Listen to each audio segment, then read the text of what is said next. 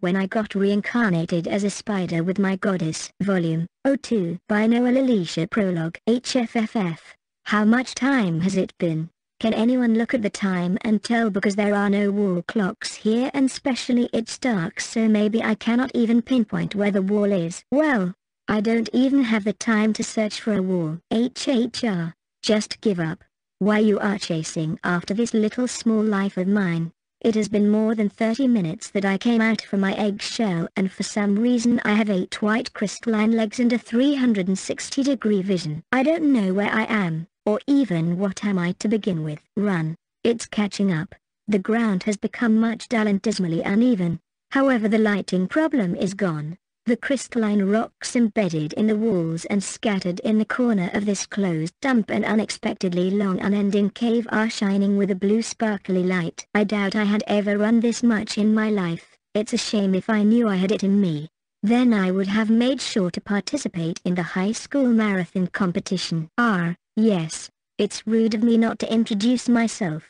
My name is Saki Kondo and some time ago, maybe just like you I was a normal high school student though it was not much of a life to brag about to 6 begin with, but here's the deal, my whole class was the victim of an unfortunate road accident and then we were summoned in heaven. This is where the crazy fantasy stuff began, where we were told to reincarnate ourselves in a new world by the gods. After staying in heaven for a week, I became good friends with the goddess of knowledge, Athena. Even if it sounds normal to you to make friends, but things are much different for me.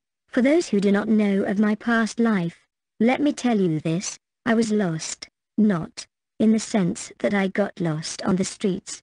Well I do have navigation issues, I admit it. What I really want to say is that I was all alone till the last moment before I died. I had no parents and neither friend. No one cared about me, and my guardian uncle and aunt just saw me only as a means to an end for their own personal gains. Lady Athena, despite all my weaknesses became friends with me unconditionally and nothing could have made me much happier. As per Almighty World God's instruction, we were supposed to be born in a high-class noble society to aid in our noble ventures to save the world. We were also supposed to be accompanied by our god or goddess in contract. Of course my goddess in contract was Lady Athena. I would never accept any other god's help.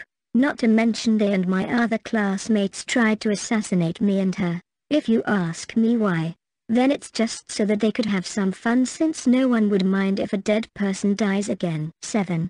But here I was making a long sprint to save my life just after my birth. There was no sign of my new parents or a doctor. After all that I had planned to make a surprising entrance at my delivery, to smile when only the nurse is looking at me and astonish her, to cry in my mother's folded arms while she hugs me and call her mama and hold the gigantic fingers of my father in my puny little hand. But I was instead greeted by a huge lizard monster, whose tonight's menu main dish included fresh eggs picked up in a cave. I doubt whether it's hygienic or not to eat eggs picked up from unidentifiable suspicious locations. Mr. Lizard should be more careful. Then again, Maybe reasoning is beyond its mental fortitude because it hadn't given up on me and is still chasing me, after I made my great escape. I am sure I had somehow messed up during the reincarnation ceremony that I landed in such a predicament or rather a peculiar life and death situation. I hope no newborn ever finds himself in such a precarious situation. I wonder what Lady Athena is doing. I hope she is at least not somewhere dangerous. I will make sure to find her, no matter how long it takes. But first I need to deal with this never giving up freakish monster. Just how much stamina does it has, to run for this long at such a fast pace with a huge ugly fat body like that? I always got bullied by the problem kids at school, but this was just too serious. This creature knew no restraints. Bullying an infant is a serious offense and is a punishable act of crime. So maybe I should search for an adult or a police officer. But, there is no way someone 8 would be kind enough to build a police station in a dilapidated, dumpy rocky cave. No. I looked at its face again. It's scary, with its long reddish tongue stuck out of its mouth and large amount of white slimy liquid being sprayed all over. Dot dot dot dot dot uck. I know, Maybe I could ask him to collect some ingredients and arrange a stove. I have got a knack for cooking, and I have full confidence in my skills. So how do I approach him? Then there is the language barrier, but it doesn't hurt to give it a try. Hey, Mr. Lizard, would you like to try some tempura or curry maybe? Ruag, never mind, I won't bother you anymore. I will keep on running. You may continue with your wild hunt. 9, 10, Chapter 1 dash Will I die again in Chapter 1 I am totally exhausted and at my limits now. I could tell that my lungs were about to burst at any moment, even though I have my doubts that whether I have them or not in the first place. There is no way I can run anymore, even though I have been running on my newfound natural instincts and maybe I was even on my adrenaline poo MP flight response mode, but its effect was too wearing off slowly. I knew only one thing that I had to survive no matter what. I will figure something out. So I need to run. I need to keep running, till I can shake off this intimidating predator from my trail. The dim light makes me sick. It's so unreal. I kept on taking turns many times in my way, but the scenery didn't change. The lizard monster is still chasing me, but in no way it looks exhausted except for more frustrated and angry. Its loud horrific outcries could be heard echoing in this closed and unassumingly huge endless cave. Now I doubt whether it is even a cave or not. Ha, puff, drip, drip. 11. Is that the sound of water? I sped up my movement, with the thought that I could dive inside the water source and only hope that the lizard didn't knew how to swim or was stupid enough to jump and drown itself. And if it ends up dead the better will be my situation. I could care no less. What do you expect from me? Having sympathy for a being who tries to eat newly born kids. I know I am much older mentally but I want to treat it as a new life. You get it, right? I was soon able to see a small circular lake in the corner surrounded by two walls and then there was a hole in one of the walls through which water poured in at a comparably higher thrust than the sound made it look like. Well, it looks pretty deep, I was about 20 meter away and was about to take a sharp turn near the next turn and make a spectacular jump into the lake when one of my odd-shaped and somewhat segmented legs just just, just had to slip and trip over a moist rock and made me roll over head butt. How shameful. Utterly disgraceful. Thump, thump. At least the ground is a bit soft and clayey so I didn't end up with any bruises or cut. 12. I looked back and to my horror, the lizard which had shown no signs of intelligence up till now saw through my misfortune and took the advantage of this opening. It rolled back its tongue and after making a crude face, was it a smile? It opened its huge mouth. I could see its large sharp canines and the foul smell it gave was unbearable even at this distance. Is he about to eat me in one gulp? I cannot move. My legs are frozen and I am too exhausted to move or think. It's just like the last time being attacked by that heavenly beast wolf and the guilt of unable to do anything in front of a powerhouse being. It's unbearable. Will I really be lucky like the last time and someone will come around and save me? Is this the end? I had closed my eyes and started counting backwards, waiting for the inevitable. Being chewed under its molars, plummeted by its tediously long tongue, shoved down its throat, then digested and finally, never mind. That's when I think my life changed. Seeing death up close for the third time, I realized there are no convenient miracles. Whether you are in a fantasy world or the real world, your carefree nature will always come back and bite you and every time it will be much more painful than the last time. I opened my eyes and someone had switched off the lights, but I could still see myself fine. That's when a person appeared before me. She had white hairs and blue eyes. She was beautiful and 13. Attractive. Just by looking at her I could tell unlike me she had a strong-willed personality. It was like deja vu. She looked so familiar that I realized that she was the one from my odd dreams I have been having recently. And now when I am dying I am hallucinating again. Or maybe I am already dead. I still could not move, but the best part was that I was back in my human body. The unseemingly familiar yet foreign lady walked towards me and gently held my chin in her hands. Let me make it crystal clear, I have no idea what is happening. Would you prefer that I say that you could have done nothing to change the outcome or say that if you had not given up then you could have changed the ending? Tell me what your heart desires? I was dumbstruck. Why? Why now of all times? Of course I want to live. Of course I want to spend more time with people I love and care about. I wanted to make them proud, to show them my best side, to tell them that they could count on my help whenever they are in trouble. But every time, I am so vulnerable, and alone. Always made to feel inferior and weak around those who are talented and strong. For once I thought things would change in this new world. Yet again I think I ended up being the same scapegoat I was before, trapped in the same loop, ready to be cut again and again, to the point that nothing would be left of me. But if you ask me, 14, both the choices are pointless. I would never give up. I will never stop trying because that is who I am. There will be things at which I will be slow at but I will keep on trying and trying. Work hard. And even if there was nothing left to try and someone said that I would have not been able to change the results either way, I won't accept it because I knew that there is someone who will always believe in me, someone who will always stay by my side and smile at me amidst all the odds and my failures. The hand which up till now gently held my chin was slowly caressing my cheeks. Then this tall woman bent down a little and making a cutely bashful smile kissed my face and in a motherly loving tone said to me, It's not over yet. If you don't end things then nothing can start.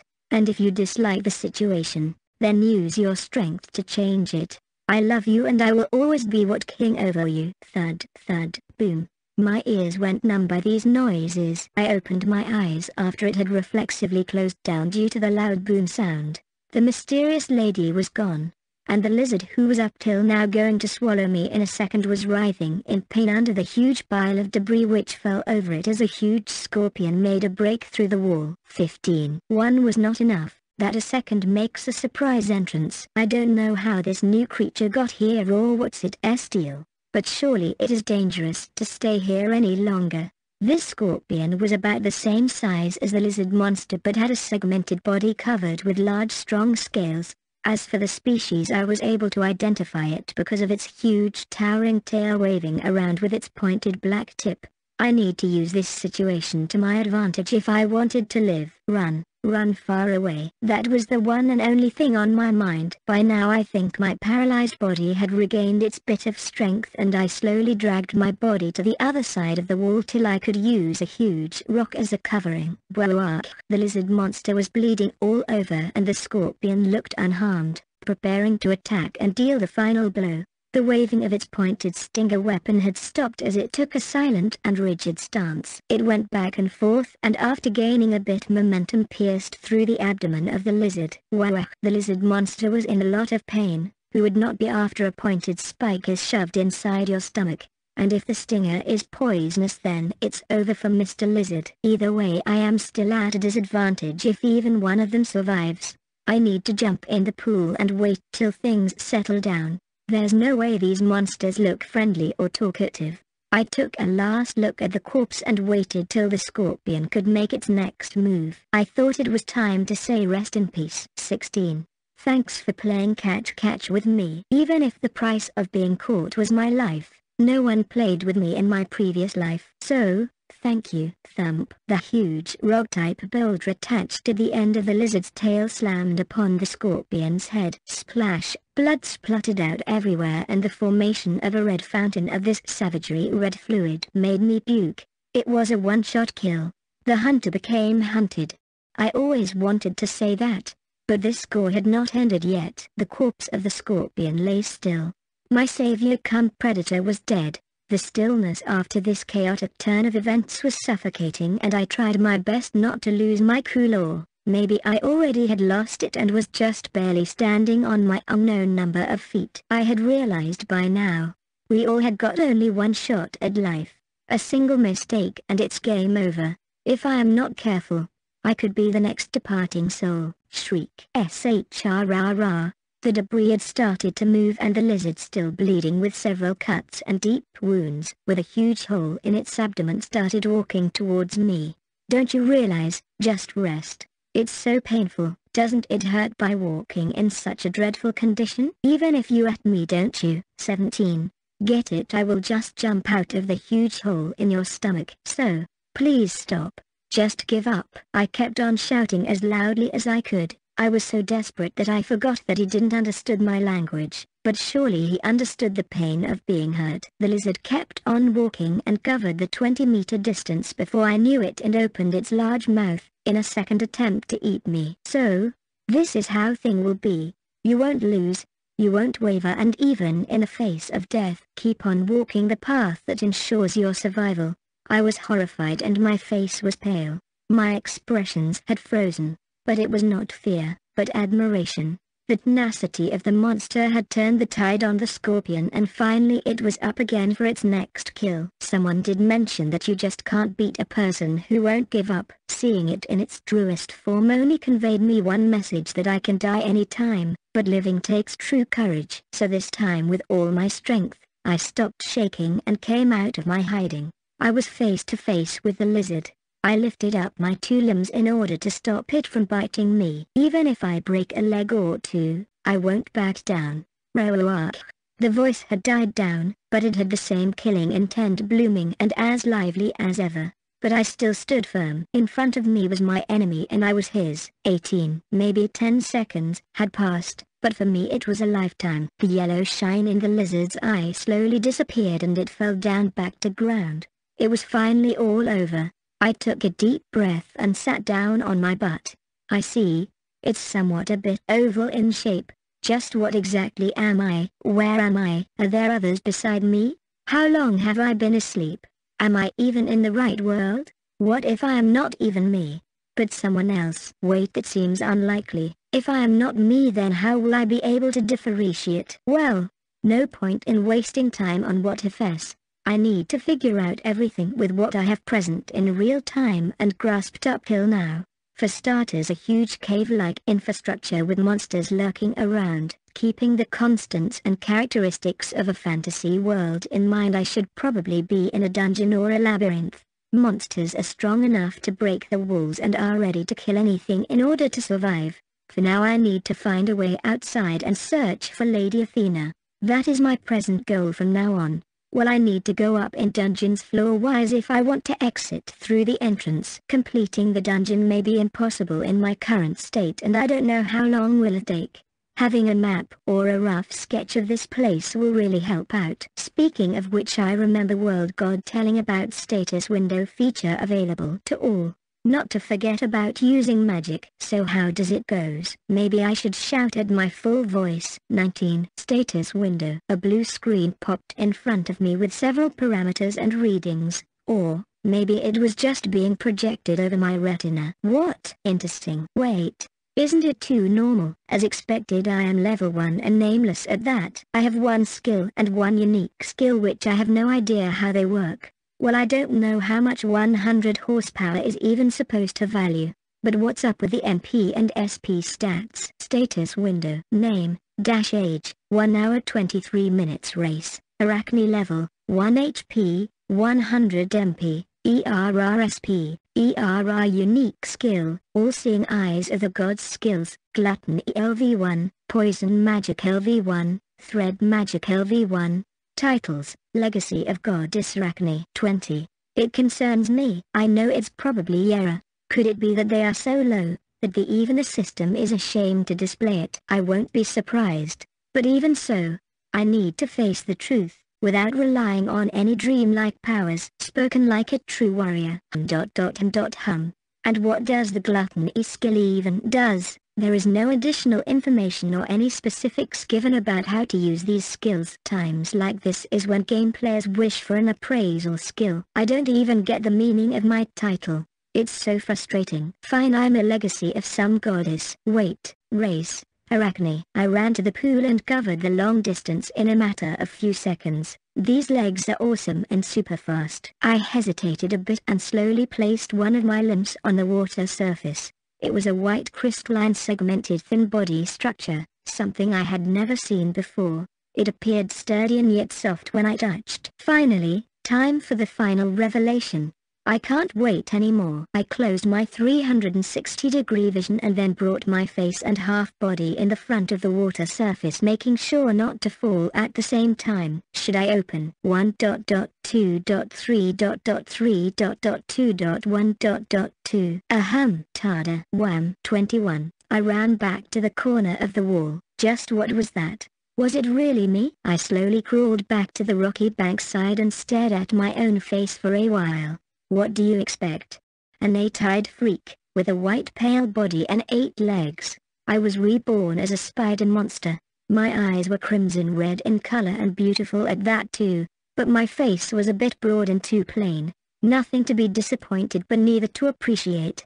As for the limbs, the front two were in the form of pointed straight and strongly built scythe-like construction or maybe dagger-like legs, while other six were crystalline and segmented in three parts. My high speed is thanks to these four pair of legs and the 360 view must be because of so many eyes. One can never know what life will throw at you. Can you?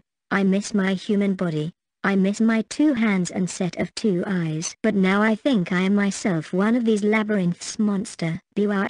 I took a defensive stance and a shelter under the rocks on the side walls. Monster incoming. Just kidding, it's my empty stomach. Unfortunately there's nothing to eat and I could feel the dizziness at the same time.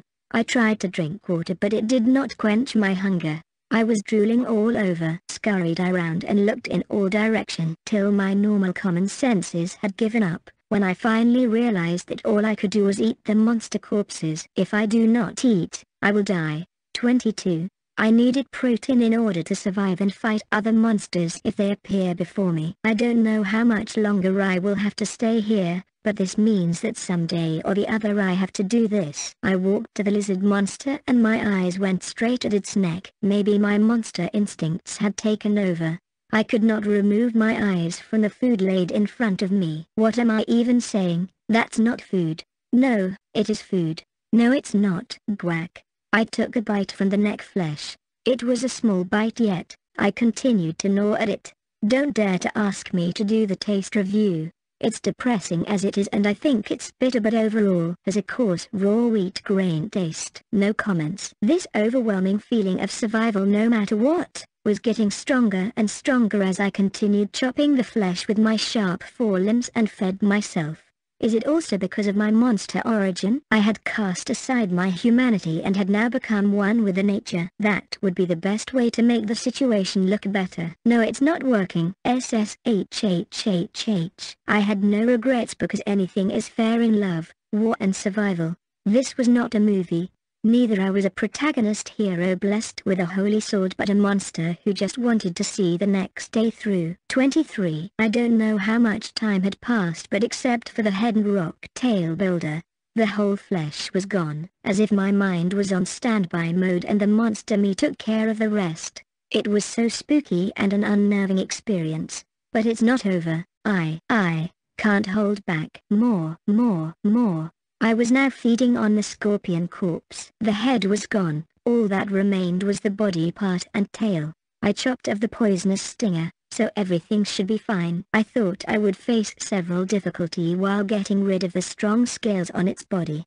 But it seems that my scythes are super sharp and strong as well. One could say I was cutting butter. The sweet juicy meat I am coming in mere five minutes. All cleaned. No, I did it again. But a child needs food to grow and become healthy. But is this monster corpse the only option? The cave was devoid of vegetation and I just can't eat the rocks. I think it's not normal to eat the rocks, says the one who was greedily feeding on monsters. The scorpion's inner flesh was much softer than expected and a bit salty. It tasted for some time like mayonnaise and then like mashed potatoes with excessive starch. Ah, I broke my oath of no comments. As for the final verdict, the Mrs. Scorpion wins over Mr. Lizard by an overwhelming number in taste points. Wait this is not a live food show, camera cut. 24. I need to think of ways to survive and get out of this place. I had no problem with water for now. As for the food I need to find some soon. I wonder how did this small body manage to eat two gigantic monsters in one go, who were at least 30 times my body size. If such strong monsters are roaming all around then it's more likely that I will be killed in my next encounter. I am not a fighter or the type who just charges in without thinking. I need to come up with several ideas. Fantasy world hash labyrinth hash monster hash survival hash magic. Yippee, e.e. That's it magic. I knew I can always count on my gaming experience for when I would be isekai, though I didn't knew when it would be But now I was one of the lucky ones, if only Lady Luck was on my side. But my MP and SP show error. I wonder whether I can use it or not. Will it work in the same way it did in the Divine Realm? It has been so long. Well I cannot gain anything without trying. Magic class starts now. I need to repeat the same magic experiments I did back in Divine Realm. Divine Heal. A bright golden light shrouded my whole body and in a second swept across the whole area. The dark dumpy dungeon up till now, was but all shiny and clean. The dirt on the rocks, the rotting flesh and leftover bones and the blood splashed all across the floor after the skirmish disappeared and the blue shining rocks which were dim like a flicker were now giving a bright and cold light. 25. My mind was at ease. A simple healing spell that I used was able to restore my mental capacity, my health status as I recuperated from tiredness and exhaustion. But even this region changed as I wanted it to be in my mind. The stingy air which almost made my unstoppable running nose uncomfortable became gentle and sweet. After a long fought, long escaped battle my mind was finally at peace. Now I needed to come up with an immediate action plan. Food, shelter, security and other necessary amenities need to be taken care of. Now, what I wanted to do the most. A huge blob of water lifted up by itself from the surface of water creating huge ripples and the concentric circles just diverged and then slowly appeared to converge. Splash! Ha! What a relief! Having a bath for the first time after being born. I wonder who my parents are or am I an orphan even in this new world? I feel abandoned and lonely again. But this time I have not lost my way. I tried to control wind again and dried myself and took a rough estimation about the size and shape of my body. I was just a small cute little spider, though I am able to talk in my home world language. I wonder what kind of voices spiders make. I need to work on finding attack spells too. Time for invention and more practice. 26. First I will go with Plasma Ball. I summoned fire on my left fang and water on my right fang and then clubbing them together I quickly launched it forward, boom, swah. The wind cleared and, the wall came crashing down and even the debris was pulverized to dust. I am sure I kept the firepower low, or is the attack just too powerful? Well whatever if that's the case then it works in my favor. Well I cannot create cubicles dash my mini bomb creation, right now because I don't have any metal at present. Rocks won't work as they are brittle and may have defective holes developed over time through which the gas can escape. That's a bummer, I know. A newborn baby throwing around grenades and going kaboom. Nothing sounds more exciting now does it? Well I need an evasion skill to dodge enemy attacks too. Thankfully, I already knew and had mastered the spell. Teleport. I thought I was floating in air but I finally realized that I was back to ground. That hurts. I had teleported myself 5 meter above. Things were looking a bit better than before. But now the final magic spell which I knew. Now I need something to store food and water. I know exactly what I will do. 27. Dimensional storage. A black hole appeared in front of me and was ready to draw anything inside it. Thank you. But maybe next time. I am in possession of nothing right now that I need to store. The best thing about my magic is that I don't need chance and just by thinking I can control the natural elements. Now when I am conscious of myself after being born and also after dying, I knew one thing was always true that we were born with nothing and we would die with nothing. All our possession and material pleasure will be left behind. All that will be left with us will be our memories, bonds and hope that we lived a fulfilling life and a glimmer of chance to meet your loved ones in the afterlife. All I could do was make sure that I can brighten my life while bringing happiness to those whom I love and cherish. Ha. I was yawning. Do spiders even yawn or is it a previous life human reflex? Please keep your voice low because RMC is sleeping. 28. Unknown time, actually 9 days and 5 hours later.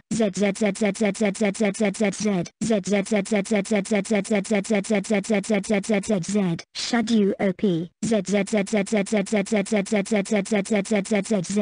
I said shut up. Can't you see I am asleep? Slash. What? Blood fell over my five eyeballs, which were half opened and a dead body was taking its last breath in front of my three intact A's. ZZZZ.ZZZZZ slash GWAP. He e e e. I threw the lump of meat which I had started chewing just after waking up and took several steps back until my back touched the other wall. Just what took over my mind all of a sudden. It's so gross. It was tasty. I brought my fang to my mouth and licked it. No. Am I going insane? I am not a maniac psychopath who slices its prey and then licks the blade while also eating its flesh. Did I really describe myself just now? 29. I will start crying if things keep on going like this. No directions, no one to help and cast away in uncharted land run over with unfathomable and super strong monsters. No way. I ended up finishing it too quickly. Wait. What was I even eating? More, more, more. Why I feel always so hungry from the moment I was born. I need to check my status. Status window. Name, dash age, 9 days and 6 hours race, Arachne level, 1 HP, 25,000 MP, ERRSP, ERR unique skill, all-seeing eyes of the gods. Skills, Gluttony LV1, Poison magic, Thread magic, Sage of Fire LV1, Sage of Water LV2 Sage of Wind LV1, Sage of Space Time LV2, Sage of Ice LV1, Body Strengthening LV2, Body Durability LV3, Sage of Divine Light. Title, Legacy of Goddess Arachne 30. Was I really asleep for 9 days? Well newborn babies do need to sleep more but isn't sleeping for so long just overkill? And I was so defenseless all this time. These damn bugs just keep on bothering me. ZZZZZZZZZ, food slash slash slash chomp. Ah. They all have unique tastes and smell so fresh too. Next time I will try cooking them. Roasting them does sound good. Slash chomp. My fangs really are quite sharp. These beetle-like monsters are quite sturdy and their shells are uniquely built and come in different colors. They are just about my size and each of them has a unique flavor. The green ones taste like mint while the black ones taste exactly as black pepper. The brown smells like chocolate but are a bit on the sour side. That's it. Why can't I focus? There are more pressing matters to concern myself with. Control Siki. Control dot dot size. Well there are no more bugs for the time being, so back to business. For some reason my HP which was at starting 100 were now dazzling in 5 digits. And what's with these new skills? 31. They were not there before. It's obviously not because I was sleeping. Could it have to do with my magic experimentation? The system recognized my magic after I performed it for the first time, but the body enhancement skills obviously came from somewhere else. I think I exactly know where. Gluttony? It means eternal hunger. I am pretty sure of it. The root cause of my sinister actions and embarrassing behavior but I am unsure of its mechanism and characteristics. But I have a feeling that it is because I ate the monster corpse. They were strong indeed and their body was enhanced highly. Well we will see to that after I feed on more. I would need an investigative skill to know more about this place and about myself. As for I am delighted to see that I can develop my own magic if I have an understanding of the world and the laws that governs it. That means I can even use the logic and science from my world to cultivate my powers. Now the last three things I need to address. My level is still 1. I need to look into the matter of leveling up. For that I need to defeat monsters and kill them. Will I be really able to do that? Also the Sage of Divine Lee GHT doesn't show any level parameter. What does that implies? The second thing is my title is too absurd. I know I am a spider but, what does that have to do with a goddess? The only goddess I care about is Lady Athena for now. 32. The most important thing of all, which I couldn't check up last time. My unique skill, all-seeing eyes of the gods. It sounds sweet and too overpowered, but how do I use it in the first place? Do I need a chant, magic circle or an offering? It's not a game that if I just say activate it will work. Status Unable to activate unique skill. Sufficient level not reached. Eh. It won't. But don't surprise me with a pop-up message. Yes, As I was saying I was sure of it that the word activate could have pulled this off. After all the status window is a unique feature of a game, though it also determines the probability that whether you will survive here or not. Ugh, I am still hungry and nothing is left here to eat. I don't want to go left or right, but head straight from where the scorpion barged in. I smell food. I am sure the beetles came from there. I went to the huge hole in the wall. It almost resembled the shape of the scorpion though distorted at some corners. I am sure this wall architect will sell in an art exhibition. I could get rich, but monsters do not put these kinds of events. Though there could be a corpse display event I guess, and eat all you like, kill all you want, kind of thing. I was somehow unable to see on the other side as it was darker than my surrounding.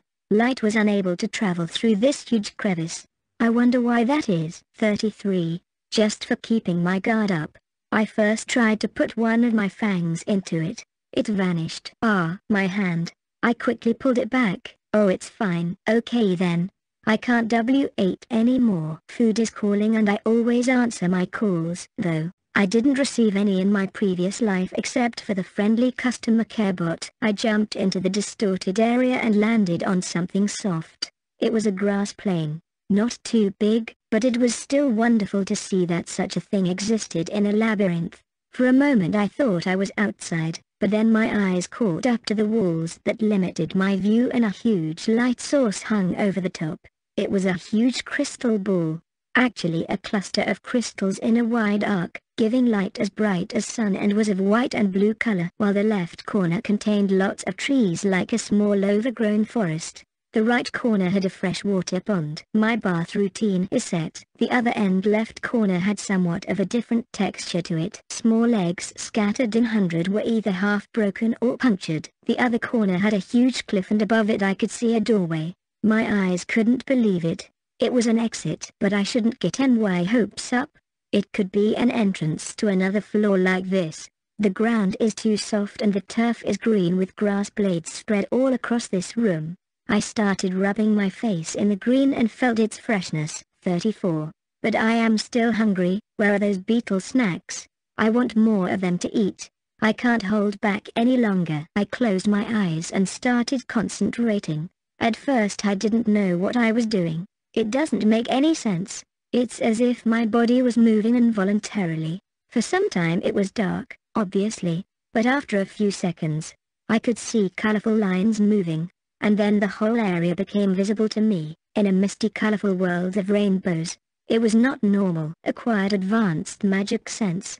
That's cool, so I can gain skills through natural instincts too. BZZZ, BZZZZZZ, BZZZZZ. I could hear all kind of noises which I couldn't hear before.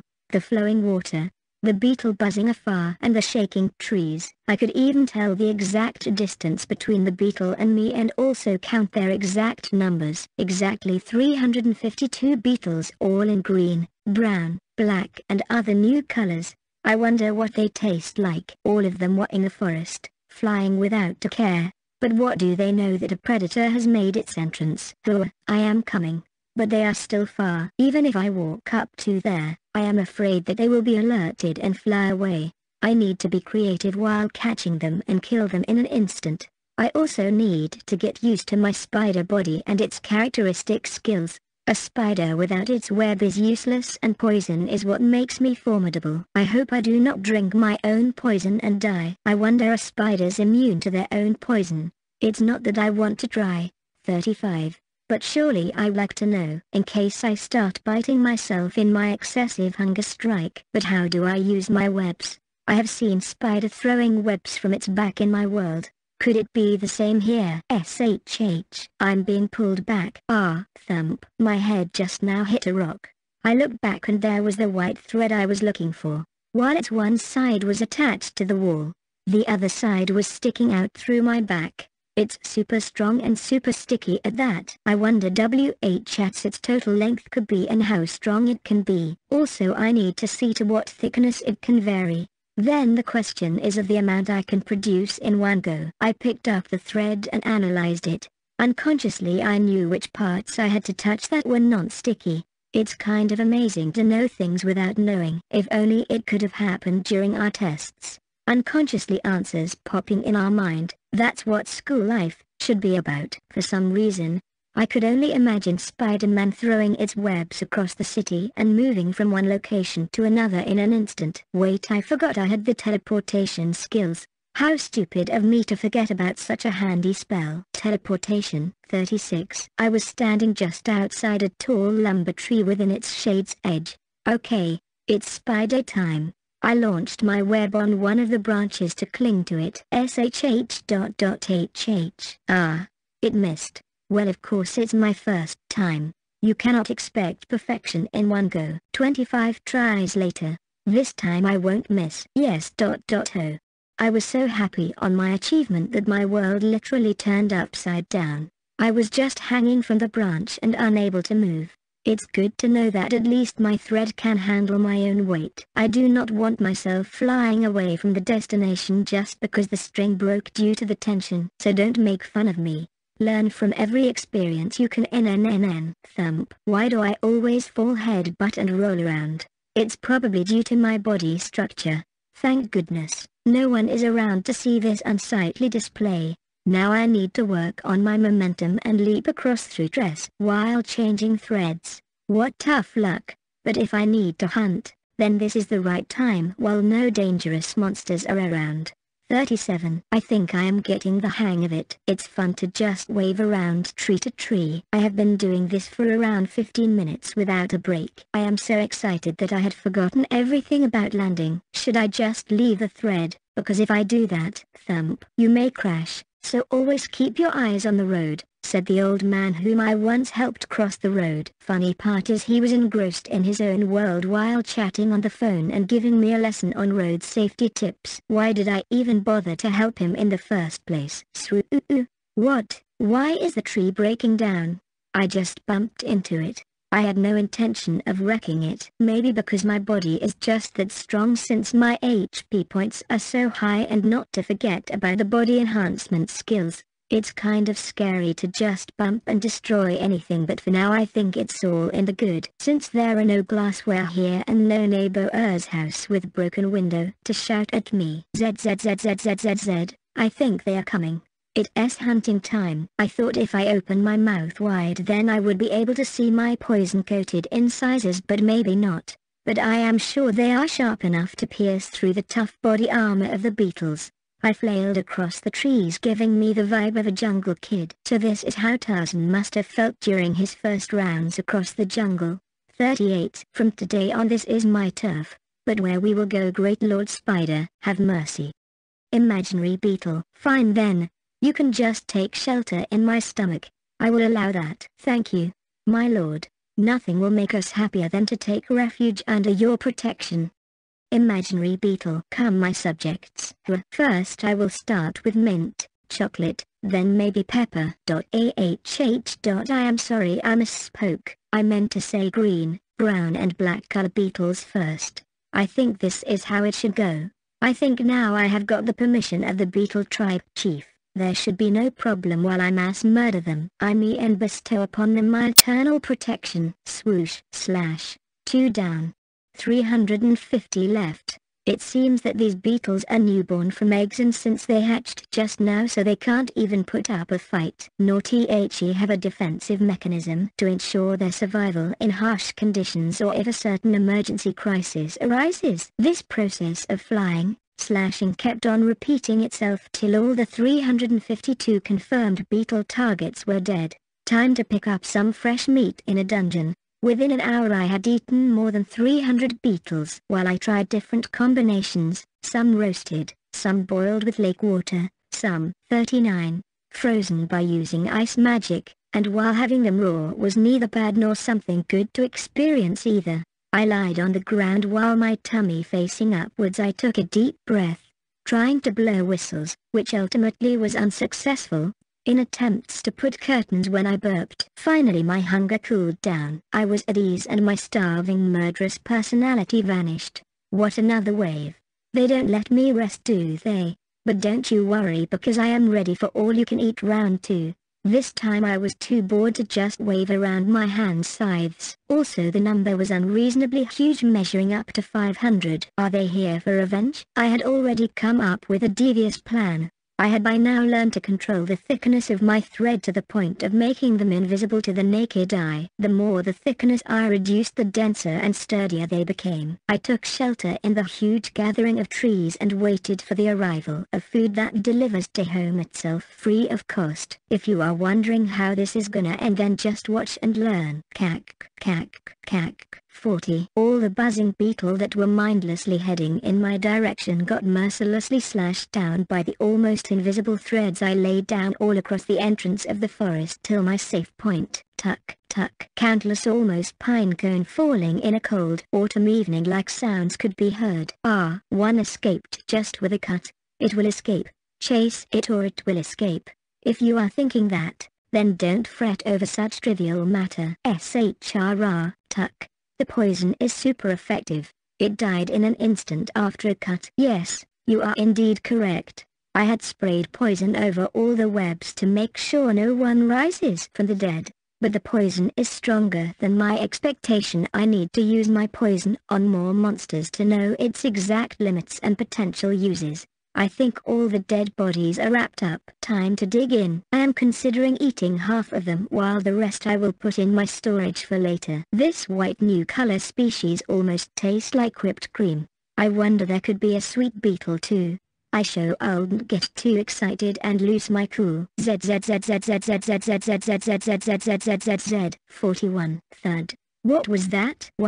I went flying after I felt a huge pressure hurting my stomach and tearing down all the trees in my trajectory. Blood spilled out from my mouth and my abdomen appeared to be half punctured. Is this acute stomach ache? No it is not you idiot. Someone had HME hard. Even my magic sense couldn't pick it up. Is it a new monster? I let my guard down for a while and this happens. Was it waiting for me to ease up all along and make a sneak attack and knock me with a decisive blow? I need to locate this opponent quickly and come up with a plan of action to slay it. I took shelter back at my hiding spot behind the safety of the vile web traps. I thought I was safe here, but all my hopes shattered when a huge beetle broke through all the webs like it was some cheap poor quality thread spread across its way. Tick, tick, tick, tick. All the webs were down and this beetle didn't have a single scratch on it. But now I have got a better look at my adversary. A strong, huge-built body, almost ten times my body size. Covered all over with rainbow-colored huge scales and brown bisected wings oscillating at an unbelievable speed making even the air vibrate in its vicinity. How annoying. 42 but the feature that stood among all was a long and solid black rod stuck on its head which it used brilliantly to break through my string and knock me to such a long distance. Well, thanks for creating the distance. Close combat is unfavorable for a weak fragile spider like me. Swoosh. This humongous beetle without any hesitation charged in and covered the disparity between us in an instant. It bent down and made a quick upward movement to hit me with its trunk and severe my head. Not happening. I used my webs and waved across to the left and climbed on the tallest tree of the area. It was a hair's breadth gap between my evasion and its attack. Doesn't it know that murder is a crime? Not that I am one to talk after annihilating hundreds of its brethren. I cannot stay hidden for long. I need to use ranged magic attacks to take it down. I tried to first burst the oxygen around its body, but it didn't even leave a scratch. Maybe it has high magic resistance too. I need something that packs a punch in one go. My ultimate plasma ball has its best application here, due to its strong firepower and its versatility to ranged and close quarter adaptability.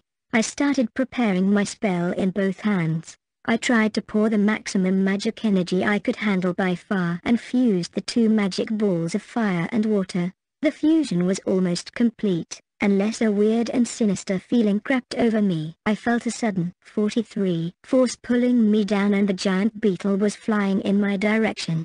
How can it even fly with those puny flimsy wings? This huge pressure over me. Is it controlling gravity and pulling me down and impale me with its spear-like nose? I had launched a half-ready magic ball at the beetle but it easily dodged it and effortlessly took the after impact of the blast.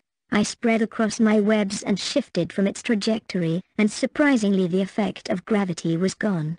So it can use this power only in a certain region at a certain point. I jumped from tree to tree trying to close in and attack it with my fangs or poison it by biting. Here I come.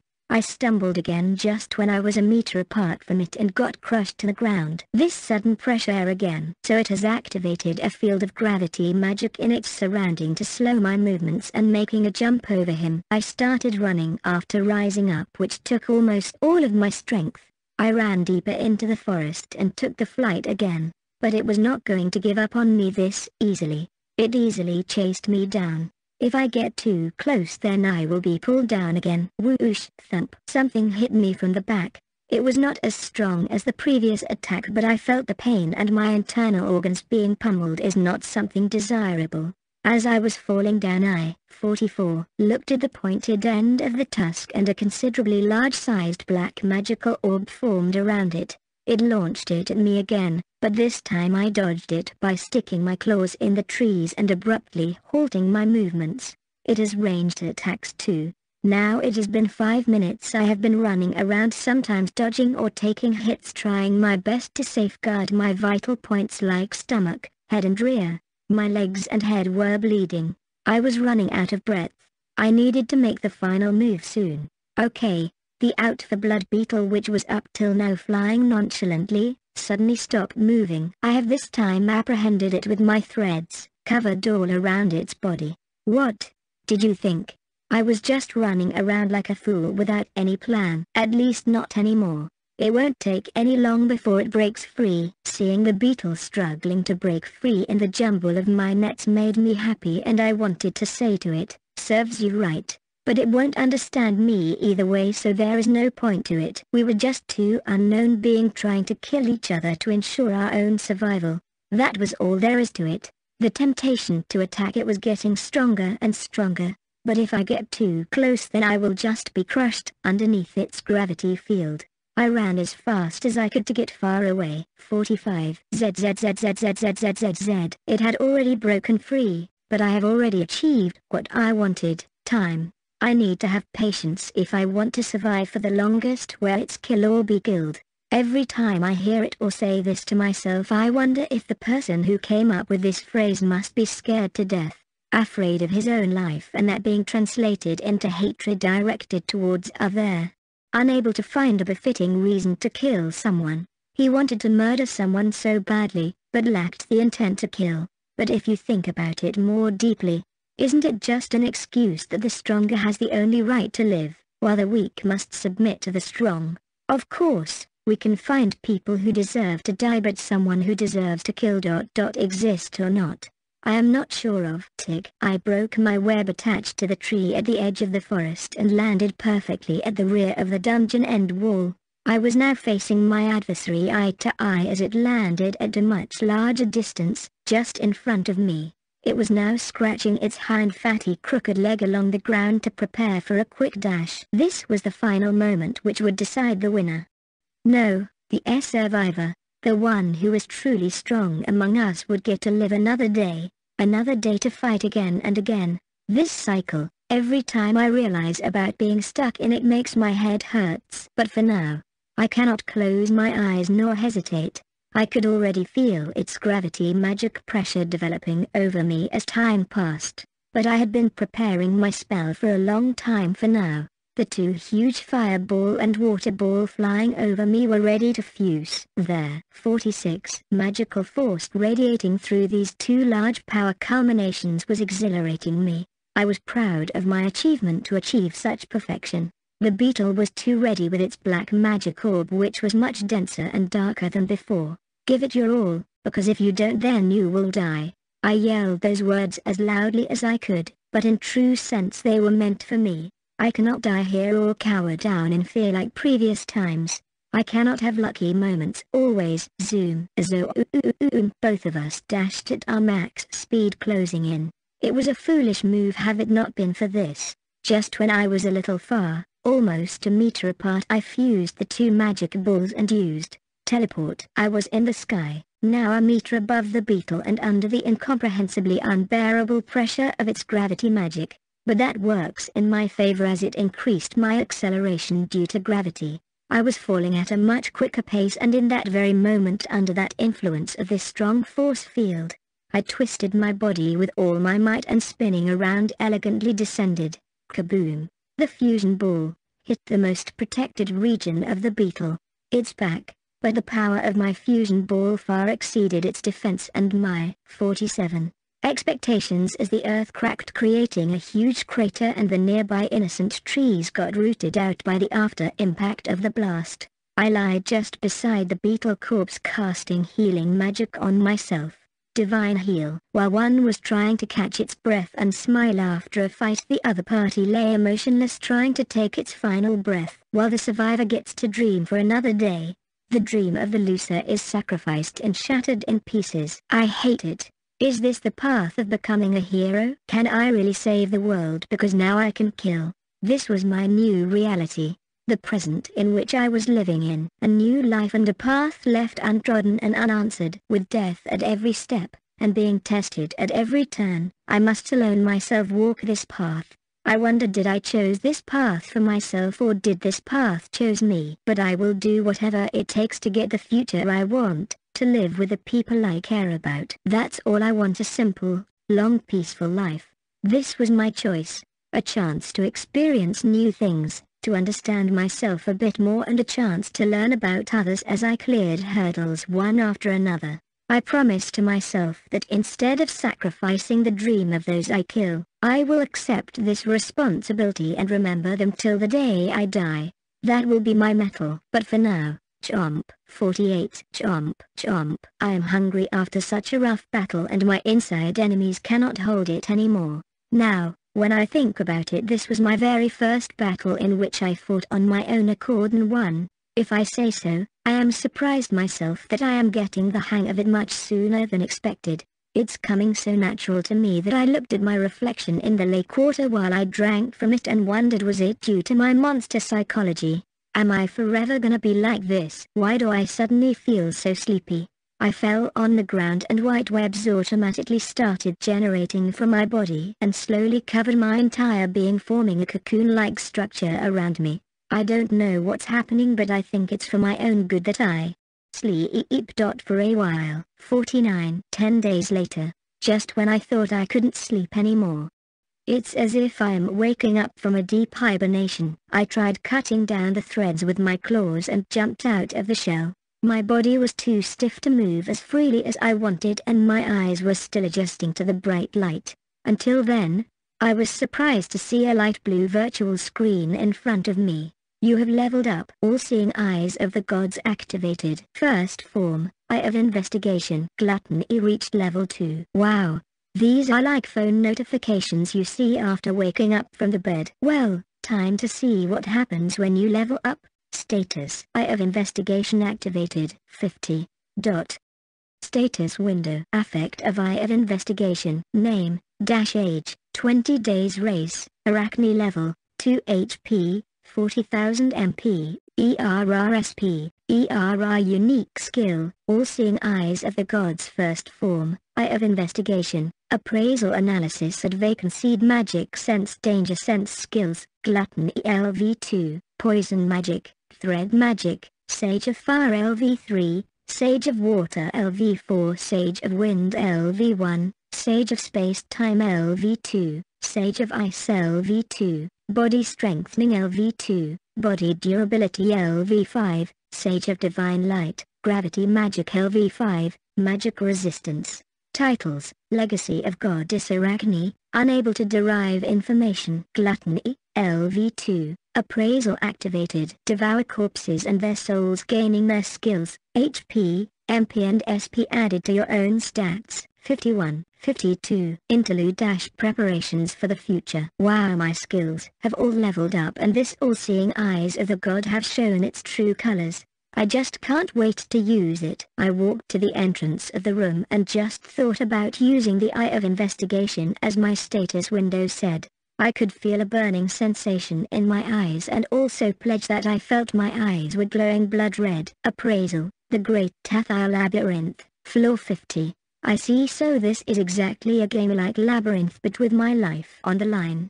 It is no more like a simple game. I doubt I will have the luxury to enjoy it as a shut-in pro gamer. But I will play it, and victoriously escape this cringe place. I think I can now have all the information I need to survive this place. And after defeating that super strong beetle I have more confidence in my abilities as if I was meant to do this one day. I used appraisal on Tathia Labyrinth and was amazed to see its potential history and that this whole place has 100 floors in it. At present I am on floor 50. If I climb up, then I will be free in no time. But I need to make preparations and test all my skills one by one in a day and search for more food for my sustenance. Well they might. 53. Get ready for me at floor 49, till I feast upon the remaining beetles in my storage. For some time I wanted to know more about the materials I found in this place. I walked to the center of the room and looked upwards. The beautiful crystalline, thorn-like structures hanging from the ceiling and radiating a spectrum of vibrant colors illuminating the whole plane like a solar disk. I wanted to know more about this new beautiful element. I used my eye of investigation and this is what I found. They're called magitite and are a special kind of crude ore that absorbs magic from the surrounding area. It seems that it is overloaded for now and that's why radiating light with such high intensity. At present it is just crude ore and so has no use for me. But just maybe if I am able to get a crafting or alchemy skill, since it is a fantasy world so there must be one, then I am sure that I can put it to good use. Time for some mining. I opened my dimensional storage near the cluster of magitite and they just got sucked inside it. My dimensional storage surely resembles a black hole.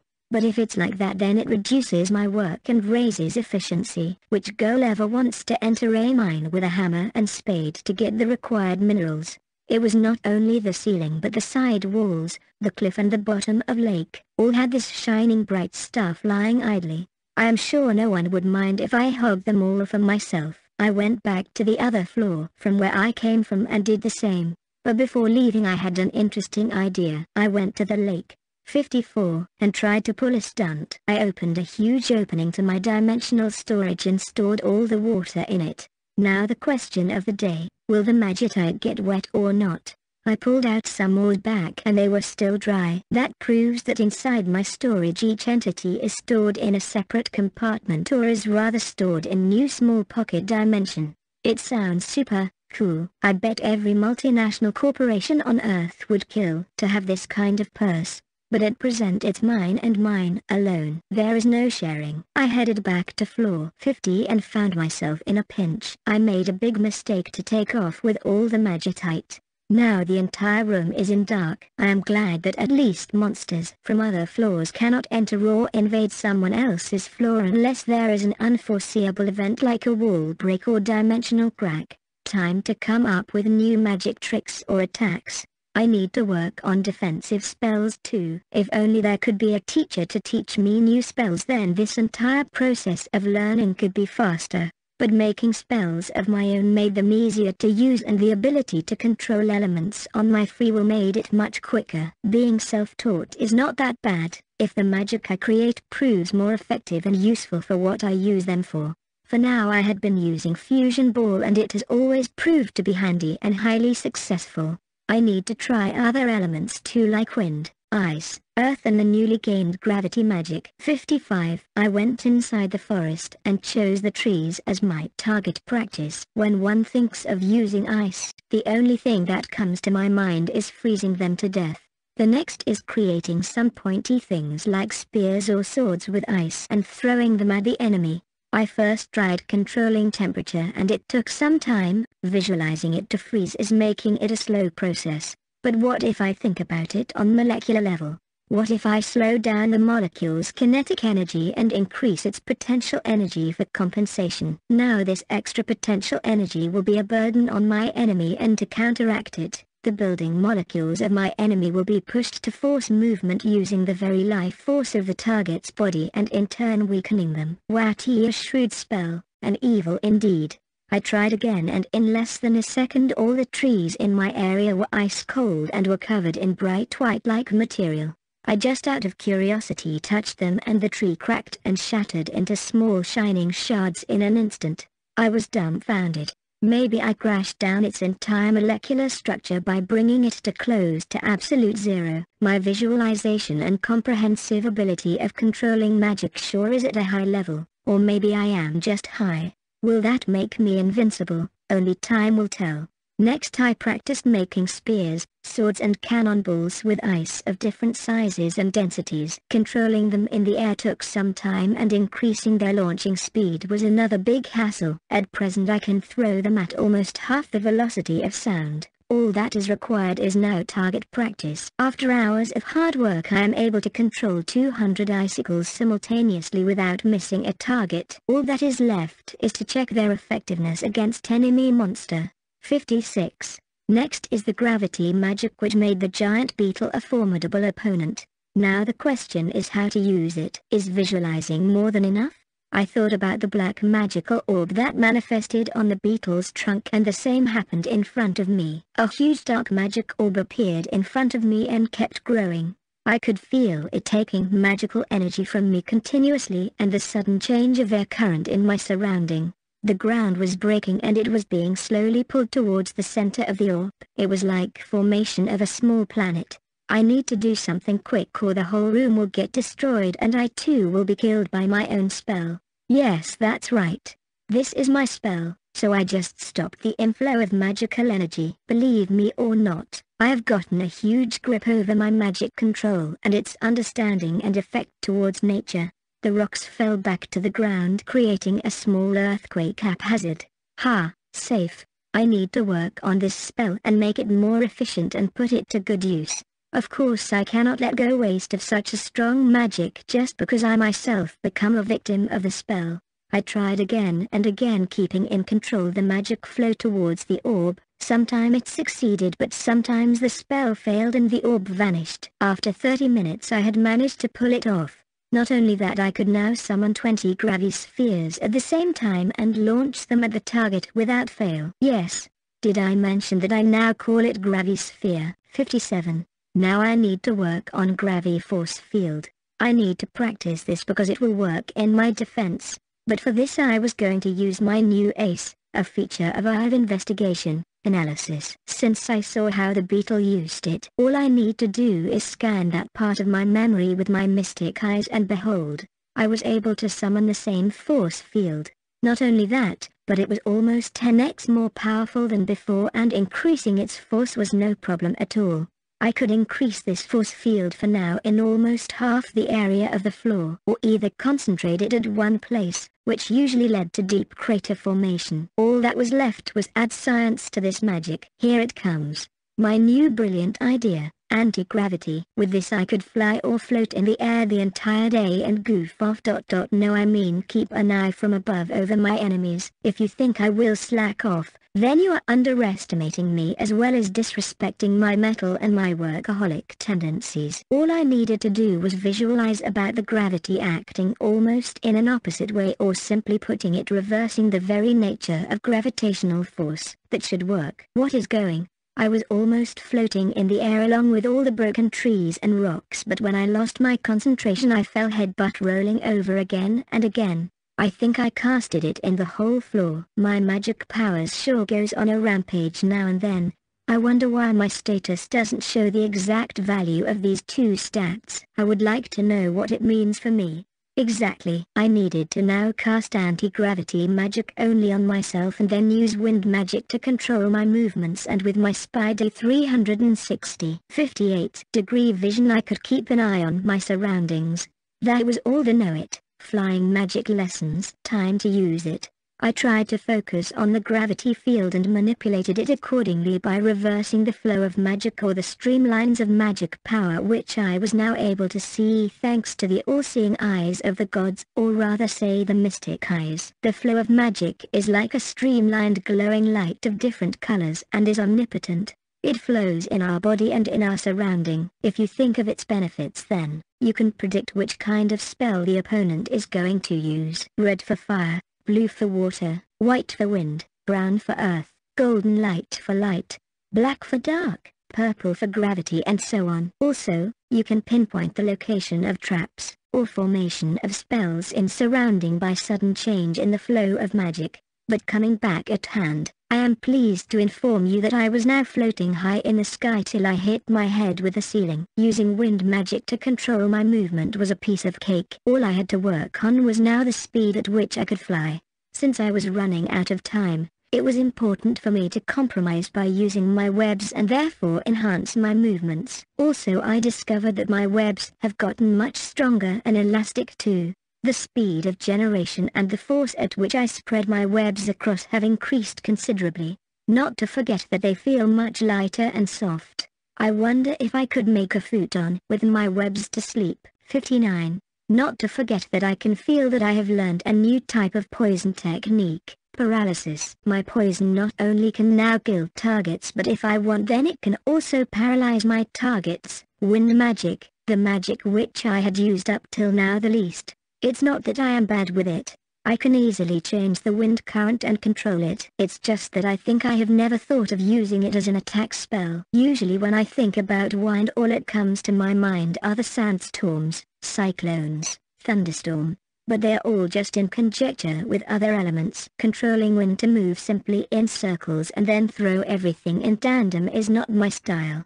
Well the most prominent thing in my mind is to use it as a blade. Controlling a thin layer of layer and projecting it at a very high speed could be one of the best choices. Smooth and crystal clear. Wind cutter. Moving a thin column of air is not too difficult, if I consider all the air molecules in a single one-dimensional packet and use it to bisect across a 3D figure, simply put sliding one dimension across two dimension. Swash shrrr. What in the god's name happened just now? Did I by mistake unleash the spell? The amount of damage. Is it really me? Unbelievable. What I was looking at a whole forest chopped down in half and ground leveled, while the wind didn't stop here till it hit the wall and left a huge cleavage. 60. Well ah, sorry, sorry, I had no intention to do this. Will the forest officers come and arrest me for illegally chopping down trees? I need to pack my stuff. It's time to leave. Wait, I am no longer on Earth, so I am sure in this fantasy world, the trees will grow back magically in no time. But I think I should be thankful to this strong spell, that the ground is leveled, I can now easily practice earth magic. I think I already know what I need. An earth wall spell, a swamp creation spell and creating earth spikes from anywhere from ground. It didn't took me much time to create a thick wall of earth appear in front of me. As for the swamp it works best with loose soil and water. I would like to trap a dinosaur and then keep its fossil for myself as a trophy. I wonder are there such beasts still alive in this world but the most deadly spell was the earth spikes. Creating certain elongations with pointed edges sure was a tough job. It took all out of me to reach perfection. Initially they were all twisted and curved projection but slowly they took shape and finally bloomed into a deadly flower of piercing thorns. Repetition is the key to mystery. Not to mention, I could easily control the length of these spikes and make them appear through the horizontal, vertical walls and even the ceiling. For the first time I thought this labyrinth was actually in my favor and provides a special advantage to Earth magic users. This world is so unfair, well doesn't matter dead people do not complain so I said. 61. In all this self-purposed magic training which actually I was enjoying a lot came to an end. I know you must be thinking of physical combat abilities. I tried doing push-ups and sit-backs but having so many legs makes it confusing and the more unreasonable. I am already more than confident in my running speed and evasion tactics thanks to my monster instincts and danger sense. It's not that I can't punch, but a kick seems more viable. Also the fly and kick slash bite slash slash strategy is best suited for me and easy to enact. It was time for me to head out and explore the new floors myself. I used my dimensional storage and stored all the lake water in it. By now I have more than enough water to flood an entire colony. The entrance to floor 49 was on top of the cliff at the right-hand corner of this grassy plain floor. Monsters in this place will always try to hunt me down. The question is what should I do? I do what I can. There are only two choices for me, wait here, and rot, or, keep going, and survive. I looked back and thought I will never come back here again. I had to climb up and reach the first floor. The person, who was waiting for me, was all I could think about as I took my first step into the dimension cover of the new floor. 62. Information brochure The Great Tathaya Labyrinth the Great Tathaya Labyrinth is hidden deep within the Kanandra mountain and its trenches, and is considered the most dangerous place in Islegard because of the natural instability of the region with highly dense magical region, and is a nest to powerful and dangerous monsters. These mountains separate the landmasses of the demon or chaos continent and the human kingdoms in the northern region. 200 years ago, this place was but a flat land and economy flourished between the two continents as wealth, culture and prosperity was shared, but after it became the final battleground of the Holy Crusade, people started calling it the Cursed Land. The very topography of the region changed. Land masses sunk in the nearby water bodies, while the remaining was rendered unfertile and left barren, until later it became densely populated with high-level monsters and the wild vegetation which helped these vile creatures thrive here flourished. The corpses, dreams, anxiety, fear, relics of the past, negative emotions all collected and gathered at one single point led to formation of the Great Tathaya Labyrinth. The labyrinth consists of 100 floors with each containing a certain species of monster or a single catastrophe class monster. Most of the monster species are considered intelligent and their desire to kill far exceeds any other monsters on land. Also the labyrinth is home to many relics and legendary weapons that were lost during the Holy War.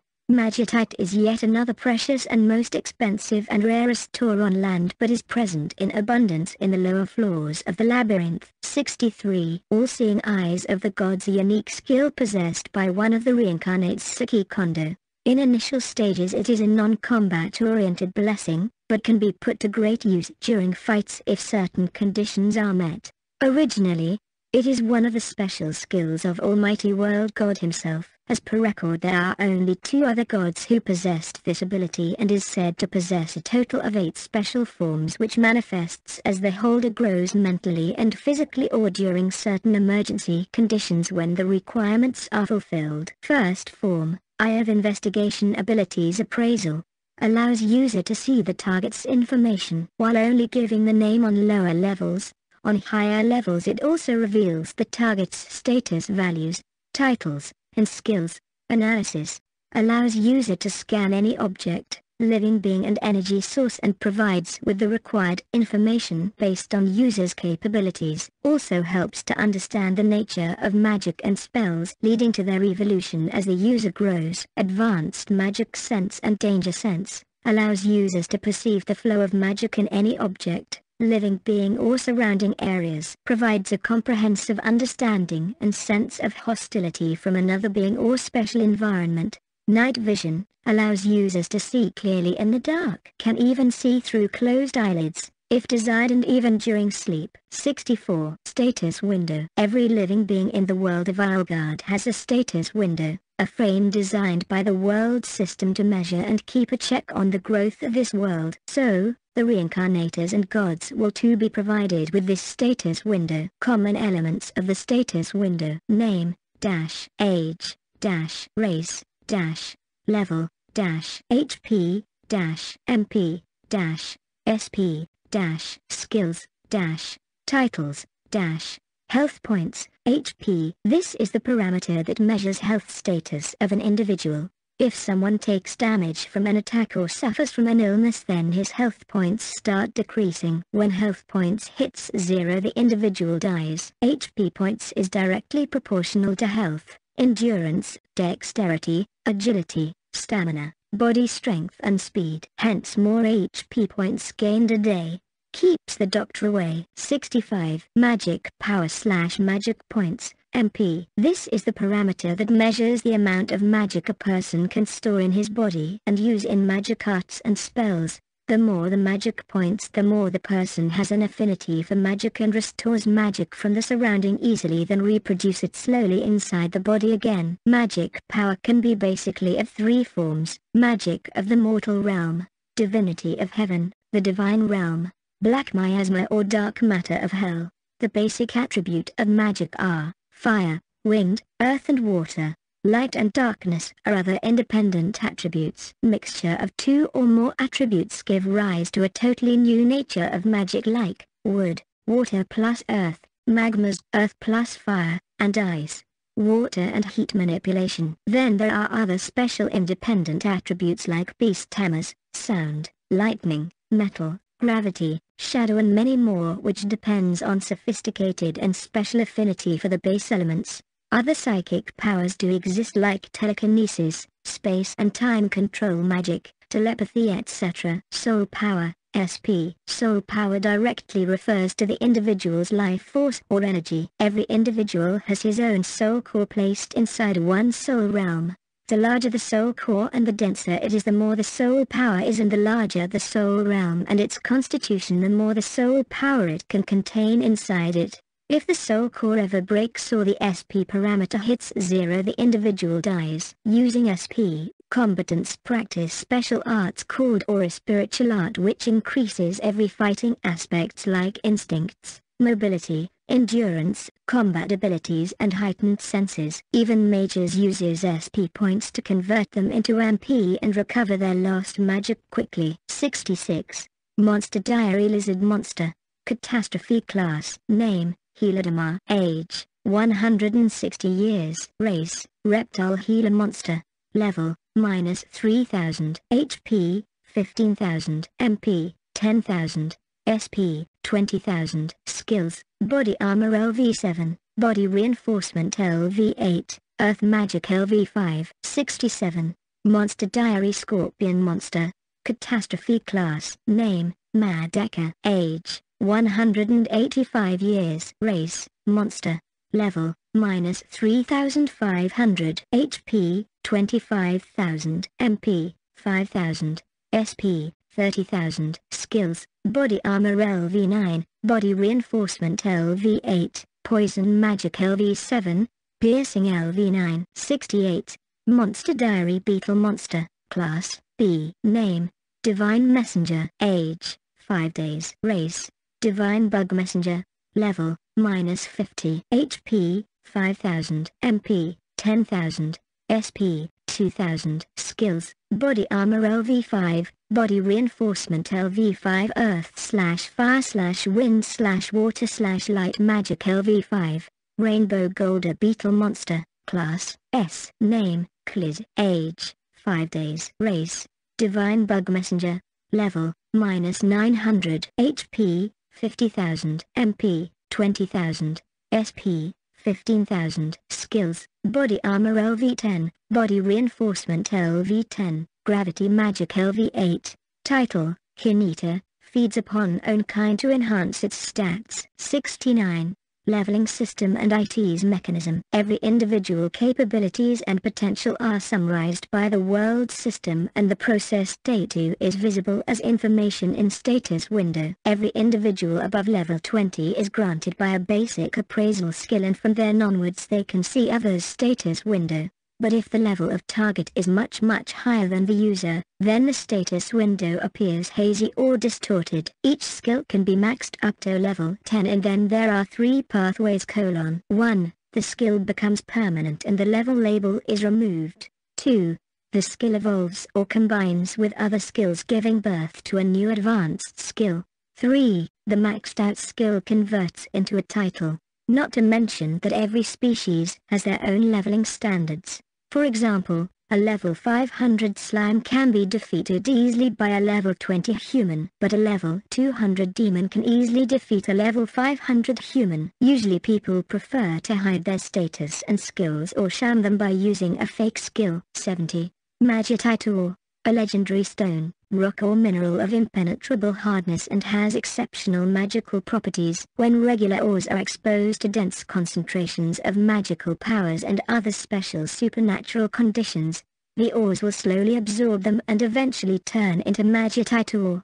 Since such deep concentrated magical concentration is hard to come by and the period of formation is extended over hundreds of years is hard, these ores alone are considered highly rare and serves as reserves for national treasure or as liquid money in national treasury by all the human kingdoms and even in the demon continent. Due to the high magic concentration requirements for this ore to form, Usually only high-ranking adventurers can obtain it from deep underground dungeons, dangerous unexplored mountains or at the bottom of the deep seas.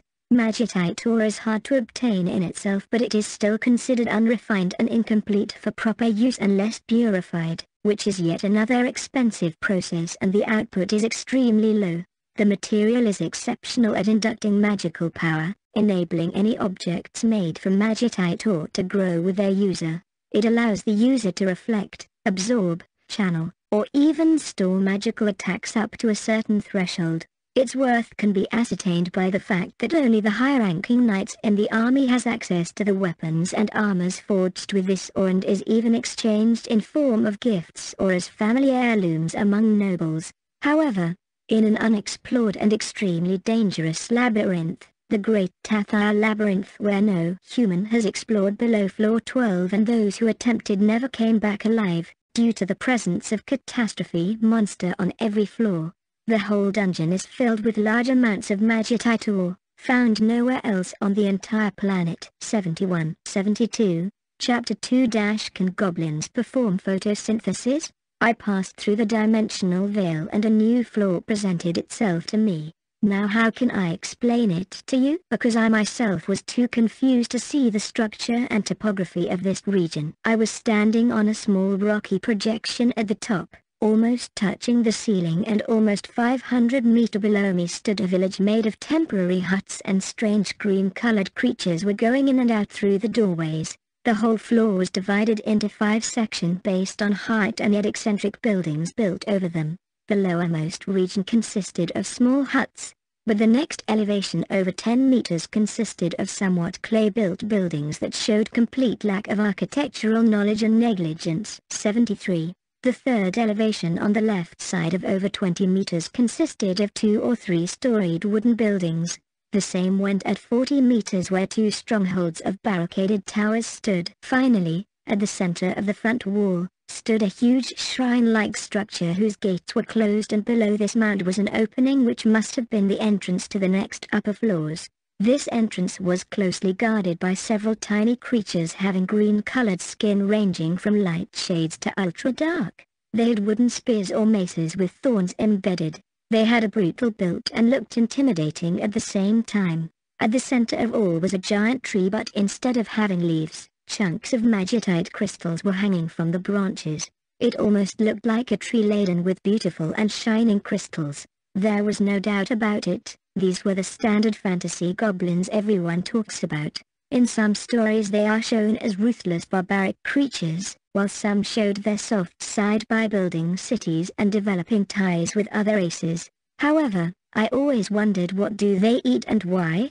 Since this looks like a civilized town I can try to explain them my situation and ask for a special emergency exit. But what if they are like come in, dine with us on the table, and after eating we will listen to your problem. No, what do you mean on the table instead of chair and who do you really want to eat? I could almost see myself on their chopping board while the gob butcher stares at pale face with the anticipation to finally chop it into small pieces. They are perverts. They deserve to die. 74. Die, die, die. The goblins always appear to be green and just maybe and by any chance they could have chlorophyll pigment in their skin and can perform photosynthesis. Or maybe I am thinking too much. Just then I heard some goblins carrying a small wooden cart covered around with wooden bars, resembling a mobile jail. Inside them were the goblins, but they looked pretty old and weak to me. TCHK, TCHK. Without any concern the other armed goblins put together their spears and impaled the prisoners. I almost let out a loud cry, but controlled myself by biting my inside soft cheeks. That's how I usually control my facial expressions. That was painful. No way, no way. They cannot. A goblin with a long sword lifted the wooden plank which worked as the primitive lock of the prison and started slashing them to pieces. Blood sprayed through the air and the cell was covered with the color and smell of death. That's cannibalism. I thought as the butcher picked up one of the fallen meat piece and chugged it down its throat. It was satisfied as if measuring the quality and other food standards of the meat. Obviously, those weak goblins are in no position of committing crime unless their crime is that of old age or some other weak ailments. They served as 75 food for the other strong goblins. The young fed on the old and rusted, that was the harsh reality for those who lived in this labyrinth. There's no way I am gonna end up like that. I saw other goblins sent to the cell, while some of them savored the meat. The others collected them in a huge sack and carried them to the other floors and houses. I am going to survive this hell. On that note this place was really huge. And I wondered just how big this labyrinth could be. Whatever, I'm getting hungry. There's no point in hanging around here forever, so I'll just have to get a move on and come up with a plan to annihilate them. I used appraisal and was surprised to see that this whole place is actually five floors coexisting together from 49 to 45 floors, just the same as the number of elevated lands here. There were many types of goblins colon, goblin fighters, LV 500 to LV 1000, goblin general, LV 2000, Goblin Magician, LV 2500, Goblin Chief, LV 4000. All of the normal goblins had high combat skills and high defenses, but the above floor goblins were in the realm of their own and specialized in what their names supposed of them to be. The goblin general had sword skills like piercing and quick draw. The goblin magicians were well versed in dark magic LV4, earth magic LV5, and Wood magic LV4 76. The Goblin Chief was a tough opponent with both sorcery and hand-to-hand -hand combat skills. He could be also called a sorcerer brawler, with skills like Shadow Movement LV4, Fire Fist, Water Magic LV6, Dark Magic LV5. He was fit to rule over the Goblin Village. The levels matched to the floor and their heights, also representing who is the boss here. But, what concerned me the most was their shrine. Neither my appraisal worked nor my magic senses picked up anything. It's as if the whole place was under the cover of an anti-magic field. Considering the situation up till now it's not impossible. However my danger sense always went berserk when I looked at the gateway of the shrine. Weird, right? By now no goblin had spotted me. Neither someone would expect that a tiny little spider would be plotting against them while it hides above the sky. I crawled to the roof and headed to the center where I hid myself in between the cluster of white crystals almost camouflaging with them. The goblin fighters were almost 200 in number, while there were four goblin general, two goblin magician and one goblin chief. Twenty goblins were always at patrol near the entrance and four goblins would bring the cage after every four hours and wait under the tree for the butcher. By now I already knew their weakness, food. I just need to exploit this point and I could turn the tides in my favor. Hey, I can see the future. 77, 78. After five hours, a new cage with 10 goblin prisoners arrived being escorted by four goblin fighters. They halted near the tree and took positions at each corner of the cage. It sure is a good strategy to keep the food safe from ground attacks, but they sure didn't expect an enemy lurking in the sky. This was my chance to wreak havoc. As I descended from above, sheesh, s-h-r-r-r, sheesh, s-h-r-r-r, one could hear the sound of a rope twisting around the goblin's neck as it quickly fastened itself the grip being so tight that even before the goblin could cry out their last words, life was flushed out of them. My webs were so sharp and the pressure was so high that they cut deep enough that blood started flowing out. I activated gluttony for the first time and black color threads came out from my body and started curling around the dead goblin corpses covering them from head to toe and finally squeezing them to the point that a ball of black webs vanished. It almost felt like I ate something. All the four dead goblins met the same fate. So this is how gluttony actually works. First this special kind of black webs envelops the targets and through special kind of organic processes dissolves the matter and organic substances converting them directly into raw energy which works as nourishment for the user which is me. What would have taken me almost 10 minutes to eat four goblins was now done in less than a second. It saves time and also the gross feeling of eating something nasty and I don't know how to put in 79 words. But you get it and if you don't then I welcome you to try eating raw cabbage dipped in coconut oil and covered all over in chili powder, because that's how it actually felt. Not to forget that it was just the head.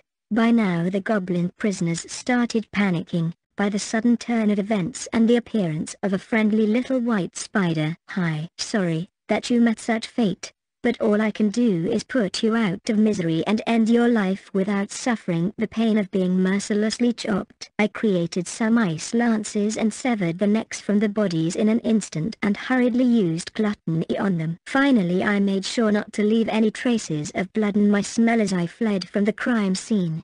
I am glad that the gluttony skill leveled up because it proved to be handy. I want to level it more just like my unique skill. They are all very useful. Thanks to Lady Athena, my unique skill proved to be the most important skill I needed to survive in this hell. Who needs some stupid or high-specs destructive skills? Could they even bother to come down here and help me? 80. Plan in motion. Ten minutes had passed and the goblin butcher finally made its appearance. Just a short distance away from the tree squatted a goblin, yawning. The green-skinned monster spinned around his long broadsword and slowly approached the cage. At first he stuttered and stumbled on the ground. His face went pale as he stood and started banging on the cage bars. At first it was in panic but then started mumbling to himself. Dollar hash dollar percent dollar percent carrot hash at hash dollar. You can't understand it can you? I know, it's tough when someone approaches you and suddenly starts speaking in a foreign language. You are frustrated and at the same time suspicious that you are being bad-mouthed by a prankster or a foreigner when some of the words start sounding familiar to your own dictionary of slang words. But don't you worry because I can't either. Break a leg, colon. From here on it is my duty to translate the most expected dialogues from these goblins as the story unfolds. But, don't expect too much from me. There's only so much that a little spider like me can do. Those stupid gobs are gone and ran away with the food. Yeah, unforgivable. Justice, I demand justice, but the blame will fall on me. I will for now pretend nothing happened and return for the next serving. The gob butcher for some reason was waving both hands in the air and spouting some long words, as if cursing someone, and after he vented out his frustration he left. 81. It seems that he did not care what happened to those prisoners neither bothered to inform any other guards. Well, your ignorance works in my favor. My plan was to create a deficiency in their food stock and leave the goblins stricken with panic and hunger. I passed my time eating the remaining beetles. Even though I could use gluttony somehow chewing them made time move faster, or I was just too alone again. Another four hours passed. This time six goblin fighters escorted a cage filled with twelve prisoners. All of them were lifeless with bruises and burn marks. So even before being butchered instead of doing something like tell me your final wish and we will fulfill it, they prefer to torture them and break them mentally till they beg for their deaths. I felt a bit sad but my emotions didn't matter the least because I was no different than them. It was a heartbreaking realization but I needed to differentiate within the monster that was in front of me and the monster that resided inside me now. Commence attack. This time I used my new freezing magic. Absolute zero. All the goblins were rendered still and dull. Their bodies were shining and yet they show no signs of life. Wait are they dead? Oh oopsie. I forgot. Bringing all their cells to an inactive state will also stop their heart, and eventually they will be dead in an instant and if they don't have a heart even then their brains will suffer. 82. Blood deficiency and they will be declared brain dead. Death was certain. What a frightening spell. I need to keep its power in check. I thought of gluttony and the skill activated itself with threads covering the dead bodies and vanishing just like that. But while using it I made sure to leave an arm behind which I finally chopped down from one of the dead prisoners. Yummy. Though I could not feel any taste, I could feel my appetite being satisfied. Food secured. Retreat. This time the gob butcher was quick in his steps and anxious too, rubbing its bald head again and again, licking its dried lips with its tongue, but it seems that it was in search of moisture in itself. Could they have a water scarcity too? I get it, only the goblin chief has the luxury of water. While offering the meat they get water, or either they drink their own kind's blood. That would explain the dried dead looks of the prisoners. This time he was in full panic mode. Just the reaction I wanted. He went inside the cage again and again and finally chopped down the bars. The reeking of the wooden cage brought other goblin fighters' attention. They were armed and headed to the magicite crystal tree. At first they were unable to understand the situation and the half-broken cage but seeing the gob butcher in fury and a hand in his hand with the prisoners missing or rather their meal, they lost it. 83. Ho, ho, hey you. Listen to me. Just what do you think you are doing? With a sword in your hand and a pie key of meat, for some reason, I thought he was into rapping. Even though it was bad, I could see other goblins somehow enjoying the way he spoke. Labyrinth or not, talent can be found anywhere, you just need to have good eyes. I gave the famous director approach look, thinking of wearing black goggles and using my forelegs to form a square screen in front of my eye as I continued to watch the show. Yes. Why don't you answer us? Or are you pretending deaf? Oh you poor soul that seeks the truth. Let me put you on the chopping block and relieve your fingers of this heavy duty as you answer us. This one looked like the lonely melancholy singer, who lost his proposal ring in bed to the ex-boyfriend of a girl he was going to propose. It's not my fault. They disappeared on me. It seems that there is an intruder.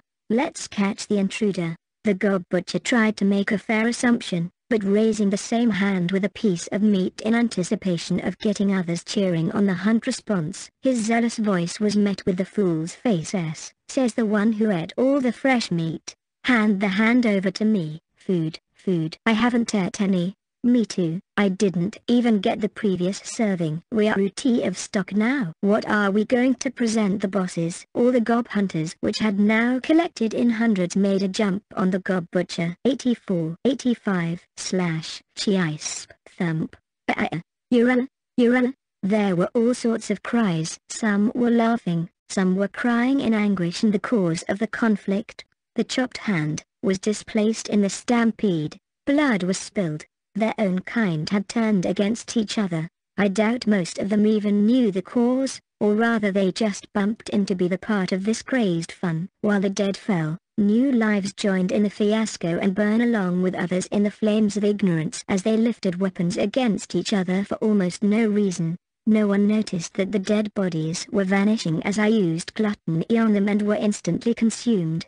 The populace of 200 goblins was reduced to a mere 120 within 15 minutes. Just then a huge mace came in flying and raising fumes of dust everywhere my view was obstructed. It was one of the gob generals, its physical abilities were no way a mere sight to behold, with those thick muscles around his biceps and belly made it evident they were the result of hard training and patience as they maintained their ideal daily routine. What are you all doing? Killing each other like bloodthirsty maniacs.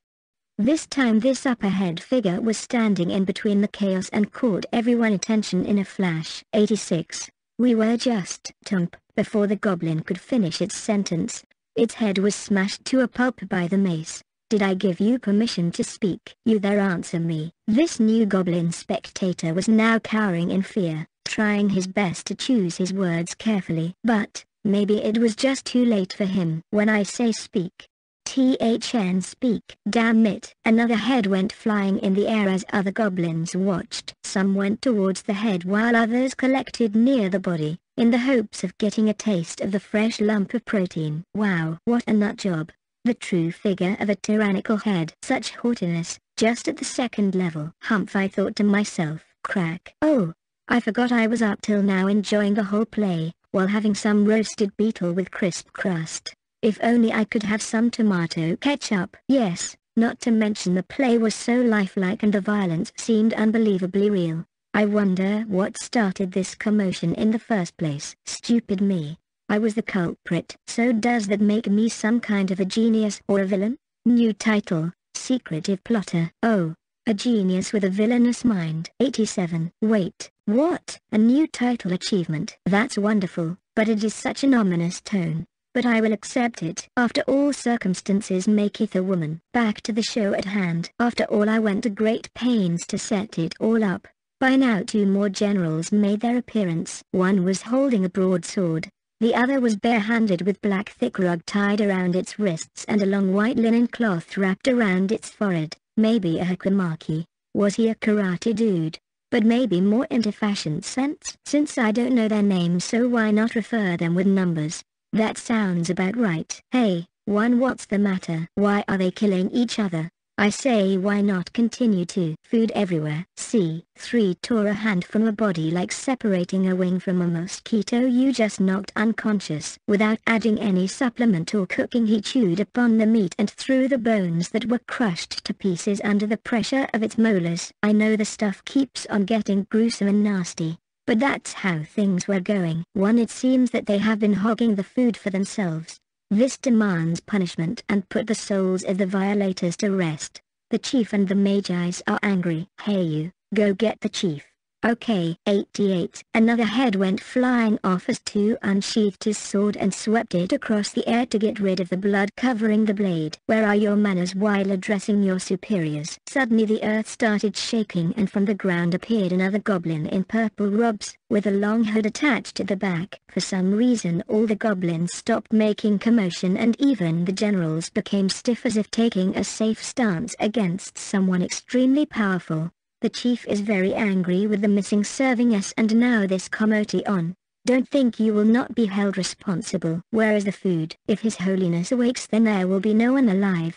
It's missing. But we have killed lots of healthy goblins. Collect each dead body. Everyone started looking at each other's faces, not knowing how to respond. Every dead body was missing. After all I consumed them, while some were eaten by the other goblins themselves on spot.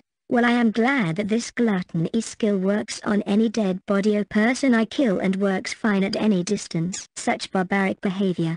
There are no dead bodies here. Have you taken me to be a fool?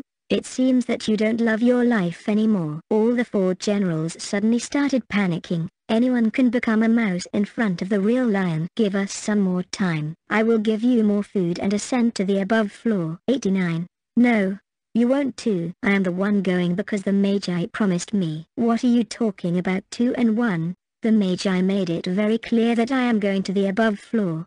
At this three punched four and claimed his right of being the one to go to the above district where you might get to live in a bigger house and more food to eat and water to drink. At this all the four generals started fighting amongst each other, while one wielded his mace and smashed two's face. Three started punching four in the stomach, but two had yet not lost the fight and picking up his sword started attacking one and pushed him back. While all the other goblin bystanders started fighting amongst each other again at the sudden appearance of a new opportunity. Fight, fight, fight, kill, kill, kill for the food. I think so were the cries that became louder and louder by every second as the ground was stained red with their blood. This was my time to shine now. I was getting pretty bored. Everyone was in their own business to save their own hide. No one would expect a small little innocent spider that was up till now lurking in the shadows to take full charge strategy and cut down their numbers. Slash, slash, 90. Chop. I went behind every enemy's back like an assassin and sliced their neck with my claws.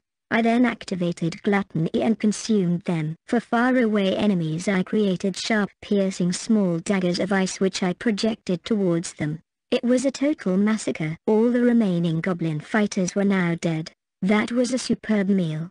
Now I was enjoying the fight between the generals. It seems that 2 and 4 are down. Now it's come up between 1 and 3. Surprisingly the magician goblin was now working as an unofficial referee making sure to not get caught in the crossfire, making his best to scrape the barrel. I see. One took a step back and then quickly charged forward towards three bringing down his mace on him with full force. Three moved to the right dodging the deadly attack as it landed on the ground leaving small holes and cracks wherever the heavy weapon landed. Well, I think this will be a stalemate for a long time, so I shouldn't waste my time. Yeah. Hello I shouted. My shrill voice drew attention of the three savage gentlemen, not that they understood what I said. At first they looked up and then stared down below. Unable to find their comrades, they charged at me without thinking. I dodged their attacks without any problem. All my senses were enhanced thanks to my unique skill and my movements had gotten faster thanks to gluttony as I absorbed too many goblins and my stats improved. Maybe sometimes having quantity is better than quality, but now I had quality food at my disposal too. 91. Wind Cutter the wind pattern changed and a gust of wind like an invisible blade headed at maximum speed towards the goblin generals. Three was torn down to pieces, while one still charged forward with his mace. What stupidity I will still be able to dodge. He, eh, I was unable to move. I looked down and was surprised to see my legs stuck in wooden branches coming out from the ground. I looked at the magician and he was probably casting wood magic since his right arm was raised up pointing in my direction and a green magic circle floating in front of him. Ha, take this. The mace landed exactly at the target's location without any doubt and the whole area was covered with a smoke screen of dust. Got you. S serves you right for killing my brothers and precious comrades. I will make sure that their every body part is put to their maximum use. S-H-H-H-H-R-R, shash. A very thin yet strong white web wrapped around the neck of the goblin. His neck choked, unable to breathe and make any noise. I was standing exactly at the back of the goblin and pulling the string. I had used teleportation in the last second and got at his back. That's it for you. Why don't you join your people, you hypocrite? 92. I pulled the string in a shock and the neck of the goblin split apart from the body. I activated gluttony and ate the four generals. The smoke screen cleared, but instead of expecting a one-on-one -on -one fight, with the magic user, a five times taller, sharper and stronger figure stood in front of me, accompanied by another purple-robed magician while the previous one was probably pouring a stream of complaints against my improper actions. The goblin chief was in full fury. The magicians disappeared into the ground and appeared above the next floor and seems that they are preparing for their magical attacks. Did I do something to make them angry? Could it be because I killed their people? No that's not it. It's something much more simpler. What makes someone most angry, that is to eat other people's food. Before I could collect my thoughts, several punches rained over me. I was quick enough to dodge them since I was able to sense his movements with my magic senses, so that was shadow movement skill. This chief is a magician brawler. I need to make each of my moves carefully. Wherever I went this monster suddenly appeared in front of me, rising from the shadows and started punching me. All his moves were straightforward and lacked creativity. Even though he was fast, his attacks were dull. Maybe I spoke too fast. 93. The chief roared again and he was suddenly shrouded in a black aurora. It was something I had never seen before any monsters do. His fists covered in black flames, he roared again and charged towards me leaving a small trail of dust smoke in its wake. I did my best to dodge its every punch but I suddenly found myself cornered, with nowhere to run as I was surrounded with earth walls on three sides. The chief, took the hint from the trap set by the magicians and launched a heavy punch on me. I used teleportation again and strangled its neck with my strings, but it was no use. He picked up the webs with those huge arms and spinning them around with me attached at its free end threw me in the direction of the tree. The tree creaked with the heavy blow I dealt to it with my body slam and fell down. I was still in healthy condition, thanks to my high HP which was still at its 3 by 4th. I created several ice lances and projected them at maximum speed towards the goblin chief, leaving me in disappointment and some small scratches on his body. SO, S simple, weak attacks won't work. The chief again charged towards me with his fist still burning in the dark but he suddenly slowed down in its movements. It seems that he is still confused by my trap, which I set up moments ago. 94. I quietly collected the soft earth particles in its paths and then used large amount of water produced by magic to convert it into quick swamp. The more he moved, the deeper he went inside. The chief was still struggling, but not seeing him panic made me a bit concerned. Was he just a big idiot that he did not know how grave his situation is or is he just that confident? Unfortunately, it turned out to be the second case, as a huge storm of water engulfed me. The swamp and the surrounding area. From where did such a huge water storm appear? Oh yes, I remember the chief can use water magic too.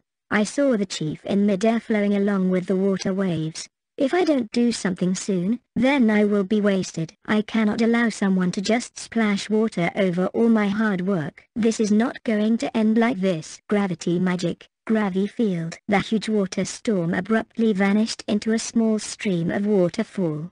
The mid-hovering chief fell back into the swamp, while I landed a bit further away. The chief had yet not given up and even while being sucked in, he tried his best to reach the shore. It doesn't matter what you do now, because you have literally pissed me off. I concentrated the whole gravity field spread in the entire area over the swamp especially at the chief. He roared loudly in pain under the huge pressure. All his tricks have failed, and his physical prowess is no use if he cannot move. There.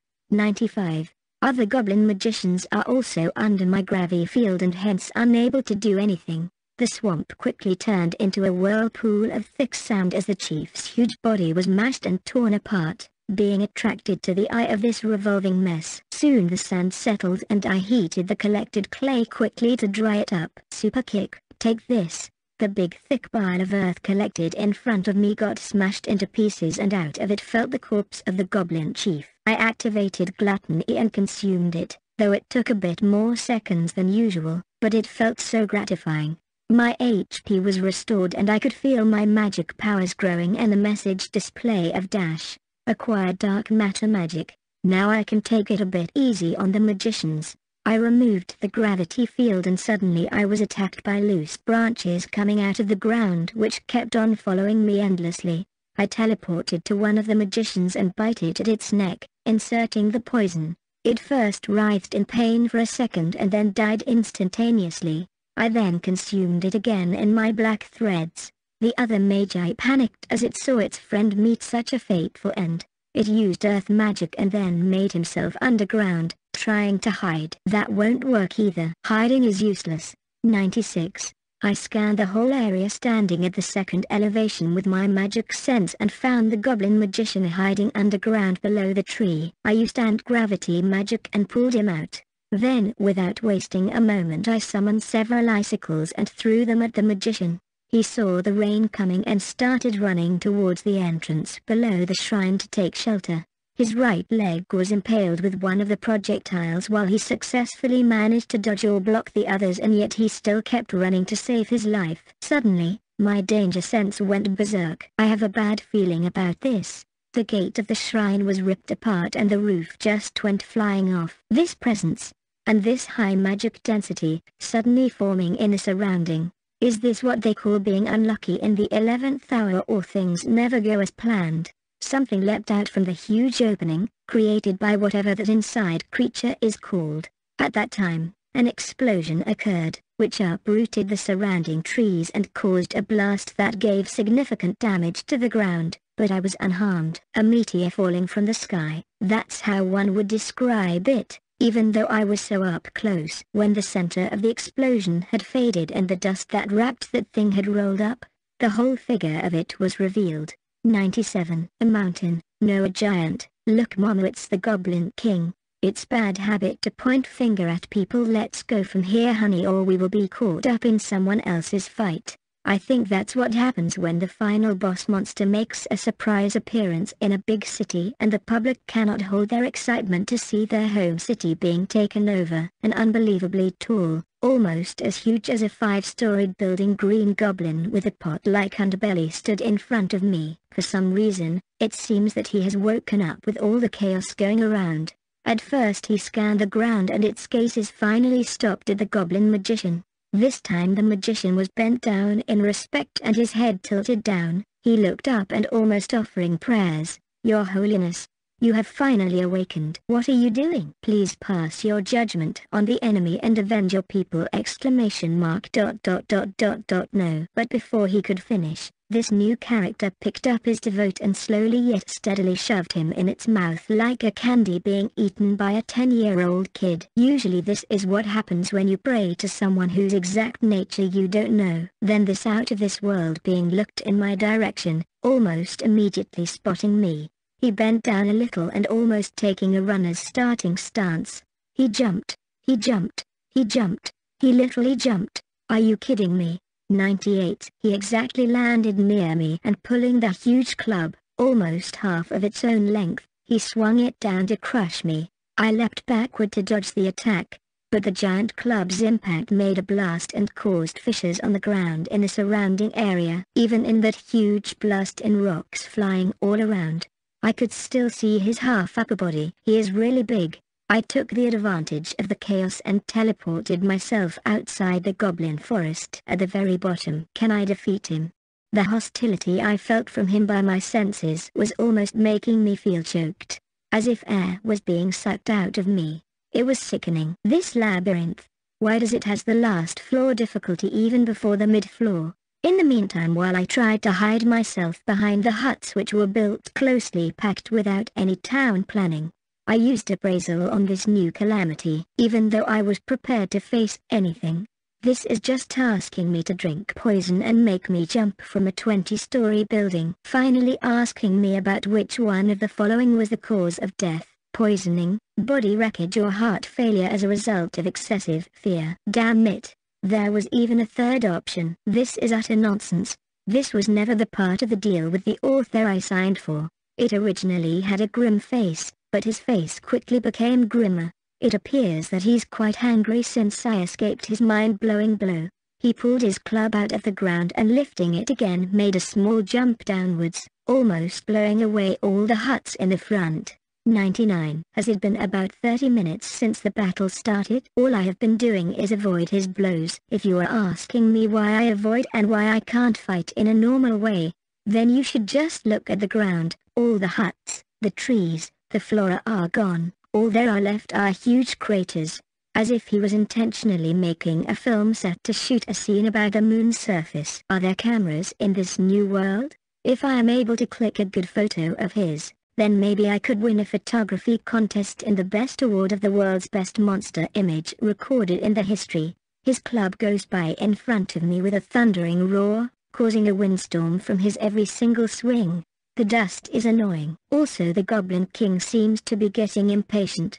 He wields his weapon angrily. However, he just seems to swing it carelessly, giving only an accurate, sharp attack once in a very few times. I took the chance and the fusion ball I had been preparing for so long launched at it. I was relieved to see the fusion ball almost hitting the brute, and thinking that it was all over. I underestimated him, he lifted up his wooden club diagonally and blocked the attack by taking its full impact on it. That wooden club should have burnt or at least appeared to be a little cracked, but that was not the case unless its weapon was special and magically augmented. This was my first time seeing a magical weapon as I appraised it. Just my lucky luck, and its sweet vibe. Eh, 100. While I was still despairing another blow came over. I thought I dodged it but, the collision of the giant wooden mass and me, unleashed a tremendous amount of energy, generating a huge blast and energy dispersion. The collision, gouging the earth, ripping the atmosphere and creating a dazzling light as a golden yellow aurora suddenly wrapped the monster's entire body. AUU gauge? I was greatly bounced by the collision energy and landed in the blast after doing a few spins and regaining my position. I waited for the dust at the hypercenter to clear up, but I found that two of my hind legs were missing while the others went numb. Was it one of his skill attacks? I need to be more careful. My preparations are almost complete. Time for the spell for which I practice the most. I cannot lose this, not just yet. When I have come this far, I don't have even the luxury to heal myself because this goblin had proved to be the most entertaining one that if I lift my eyes off him or give it a second then I could say this show goodbye. Ah, It seems that this mister is getting annoyed too. I was at my limits by running all day around and it seems that the Goblin King was suffering from starvation too. By far I have used every attack like Wind Cutter, Gravisphere, Icicles and all them proved to be useless. Either they were blocked by its weapon or even if he took the full damage and almost appeared to 101 be half dead, he regenerated instantly thanks to his self-regeneration skill. It sounds too unfair, for only one party to possess it. Poison won't work either, even after reading its immunity status, I still bite him several times out of spite, almost replacing half of its blood with my poison and yet he still possesses that intimidating ever-growing bloodthirst. We need to finish this quickly. Another deadly battle for me which almost seems impossible to win. 102. Monster Diary Primordial Goblin King World Disaster Monster Name, Glyphage, Dash Race, Primordial Goblin Level, 5800 HP, 60,000 MP, 50,000 SP, 80,000 Skills, Quick Movement, Mountain Force, Wood Magic LV8, Light Magic LV5, Self-Regeneration, Immunity, Titles.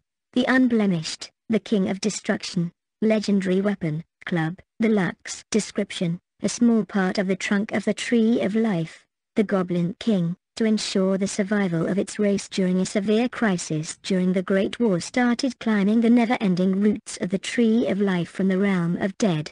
It is said that sensing his strong desire to grow stronger and gain ultimate pure strength, the Tree of Life rewarded him with this club. Since then, the Goblin King had never lost a battle and is now worshipped as the divine being of the Goblin race. Ability, possesses almost an infinite amount of life force and magical energy, and is almost unbreakable unless someone possessing extraordinary strength almost equal to the tree or is blessed by the tree itself tries to do so. 103.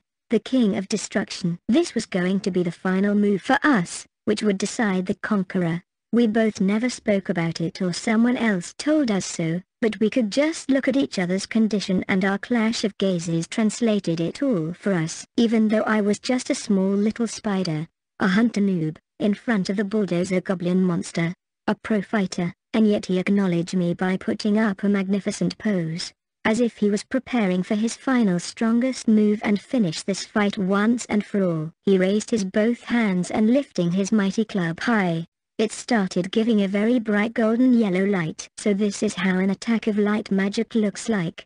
In the meantime I prepared my strongest gravity ball pouring as much magical energy I could pour in it. The magic sphere turned black from purple to the point that I could see the light entering but the missing exit was just too astonishing. The concentration of magical powers inside the club got stronger and stronger, until my eyes couldn't handle the brightness. I shut my eyelids for a moment.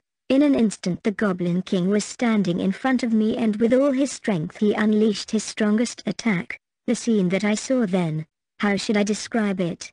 It was almost as if the world was breaking into pieces and being crumpled into one place. 104. The King of Destruction, what a befitting title. 105.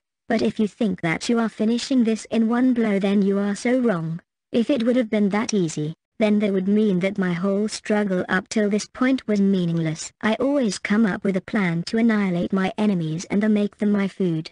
Did I really just say that? If you are thinking what I have done, then you can see that the whole body of the Goblin King was now glowing dark purple it writhing in pain as its inside organs and arteries were being crushed under its own pressure. That's right that gravity orb made the goblin's stomach its center of gravity. While I applied an anti-gravity field to the whole room and an additional anti-gravity field on myself directed away from the goblin. All the groundbreaking efforts that the king had put in were now working in my favor. The floor was breaking as huge piles of earth gathered around the goblin slowly forming a huge sphere with him as its core. The earth kept on crushing and breaking and the huge disaster that the final attack had left made the goblin even more vulnerable. If you still don't understand then, simply put the whole floor was now falling towards the goblin, while I was falling away from the goblin to safety. Planetary fusion. Dash that's the name I came up with for this special attack magic. 106. A magic which has the potential to develop slowly into a black hole. It would be awesome if I could gain control over such power. Now when I think about it, isn't my dimensional storage based on the same concept? Then maybe, when I level up even further, then I would be able to pull it off, but leveling up is such a pain. If it is like a game then after defeating such strong enemies why I am still at level 2. Show and my notification window by now be filled with thousands of you have leveled up labels. Guararararh. The Goblin King kept on removing the boulders and other objects mixed in the mashup away from him and succeeded in keeping his head and other vital points safe from being crushed. However even after losing a leg and a broken arm I am sure it won't give up. Don't worry I know this is not enough to beat you. The floor was almost destroyed. Any more and we would have fallen down into the next floor. That would be bad, since I have to go upwards. I need to play my next card carefully amidst all this chaos. I jumped from one flying rock to another in succession and got close to the Goblin King. Seeing my bravery, as I was getting near him, he brought his hands forward to catch me with it. He couldn't wield his club anymore and his movements had considerably slowed down thanks to the huge circular mass formation around its body. I had nothing to worry about the danger of being caught. But I could feel that I couldn't. 107. Keep this up for much longer and the effects were already subsiding. He had almost broken free through the upper left half corner. I need to play my next card more carefully, and not end up wasting my energy which would ultimately increase the efficiency and effectiveness of my spell. Absolute zero.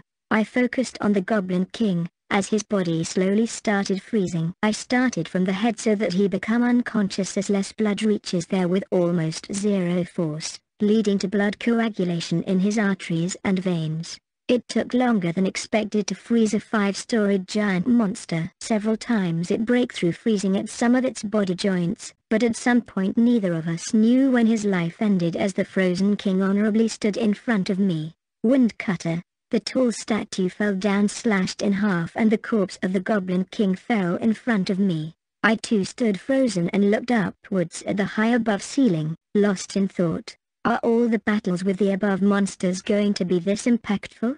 For some reason I thought I was losing my previous self and turning into something else. Was that too thanks to being a monster? 108 I had cleared this floor, and instead of being happy, all I can think about is eating. Seeing such dark side of society and facing it up front. Is the upper world similar to this, where the strong eats the weak to survive? Saving the world, Hugh. If the upper world is going to be very much like this then I see no sense in being a hero. Those weak prisoners, even if I free them and took them to a safe place, they are not capable to sustain themselves and survive. As for the strong goblins since there is no alternate source of food they will start murdering themselves. Even among the strong the least strongest one, will be killed first. So, in my plans somewhere or the other and in some way I ended up saving them. Didn't I? I killed them. I killed them all. Total destruction. Complete annihilation. I exterminated them all. There was no saving them.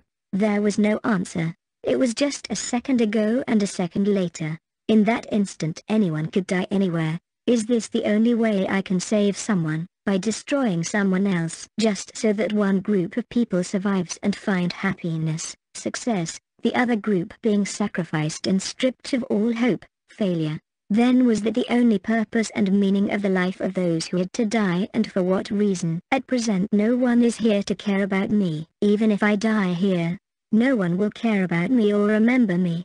Suki let's save the world together. 109, a new voice shot at my head. It was so nostalgic and warm, that I would have given up anything to hear them. I was pressed against someone very special to me, so close that there was no space between us. Almost inseparables and bound to one another. Like an infant cradled at its mother's breast, I felt wholly untouched by anxiety or loneliness. My eyes opened abruptly. Tears started falling through my eyes as this sense of unity and deep perfection vanished without another sound. Now, I knew or maybe I was always sure of but somewhere along this road I had forgotten that I was never alone here to begin with. Just like I was searching for someone, that someone was also searching for me. I still didn't know how much time had passed but I knew neither of us had yet given up on finding each other. If we were going to do anything then we would be doing it together and that includes saving this world too. It was time I prepare for the next floor. I transferred my trophy, the magical club lux to my dimensional storage. After all I cannot let go of a legendary weapon. I am sure I can find good use of it. Gluttony activate. Long black webs appeared from my body and within seconds covered the entire corpse of the Goblin King and consumed it within half a minute. You have leveled up. There's my calling. 110. Sudden strong sleep was induced upon me as I felt weakened and the white webs started engulfing me. This time I took precaution and connected one of my webs to the ceiling and pulled upwards till I touched the wall. I didn't know for how long I will be out and so needed to take precautions to not let myself open for surprise attacks. This was not enough to ensure my complete safety but this was all I could do for now. In future I had to come up with more precautionary measures. I made a note of it in my mind. The white cocoon in which I had to sleep got attached itself to the ceiling wall and soon I lost all the visuals of my surrounding as the silent noises of the dead died out. 111. Ten days later. You have reached level 3, second form, kinetic eye. Gluttony reached level 3, where who I took a long yawn as I kicked the annoying shell holding me out of my view. I was again asleep for this long. It's such a pain and wastage of time, but every time I wake up, I can feel myself getting stronger and stronger. The more correct way to put it would be, evolving. I was born as a small, little spider in an unknown dangerous labyrinth, as a mere level 1. But now I think I had made up with the fact that I was a spider now. Being a human is important to everyone, but I can't always hold on to that thing. If I wanted to survive, I needed to let go of that feeling. But in doing so, I think I had become something more, much more than I was before myself. Back then, the one, who was always being pushed around like trash, was now able to accomplish and had a dream of her own. In the beginning I said it to myself that if I didn't like my density then I won't accept it, but there was much more to it, because it was an incomplete resolution. I needed to have the courage and strength to change it the way I want it to be. 112. Even if I acted sad over being born as a monster, nothing would change. Even if I cry nothing will change. That's how things are in this new world I am reborn. But being in a fantasy world, now I was sure of, there could be a way to turn myself back into a human, and if I can't find it alone, then I have always someone I could count on for help.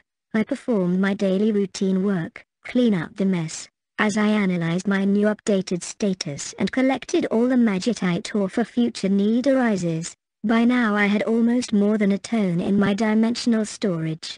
I soon need to find a way to put it to good use. This time there was no water here, but I still had a water reservoir in my storage. There was nothing to worry about my infinite space and I could always dump it in case. In the dark, I slowly walked towards the entrance to the next upper floor, 44 ready to face my next adversary. 113 Status window name, dash age, 1 month race, Arachne level, 3 HP, 88,000 MP, ERRSP, ERR, unique skill, all-seeing eyes of the gods first form, eye of investigation second form, Kinetic Eye. Skills, Glutton LV3 Poison Magic Sage of Fire LV3, Sage of Water LV4, Sage of Wood Magic LV8, Sage of Wind LV2, Mystic Thread Magic, Sage of Space Time LV3, Sage of Ice LV5, Body Strengthening LV4, Body Durability LV5, Sage of Divine Light, Gravity Magic LV6, Magic Resistance,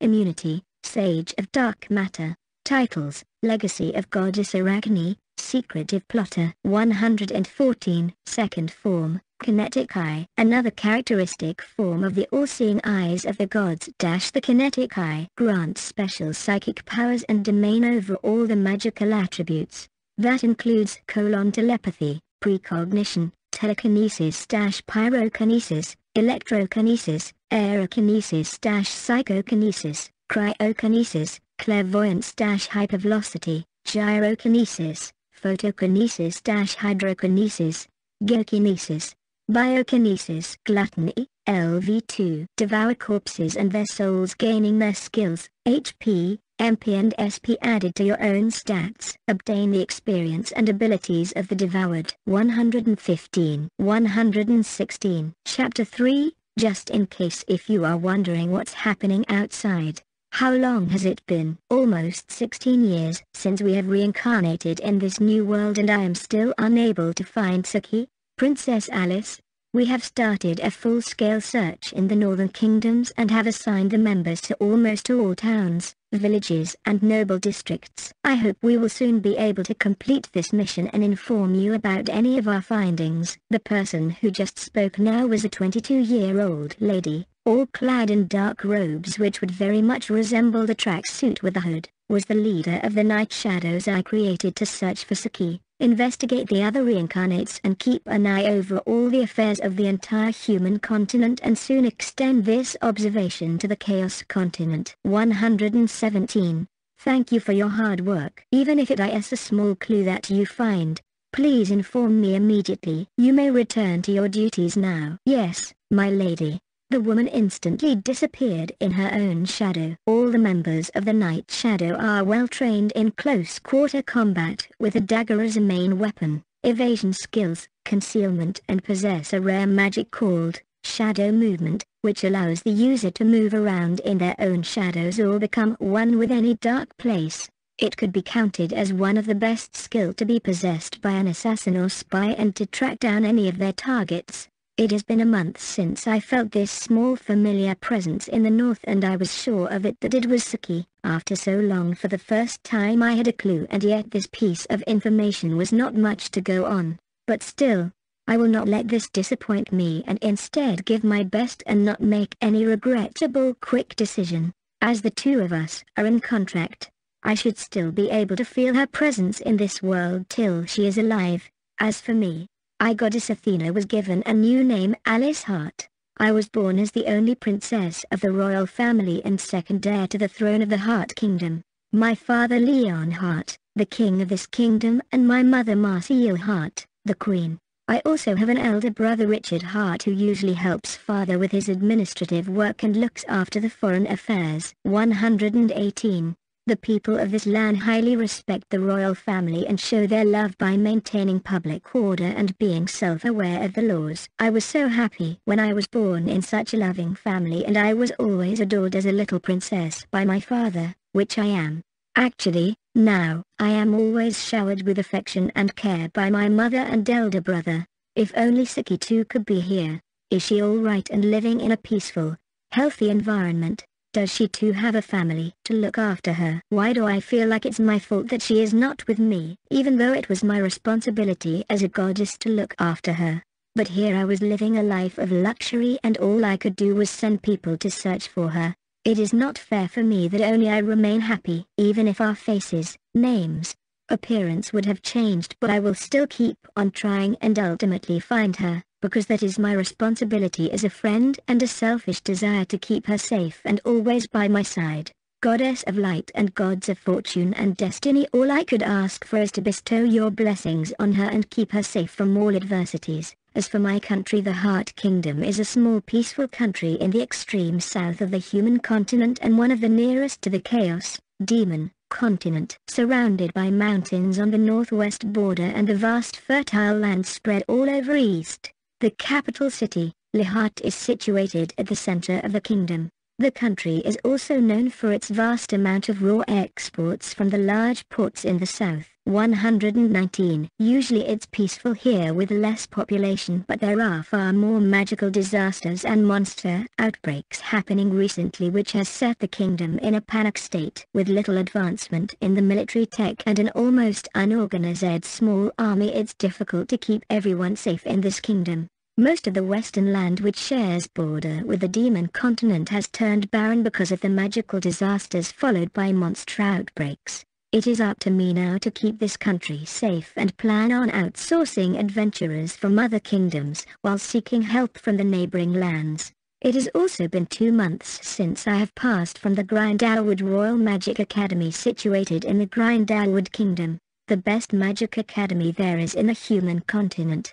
I was a student with a healer class job there and researched on the political and economical aspect of the nations to gain familiarity and respect from other kingdoms by introducing new administrative laws and economical policies to increase the efficiency of the city hall workers and a more effective way to collect taxes while handling information in a discreet way about the taxpayers, also keeping in mind about the welfare of the common folk. Well after all, this was my field of expertise. In the same year along with me there were other ten reincarnates with their gods and goddesses in contract who graduated the academy along with me. All of them were considered geniuses of this era, the best batch in the entire history and were considered as the light that would guide this world towards a better future. 120, 121. With their powerful magic, unheard of, natural talent in combat and weapon wielding as well as their godly unique skills made them look like some kind of heroes by the people who witnessed their powers.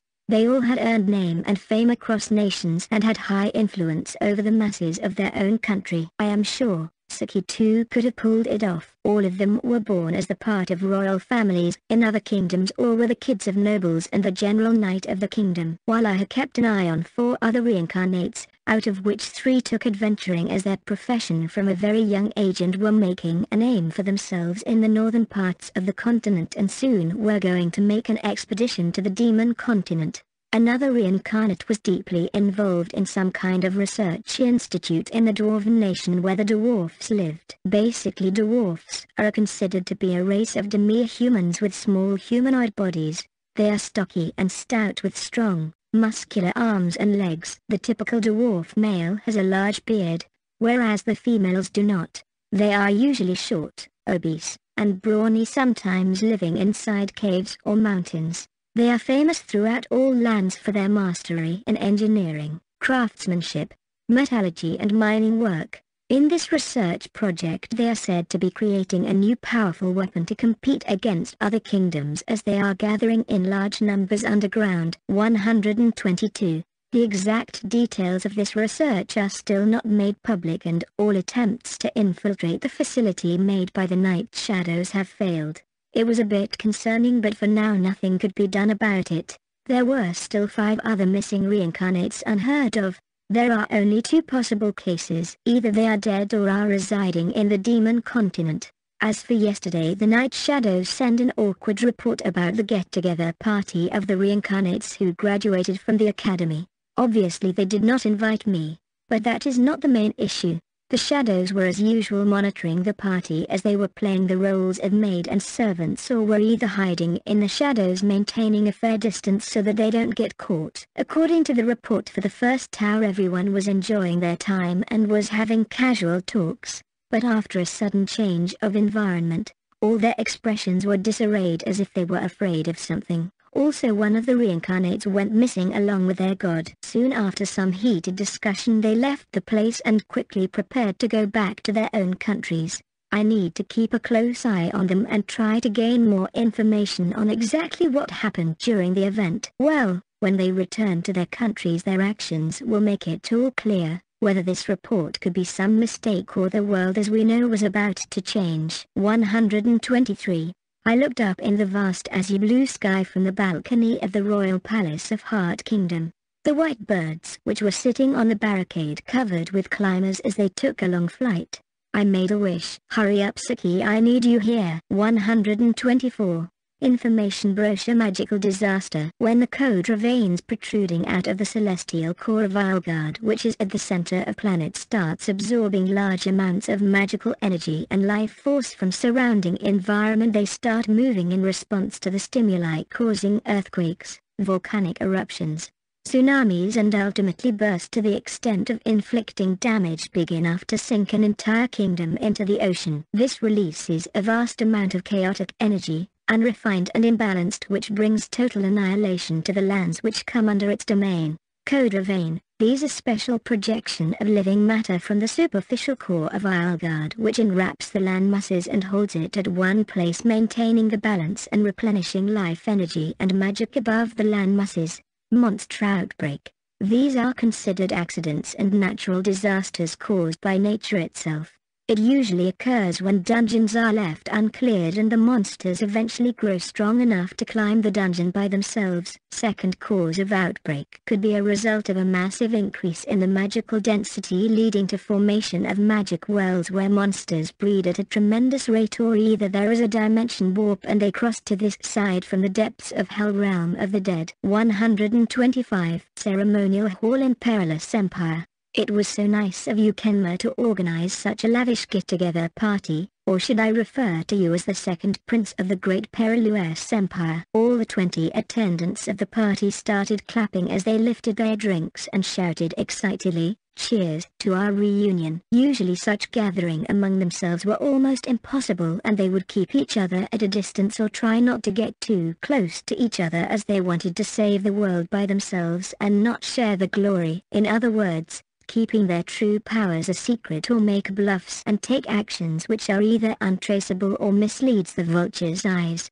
But after graduating from Royal Magic Academy and turning 18 the very next year, they had to train themselves and lay the future work of solving all the problems of human nations and destroying all the monsters while taking full control over the demon continent. Everyone wore a new dress or suit which would be discarded after the night was past. The moon provided the lighting to the banquet hall in which the event was being held. A collection of violinists, pianists were placed at the far end of the hall and the smell of jasmine was spread throughout. Today especially they had instructed the chefs to make food that originally belonged to their own country in the previous world which was served by the maids after regular intervals. 126. The party was in full swing as most of them had formed groups and were talking about the various affairs of their countries and their future plans and sharing their training methods. Most of them were either sheltered and had always trained under the guidance of a master without getting a scratch from the outside jagged gusty winds. Some indulged in explaining their special martial arts techniques. Some demonstrated their magic like Natsu Kenchai who could make living puppets out of fire or Syaka who produced different kinds of beautiful red,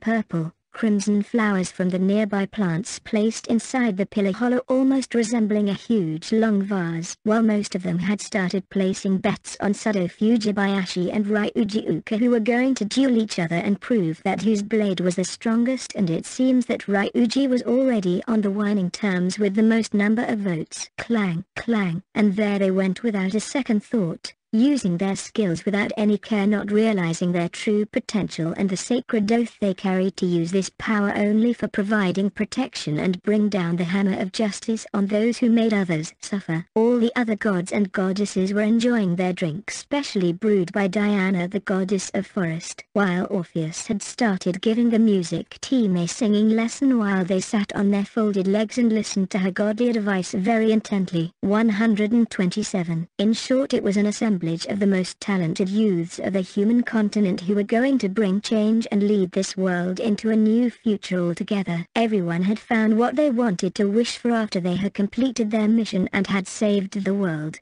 But no one knew about the darkness that was burning brightly among them and other special existences that had set their foot in this world, who were now lurking in the shadows to checkmate the plans of Almighty World God. 128 Homura Kenta Class representative. Why has everyone stopped moving all of a sudden? Everyone had the same puzzled looks on their faces as all the maids and the other working servants had stopped moving. The sweet melody being played in the background too had abruptly ceased at the wrong note. Even the gods and goddesses had frozen in their places. Only we ten students were able to move somehow. Just a minute ago everything was fine and we were enjoying ourselves. Was it some kind of a prank? A party trick or someone was giving a demonstration of their weird magic skill. Any of them could be right and at the same time all the assumptions made could be wrong. Being affixed to one single obsolete notion does more harm than sticking to none. People needed to change with time if they really want to grow. That's it. It was as if someone had stopped the time. By now all the students had started panicking. In our royal lifestyle we never had to face any emergency situation or a crisis. Also the timing couldn't be worse. Does anyone know what's happening here? Is someone among us doing all this? Then stop this prank. It's not funny. Even the gods have stopped moving. Are we under attack? That could be a plausible reason. A third party attack. But who would attack during a party? Everyone knows that even if we are 129 children, we are pretty strong and can hold on our own in a fight even against the strongest enemies. If this is a pre-planned attack then they should have known of our abilities and the risk involved. But for someone who could freeze even the gods like this, though their power has been influenced, can kill us in an instant. Just the very thought of the enemy was making me breathe heavily, my body was slowly becoming cold as my blood froze, out of fear. This world is dangerous, I knew it from before. I could feel the temperature of the room rapidly decreasing and the light slowly vanishing as dark clouds covered the moon, while the gentle breeze had turned into cold perilous winds. Am I going to die? Even if I want to survive I cannot use my unique skill effectively here. I need to use the help of others and fight off the enemy. Now I realize that the enemy hasn't shown itself yet, considering that this pandemic state of ours was the best time, the killer couldn't ask for a better moment when all were disarrayed and least guarded. I took a closer look around me and used magic to heighten my senses. The whole room leaked with traces of dark magic, whose color was so drenched in black that I could even register it as a blind spot in my eye. Such powerful sinister dark magic, which I had never seen before, just who our enemy is and what does he want. I am sure some of us are good at using holy light magic and even I could use basic spells pertaining to light attribute. We all were growing impatient. Some of us tried to run away but the door was closed and the windows won't break as someone had casted a very strong barrier to seal us in. Some were trying their best 130 to wake their gods, but it was of no use. They didn't even budge and their hardened faces didn't show any sign of changes. Some of them had taken out their weapons and had started striking the walls, the roof and the floors but a high-level reinforcement spell casted on them withstood all their attacks. Is the enemy making a joke of us, showing our lack of power and how weak we are? Even if we are blessed by the gods and are the chosen ones, we are not immortal and death is sure in this world which was slowly being torn apart by war and conflicts. By now the room temperature had dropped to the point that we came close to Natsu who summoned a small bonfire to keep us warm and the room brighten. But even his magic was slowly waning as he had already wasted a lot of MP in one of the duels, in his parlor tricks and the amount of magic particles in the air were excessively scarce. What should we do? I have never dealt with such kind of situation. Even the gods can't help us now with their divinity. The magic is so scarce that we can't use our weapons effectively which requires channeling large amounts of magic power. It seems that this barrier had much more to offer. The magic particles were being slowly pumped out from the inside so our hands were tied in a way. Just who is this enemy? If only he appears in front of me then I could beat him to a pulp. 131. If you are that strong enough then why don't you take us out of here? What the hell, would you know? If my goddess would have been awake then I could use my beast transformation and destroy this place in an instant. I am sorry. But if you could not, it's quite an expensive vacation house. Kenma tried to protect his property, but interrupting two girls quarreling will never make them pay you any attention. So, you are saying that you are just a useless brat, who cannot even chew his own food without someone's help. How dare you, speak like that. After this Tama and Siaka started pushing each other by shoulder and asking to back off. Everyone was getting tense by the minute and our blood pressure was dropping. It was as if the enemy wanted to toy with us first and then move things to the main scenario. What am I going to do? I can't die now. After I got such a lavish and luxurious life, the great strength that attracts attention brings fame, money and women straight to my plate. This is the life I always wanted, a carefree life of a prince, and with Goddess Freya's charm unique skill, my pipe dream had become reality. I will have to make sure to hide in this crowd and escape by making an opening when the enemies attack. I know, the school president always has a plan. Yes, the school president is very talented in magic. He can come up with something. 132.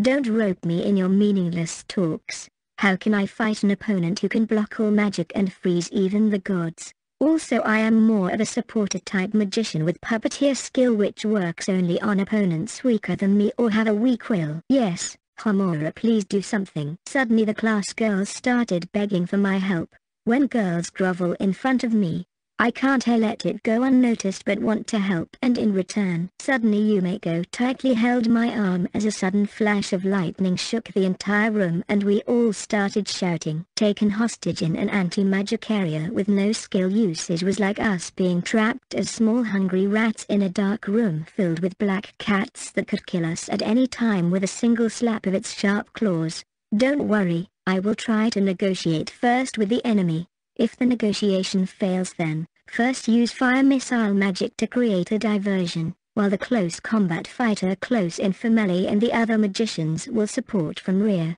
I knew, the president was always reliable. Let's kick some intruders butt. I couldn't care any less about those intruders and defeating them in a disadvantaged location with people who have never participated in a group combat. How could I trust some bunch of naive little children who couldn't get enough out of their dreams to become heroes? 133. Being a hero will be a huge pain, helping other people just out of goodwill and gaining nothing in return except for some half-assed cheers and praises, till the point where people come and ask for help again and again, and after their work is done, they would just say their goodbyes and leave. I reached the class president chair by climbing over those who were equally able or more superior than me. How did I do that? Simple. Just destroy them at what they are good at and hurt them where it pains them most. Use every opportunity to make yourself shine brighter and more brighter in front of others, because if you don't then people will forget about you. Just like it happened once with me. Suddenly bad memories, which I had forgotten a long time ago surfaced.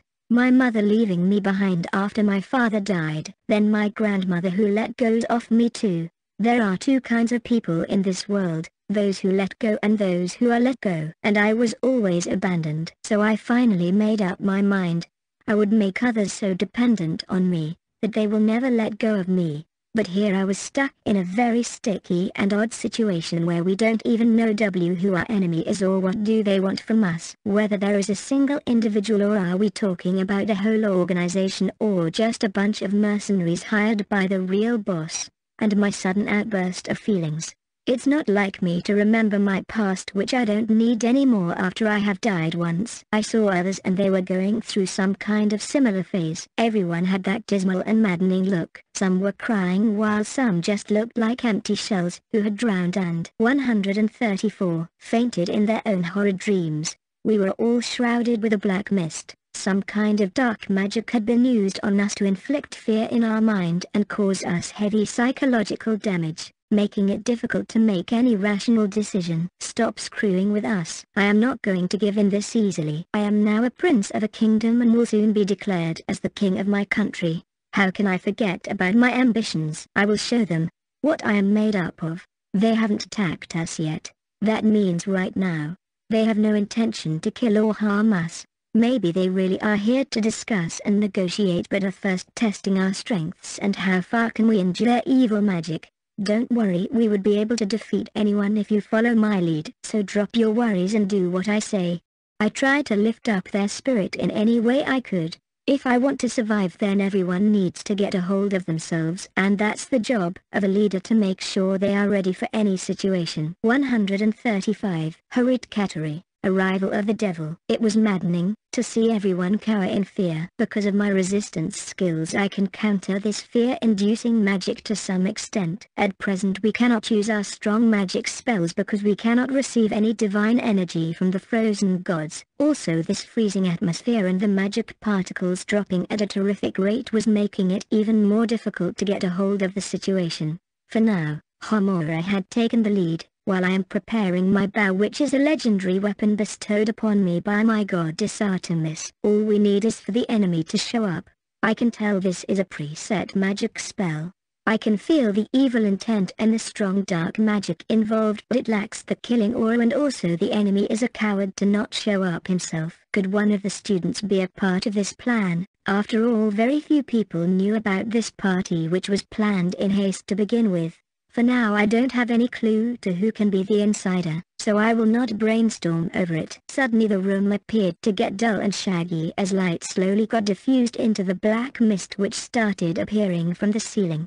While it was so gross to see some kind of black fluid to ooze out from the wall like that but, this strong heavy presence, I could feel my energy being drawn out and my body was throbbing with pain and the hairs on my hands stood straight as I froze with goosebumps. What kind of presence is this? It's filled with murderous intent and is exploding with an unprecedented amount of anger and hatred. Just who in this world is our enemy? 136.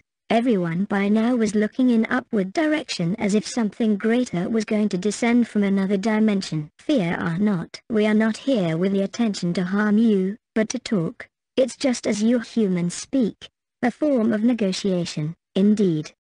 It was a calm deep voice of a being, which didn't sound human at all but was strong enough to strike fear and command obedience in our hearts to make submit even the strongest. The dark mist slowly condensed into some sticky liquid in midair, still altering its shape by revolving out came a giant person at least 10 feet tall clad in a black robe with a hood covering its face. In the dark it was difficult to make out the specifications, but with my night vision, I was able to identify two long horns on its head curled at its ends and a chin much longer than it should have been. Then his hands and feet were definitely longer and had abnormally long red claws growing instead of nails. It was obvious that our enemy was not a human but the thing that made me feel disgusted the most was that he was smiling. Smiling at our stupid and unsightful condition of being weak.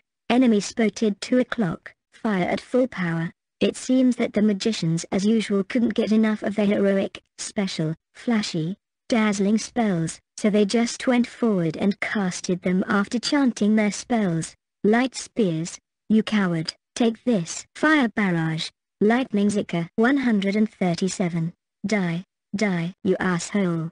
Wind bullets. It seems that no one understood the greetings, and as foolish people, without measuring his power level they charged in and launched magical attacks. Before the flashy attacks could have reached the uninvited guest they dispersed in the black mist as if they were snuffed out by a simple breath. It was pointless. As I suspected, our average level currently is 620. If our enemy would have been an army then even 2,000 strong couldn't have withstood those attacks. I was unable to see anything on his status window, so it was obvious that he was exceptionally stronger than us. But to take those strong magic spells head on and treating them like a small match light that could be put off in a breeze was enough to tell the difference in our level. He was a being in a realm of his own. While, some had taken the hint from this display and had taken a defensive position casting light magic barriers and self-reinforcement magic, but as usual there are always some rock-headed fools who can't understand without having to face a kick on their faces. Ryuji jumped forward with his sword and went for the person's head. At the same time Sado too took out his one-handed sword clad in a white light ran towards the most suspicious person in the room planning to attack from the ground. You cannot escape the reach of my sword, Thunder Strike. My sword, siege your glory, for this is the time of our outrage dash rapid light clash. 138. The true spirit of a warrior doesn't come from just waving around a sword filled with large amount of magical energy but what is most important are the techniques and the passion to wield the sword only to win. But this was far from their understanding. I was expecting that this strange person would just dodge the straightforward, easy to read attacks since the hit could have been proven fatal as they were clad in light magic and a bit of divinity after all they were legendary class weapons. All of us have one actually, some are bestowed to us by our gods, and some got it from the treasure of their country or a family heirloom, but both of them fell on the ground and their swords sent flying in a direction completely opposite. Awag. But, it seems they are badly injured, as blood flowed out through one of the opening near the waist. While it seems that Sado's hand has fractured by the impact, just what in the world did stop their march? I looked up again and there was another being holding a long golden trident. He too was wearing the same black robe, though it was small, yet it perfectly covered every body feature from head to legs and even the hands. No, there was actually three more standing at the back with the same appearances. I couldn't feel their presence until now. Just what is up with this bunch of people? Their aura doesn't even seems to be human. What a mess is this? How are we gonna deal with it? 139. Now it all depends on the next words of the man who was supposed to be their leader and was about to speak. How uncivilized. I came here to talk, but humans have never been rational when one is willing to be peaceful during his dealings. This time it was class rep who stepped forward to speak. He was afraid too, as it was evident from his whole body shaking heavily. Usually he is a coward, selfish and self-centered. He doesn't care about anyone and is the most afraid to die. He took on this role to smooth things out, since I know he doubts us. What if anyone else doing the negotiations screws up and puts his life at jeopardy? But for now we had no other choice. You have no room to talk. You trapped us here first with your magic and casted some weird abnormalities status on us. How can you expect us to be not wary of an intruder who doesn't even have the courtesy to give his name first? It seems that at least someone here is level-headed, unlike others. This guy was still smiling and with his dead and motionless eyes glanced at our fallen comrades. Then he looked back at us, still his disgusting smile on, at which I wanted to shoot an arrow in any way possible. He continued with his prep talk. My name is Zero. I am the leader of the Apostles and come from the realm of the dead which you may even sometimes refer to as Dash Hell. W wait do you imply that you are not from this world? Exactly. As for these standing beside me are the generals of the devil army both from this world and the hell. I have come to pay 140 my greetings to the reincarnates from another world and extend a hand seeking mutual cooperation. At his words we were perplexed and overwhelmed at the same time. The other four were generals of the demon army. At some point later in the future we had to fight them. They were obviously not humans and their status was as usual not visible to us. One of them single-handedly took down the strongest attacks of our two best swordsmen. What kind of power and to what extent do they wield? I am curious to know. How did you know that we are from another world? That information was to be kept a secret. Well, of course. The four individual you see beside me are from your world and are actually your so-defined classmates who decided to follow my leadership and in return I granted them immense, insurmountable power which even your so-called gods cannot bestow upon you. There was one surprise after another. He knew of our origins and the other four non-humans are our friends. This night is going to be longer than expected. But maybe time has stopped so, in the real world it wouldn't even matter. All of us were giving off the same vibe of being dumbfounded, ignorant, anger and all these emotions just to hide our greatest feeling, fear. What do you mean they are our classmates? Why would they even side with you? It would do us some good if you straight come out and state your objective. I am sure you are lying because our friends would never attack us. Dot so. 141. Before Homura could finish his sentence, a black dagger with a sharp edge had almost cut through his neck artery forming a small incision, as a drop of blood oozed out and slowly crawled on the tip of the blade. It was one of those robe-clad generals, Akihiko Totsuka. It is really you. We tried to find you but we never could get in touch with you. Before class prep could finish, this classmate of ours tightened his grip on his dagger and pressed it to cut even deeper. Homura let out a shriek but the attacker seems to be pleasured to see blood gush out from his neck. Friends you say, we are nothing like that. And don't talk to our Master Zero with such indignity. I won't tolerate it. You all are just some low-race weak scum. If it would have been our classroom, then he would have been punched by now, but this reunion couldn't get any more violent. No one even flinched. This guy in black robe whose face was easily visible to us by now since the hood was off, was really our classmate. I too could vouch after looking at his face. Actually all of us never had any problem recognizing each other since we were born with almost same faces and other corresponding body features of our previous life. But in his case something was different. Long red ears, two short horns on his head and a short red tail with a pointed arrow at its head. He resembled like one of the savage demon species because that's what exactly he was. 142. Apparently he got along well with the class rep. But now he was out for blood. The aura he emanated was making my eyes to stare at him difficult by every second. His strength needed no introduction. His magical powers and physical abilities were evident from the fact that I couldn't even catch his movements when he got hold of Homura. By far I know he used to be one of those kids, who would follow anyone around. And here he was doing the same but something about him had changed quite a lot. He didn't even give a reason for his hostility but he made it very clear and straightforward that he wanted to murder us. Say zero. If I kill one of them then it won't make a difference in your plans, since if they won't join up or listen to our orders then they will only get in our way. I don't know what to say, but it was too creepy to see someone in real live action. To lick blood on the dagger, as our old gone classmate started licking the tip of the dagger's blade covered in blood with a delighted expression. Joker, why don't you come back here? Stop causing problems for our new companions. They may get too wary of us if you toy with them like this. The class rep and all of us were disgusted by such a declare of his, but no one dared to even express it on their faces. Hey tell me what you did to our friends. Why did you turn him like this? What kind of weird things you did to him to force him to make follow your orders.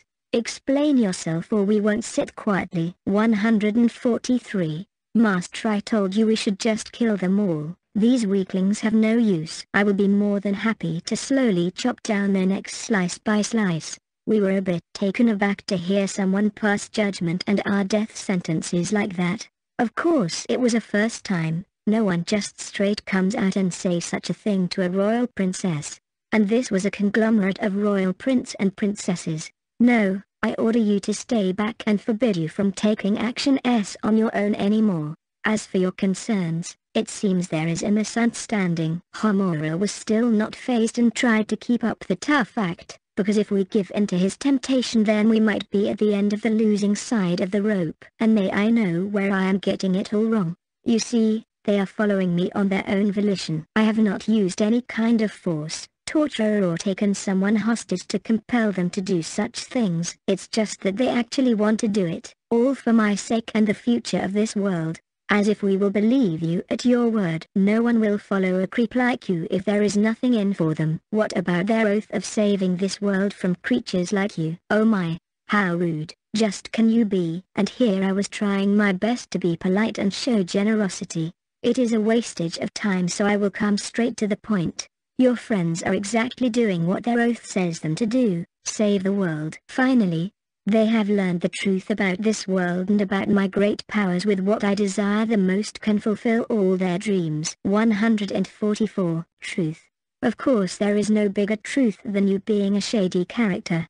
Nothing good can come from the mouth of a devil. Well I wholeheartedly agree with the class president since what, can the devil even speak true? Oh, these poor unfortunate souls who have been kept in the dark by the gods of the upper realm for so long, may the truth shine upon them, for the glory of revolution which is about to come. Hey don't go us making move in circles. What are you talking about exactly? Enough of your nonsense, I the first prince of Latavania kingdom demands an answer. You are quite impatient for a prince, our class president. It is the friend's job to tell the cold, harsh truth because the world certainly will. Better to face the demons when you're in school and able to stay alive. Haha. this guy, Joker couldn't contain his excitement and butted in like an idiot with his uncanny witch's laughter. At this the Apostle Zero raised his right arm and the Joker stopped his creepy act. W he would our gods light to us? They have no reason and have been helping us to achieve what we aspire for.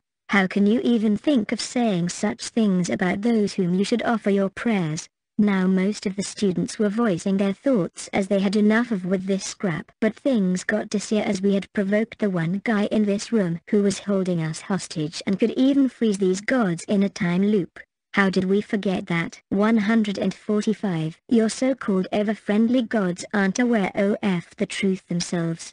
It's THE gods sitting at the top and their conspiracy to first reincarnate you and plunge this world into war again to harvest pure energy to reinforce this world and retain the glory of heavens. Such cruel will be your fate if you are still willing to remain ignorant and unaware of the truth, for I shall provide you with all, my power, the truth and the trust of our kind who really wants to save this world. Fine then, like this we won't get anywhere. So I am willing to hear you chatter and be quick, but I won't take you on your single word. At this the mouth of the Apostle Zero curled up. Just what is he planning? Is the truth we know, isn't really the TR youth, but a falsified tale. Oh, you will believe my every word after you have seen this. A blue crystal appeared midair and a red light flashed brightly forming a hologram which resembled our world, oh Algard. After 5 minutes. 146. How could this be true? It cannot be. We are gonna die at this rate. This world is totally messed up and rotten at its core. How could they do this to us? Those stupid gods could never be trusted getting a new life and a wish to save the world they were all just candies and we grabbed them just because they were considered holy. How foolish can we be? If this is the truth, then I think we should cooperate with them. At this point the class pres was looking down at the ground. So were all of us. All our dreams would eventually come to an end sooner than expected. Was there any saving this world now? If this was the absolute truth. Hey, if this is really how this world will end, then what are you going to do about it? I am glad you asked, for there is indeed a way we can still save this world and get hold of all the power forces that govern it, finally vanquishing all the authorities and dominions that the gods hold over it.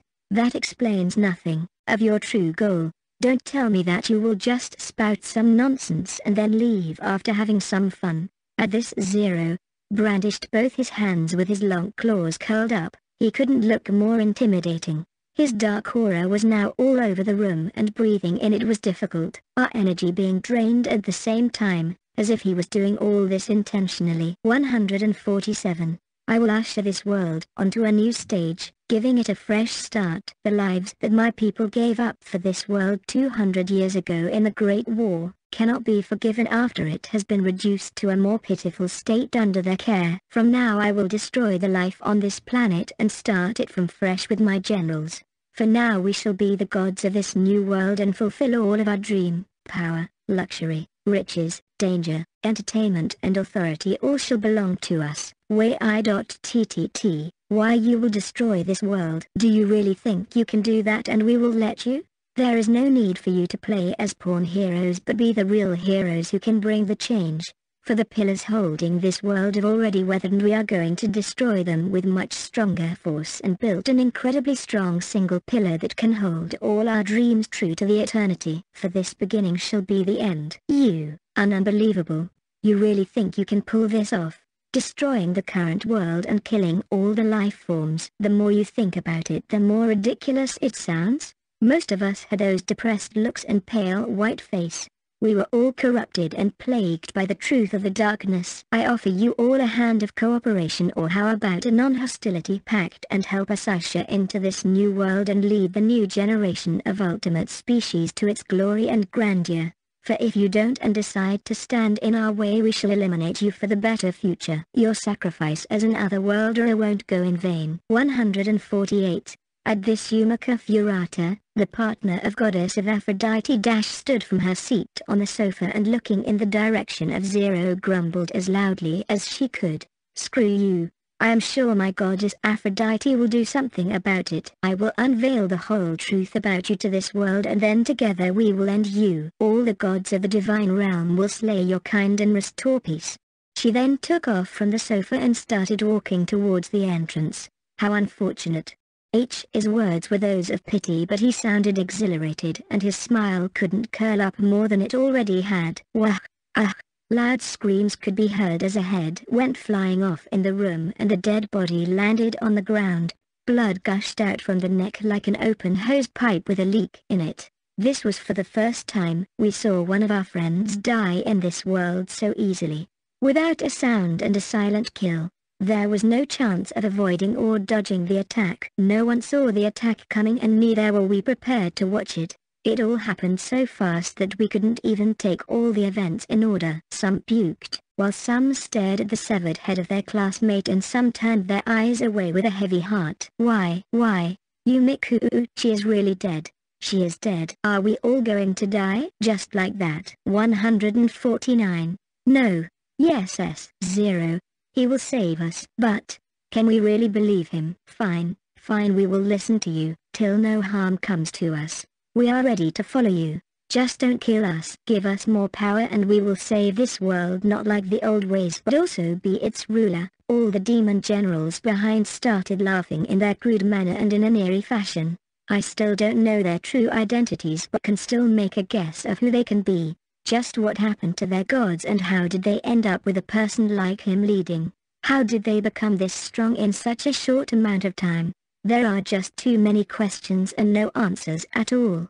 It's so frustrating. Have most of them lost their minds? Instead of crying over their friend's loss, they are groveling and moping for help from the killer. But then again there was that fear-inducing skill of his still activated and working non-stop. He might just as well be waiting for this planned ending eagerly. I was too holding back, trying not to lose myself, but these water droplets welled up in my eyes. I know, I know it's okay to cry but somehow I feel I am glad that I am still alive. Is it really my true feeling? Just what have I done to deserve all this? Even though we were not that good friends but we still helped each other in our studies and sometimes shared lunch during school breaks. 150. Unforgivable. Unforgivable. I will stop this madness. I will take revenge and show these devils what price they have to pay for showing us this day. This world may as well burn with them. But if I fight now, I will die. It won't take a minute for them to kill me. I thought I was strong and smart and could achieve anything I wanted. But maybe that was just an illusion. Every time I think of fighting my wild senses tells me to run, run far away and don't look back.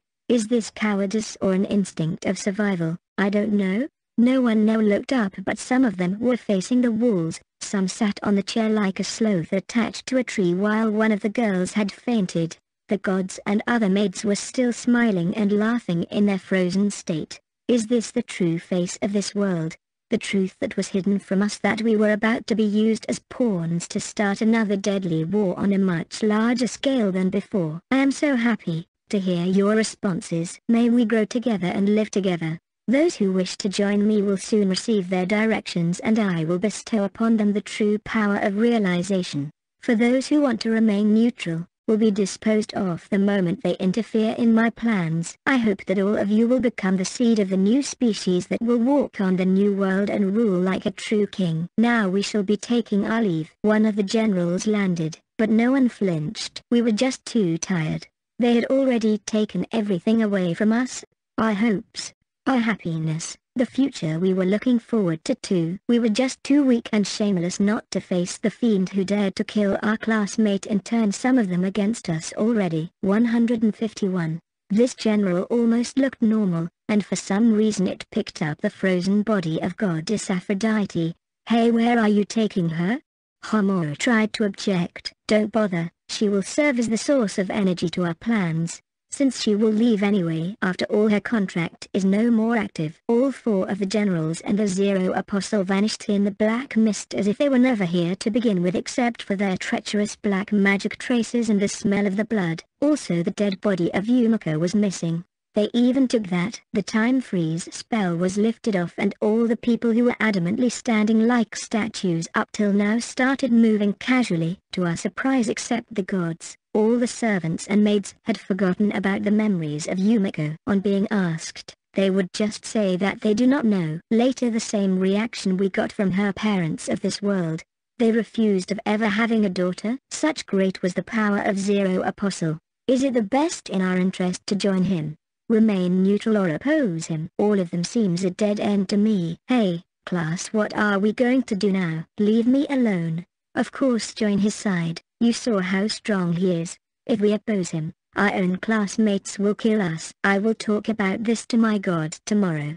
Hey class rep, what are your thoughts about it? I am going back. There is nothing left to discuss. 152. Hey wait. Okarin stopped Homura by placing his hand on his shoulder. The class pres looked back and threw off his hand away. I said, there's nothing left to discuss. Decide for yourself or are you telling me that you cannot even take a decision for yourself that will decide whether you are going to live or die? His eyes were dead serious and Okarin couldn't continue what he had in his mind. Do whatever you want, just don't bother me. After saying this loudly, Homura left the hall, while Goddess Freya tried to follow her. Since she was unaware of the situation at hand, Maybe he is too upset with Yumiko's death after all they were close friends. While some of us explained what happened to our gods, some quickly left the palace without a word, while some were scarred in their minds to the point that they couldn't even speak during the rest of the night. God is never cruel. There is a reason for all things. That's what I was always told. Now I don't know what to believe.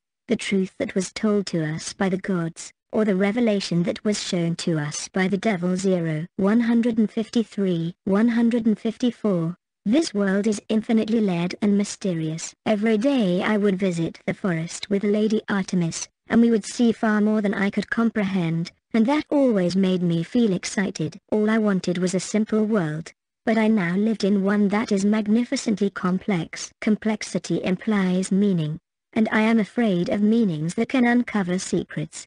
We all have one that we keep it hidden under our various layers of actions we take, the faces we make and the way we feel about it. In each little life, you will find great truth and beauty, and in each of these lives we get the glimpse of the way of all things work in the universe, that's what Lady Artemis always said to me while she taught me using a bow in the forest that surrounded the northern parts of our kingdom. Because we are imperfect beings who are self-blinded to the truth of the world's stunning complexity, we shave reality into paper-thin theories and ideologies that we can easily grasp, and we call them truths. But the truth of a sea, in all its immensity, cannot be embodied in one tide-washed pebble. We go wrong the moment we don't admit the unknowable complexity of reality, but we go dangerously wrong when we claim that one pale story is the ultimate truth. we arrive at the paleness to avoid consideration of the daunting truth in all its fierce color and infinite detail. 155. In the palace of Perilous Empire, all of the students left on the same night after the fateful visit of the leader of the uprising who wanted to bring destruction to the present world and create a new world of his own desire that can fulfill the wishes of the strong and reject the weak and inferior. The second prince as usual was playing his piano, while the first audience seat was taken by a single person sitting on the sofa. The music ended soon after and the man made a small applaud. You really like playing a piano, that's the only time I see you smiling the most. It's actually the exact opposite. Playing a piano is the thing I hate the most. In my previous world just because my parents were musicians I was always forced to learn all the instruments. When my parents saw that I had a talent for piano, from that day they kept on pestering me, always saying to me that they expect great things from me. This and that, but they never actually asked me what I really wanted to do was to become a writer. And now here I am.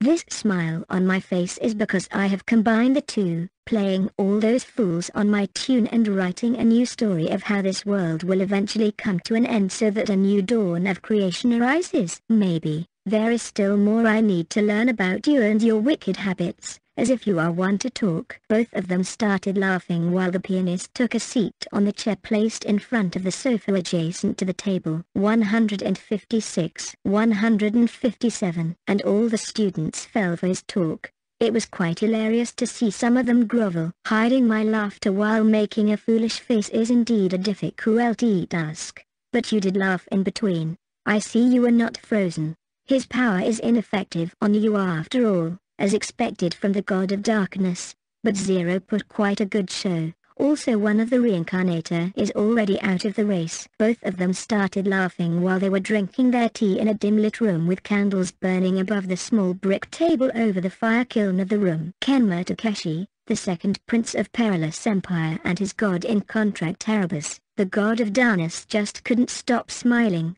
It had been a day since the get-together party. Your plan did indeed work well.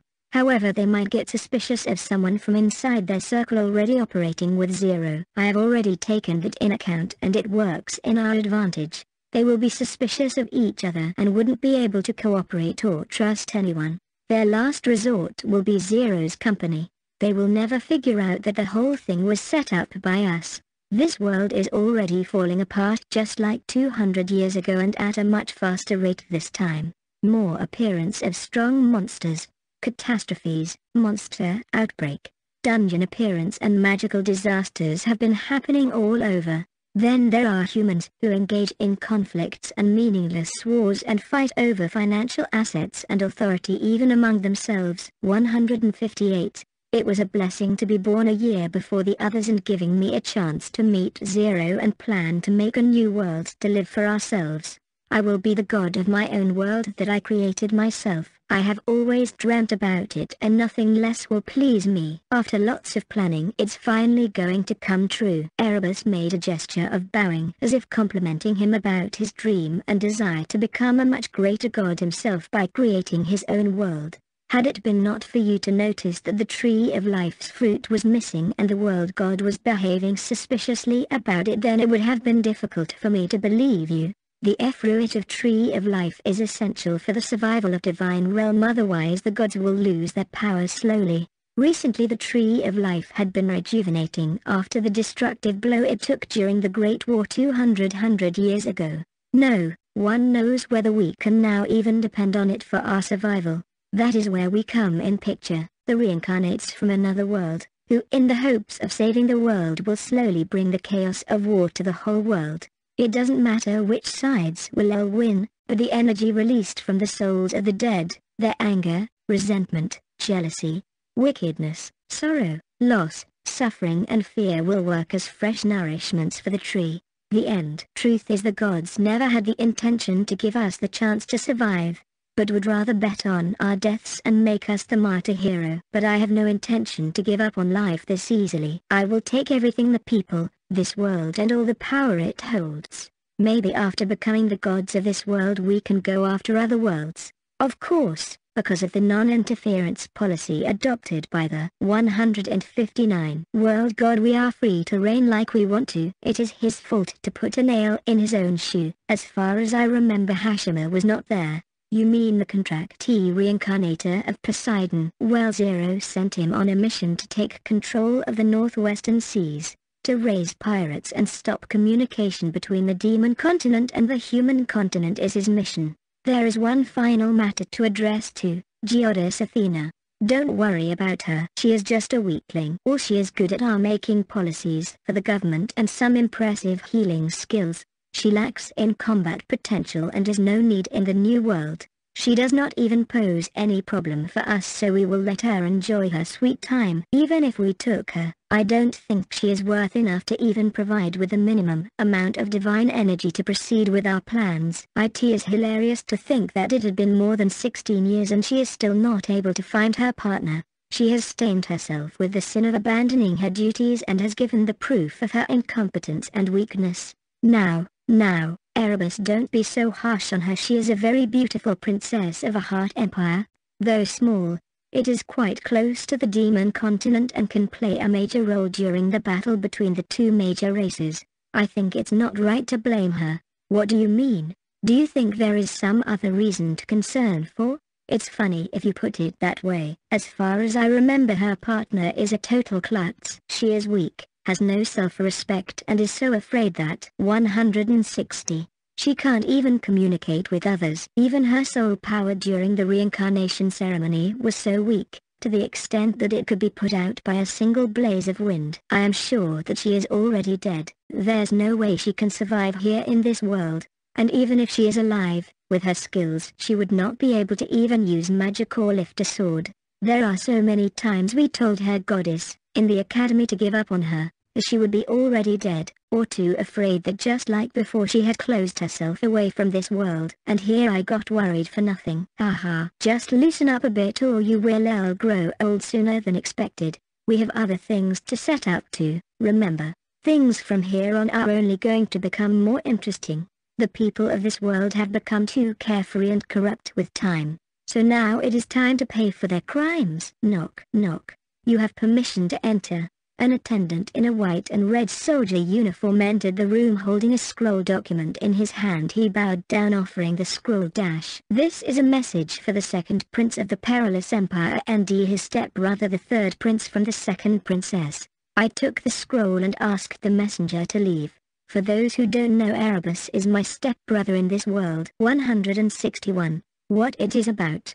Siesta has been missing from the palace and we don't know what she is up to. For God's sake, she actually took an army of 10.000 soldiers and is going to launch an attack on the northwestern demon continent near the Canandra Mountains and subjugate the small beastmen villages that have emerged and take them as slaves. Maybe our encouragement had a much larger effect on her. What do you think of it? Well let's see. The more people die the better. War is inevitable after all. If this is what the gods of the upper realm want then let them have it. 162. Information brochure Beneficiary deity job profile Homura Kenta Freya goddess of lust Natsu Kenchai Prometheus god of fire Sado Fujibayashi Ares god of war Sakamoto Sandakronos god of time and eternity Ryuji Ukute Kamikaze god of swords Okaren Oashima Hermes the messenger god Kanata Aizawa Hephaestus the smith god Akihiko Totsuka Loki god of mischief Hashima Katsuragi Poseidon god of sea Kenma Takeshi Erebus god of darkness 163 Information brochure Beneficiary deity job profile Haridakatari Artemis goddess of hunting Yumiko Furata Aphrodite goddess of love Syaka Tenma Diana goddess of forest Akane Kirigashi Orpheus god of music and poem Satumi Yuk Twykolos god of nightmares Sura Kendo Estera goddess of justice Arma Donjo over goddess of beast. Saki Hondoino goddess of blood. Kariba Chioda Kali goddess of death. Saki Kondo Athena goddess of knowledge. 164. Student Diary Kenma Takeshi. Name, Lucas Beryllus. Age, 18. Race, human. Level, 1980. HP, 14,000. MP, 20,000. SP, 12,000. Unique skill, Dark Matter Condensation. Skills. Dark Magic LV7 Fire Magic LV5 Wind Magic LV5 Magic Resistance, Regeneration, Death March, Shadow Steps, Fear Infliction, Titles, Dragon Slayer, The Envious One, Description, God in Contract, Erebus, God of Darkness Second Prince of Perilous Empire at present is assisting Zero in his plans and trying to bring everyone in class on board. Both Zero, him and Erebus are planning on becoming the strongest god of this world and rule over the strongest species in the cosmos. 165 Student Diary. Homura Kenta. Name, Keith Layton. Age, 17 Race, Human. Level, 880 HP, 9000 MP, 14000 SP, 8000 Unique Skill, Charm. Skills, Fire Magic LV4 Wind Magic LV5 Water Magic LV4 Hypervelocity Magic Sense Magic Resistance Regeneration Precognition Titles Illusionist Description God in Contract Freya Goddess of Lust First Prince of Lativania Kingdom shows no interest in saving the world but have good leadership skills and managing combat data and analysis. The knowledge of the truth has totally crushed his peace and watching a friend die has made him emotionless. 166 Student Diary Akihiko Totsuka Name, Xanderlift Age, 17 Race, Red Demon. Devil Hybrid. Level, 3000 HP, 20,000 MP, 25,000 SP, 24,000 Unique Skill, Khan World. Skills Fire Magic LV9 Dark Matter Magic LV2 Earth Magic LV7 Hypervelocity Magic Sense Magic Resistance Fast Regeneration Steel Body Empowerment. Titles. The Trickster from the Bottomless Pit. Description. God in Contract. Loki. God of Mischief. Whole clan was hunted down by other demons for the tribe's cannibalism over demons, humans and other races too are put under monster class, humanoid, Threat level, S-Class. Currently one of the five demon generals of Zero's army. 167. Student Diary Harit Akatari. Name, Katarina Alukrad. Age, 17. Race, human. Level, 900. HP, 12,000. MP, 16,000. SP, 10,000. Unique skill, Orion Arrow. Ability partially locked. Skills, Fire Magic LV4 Wind Magic LV5, Ice Magic LV6 Camouflage, Clairvoyance, Magic Sense, Magic Resistance, Regeneration Pointer, Wood Magic LV2, Titles, The Jager on the Wind Description, God in Contract, Artemis, Goddess of Hunting First Princess of Alukrad Empire is considering showing neutrality but has decided on uncovering the full plans of Zero. Is also worried for not being able to use her unique skill at its maximum power because system level requirement not reached. 168 169 Chapter 4 I told you being alone is not so bad if you can go insane. Here I was in floor 44 and 43, again clubbed together. I wonder why the floors exist together. Maybe because they are actually monsters with intelligence and prefer to live in groups. A tall black color, double-layered and extremely thick-built tower was hanging from the roof. While the above segment was small and much thicker, the below segment was longer and less thick. There were several small cube-shaped holes lined up in an orderly fashion from top to bottom. The whole floor was large though not much larger than the previous one except for the height of the room. At the eight corners of the room a huge cluster of magicite ore was shining with a deep blue color while a small circular perimeter of water body was formed below the tower. I wonder, if something is living inside the tower. 170. The only way to know is to get nearer. But my brain started hurting a bit and got worse with time as I approached it. Because of the heightened senses and danger sense I was receiving living signs not in tens, hundreds but in thousands. A flying monster species almost same size as me, though a bit larger in length had started mobilizing themselves in numbers tending to thousands. I can count a total of 50,000 monsters. Aren't there just too many? I mean should there be these many monsters in a dungeon on a single floor in the first place?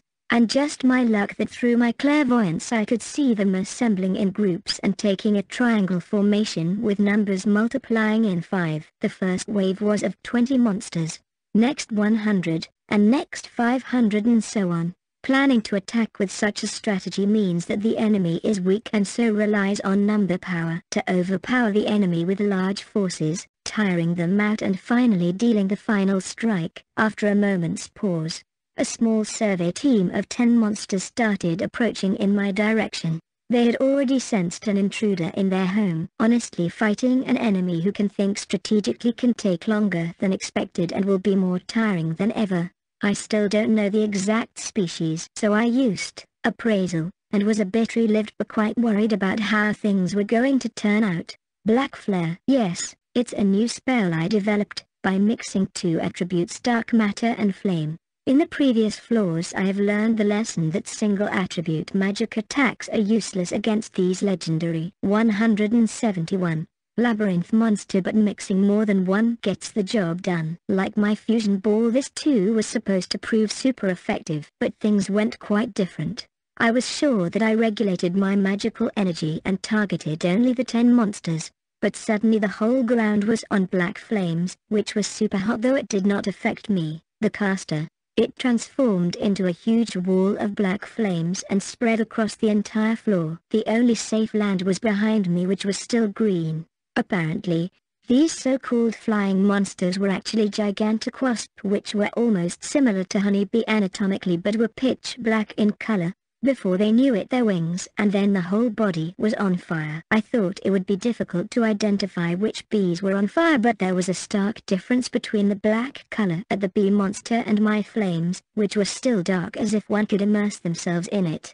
Those ten did not even get the chance to get a look at their enemy and were completely erased from this world. For some reason I thought I won't be able to use gluttony on them if they disappear, but I could still feel that I was able to consume them, their soul core.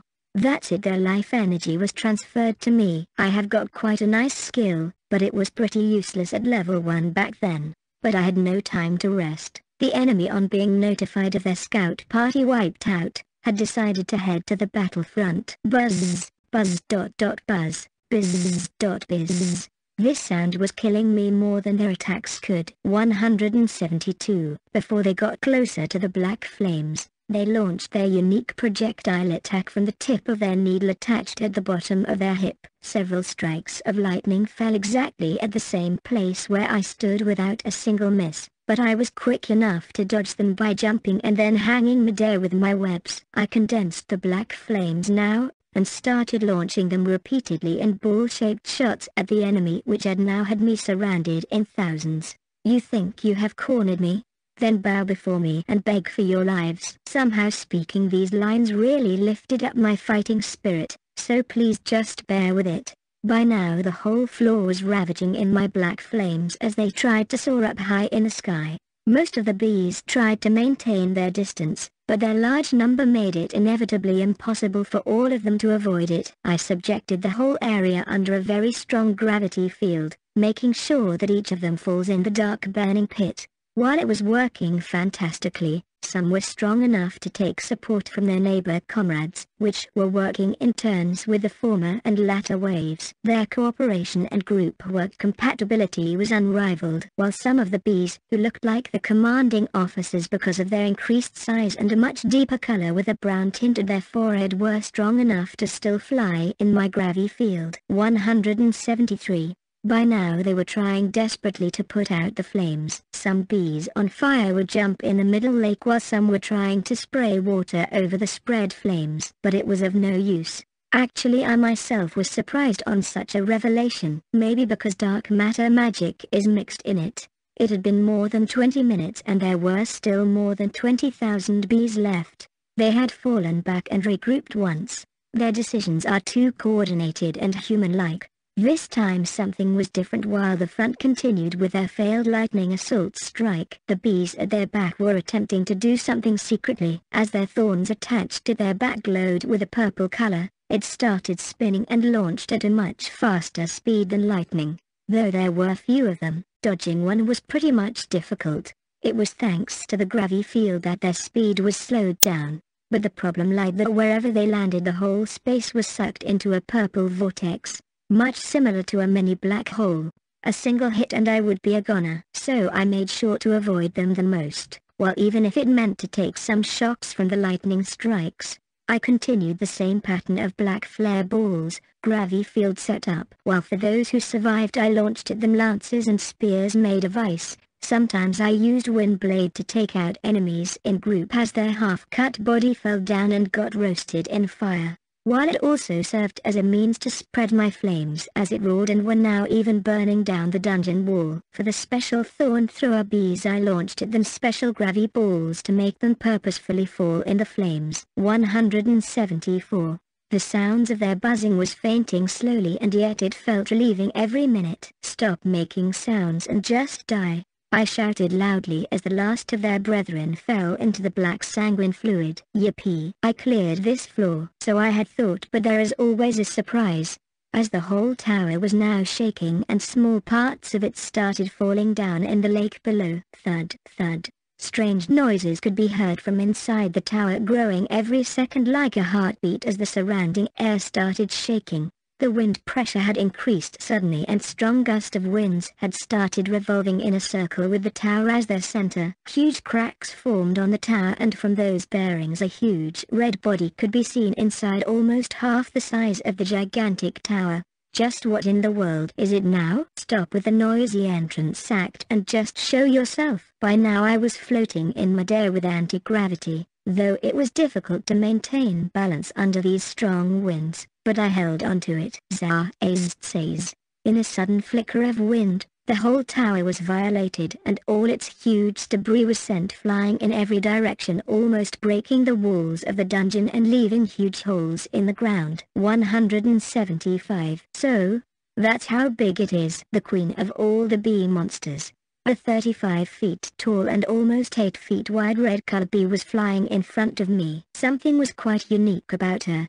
It was as if the presence of an elegant queen, like vibe, her title really fits her as the ruler, all the air columns in the space had drifted towards her and were somehow taking a shape of discs, almost more than hundred in numbers. These invisible discs were easy to pinpoint out thanks to my magic sense, but they were flying at a much faster speed than the lightning strike. Even if I dodged them, I still ended up bleeding. Just now I lost a leg as one of the discs came in flying. It aims a lot but I can't lose focus during the battle. No need to worry since I can using my healing spell anytime. There was much more to the attack than I saw in the first stance.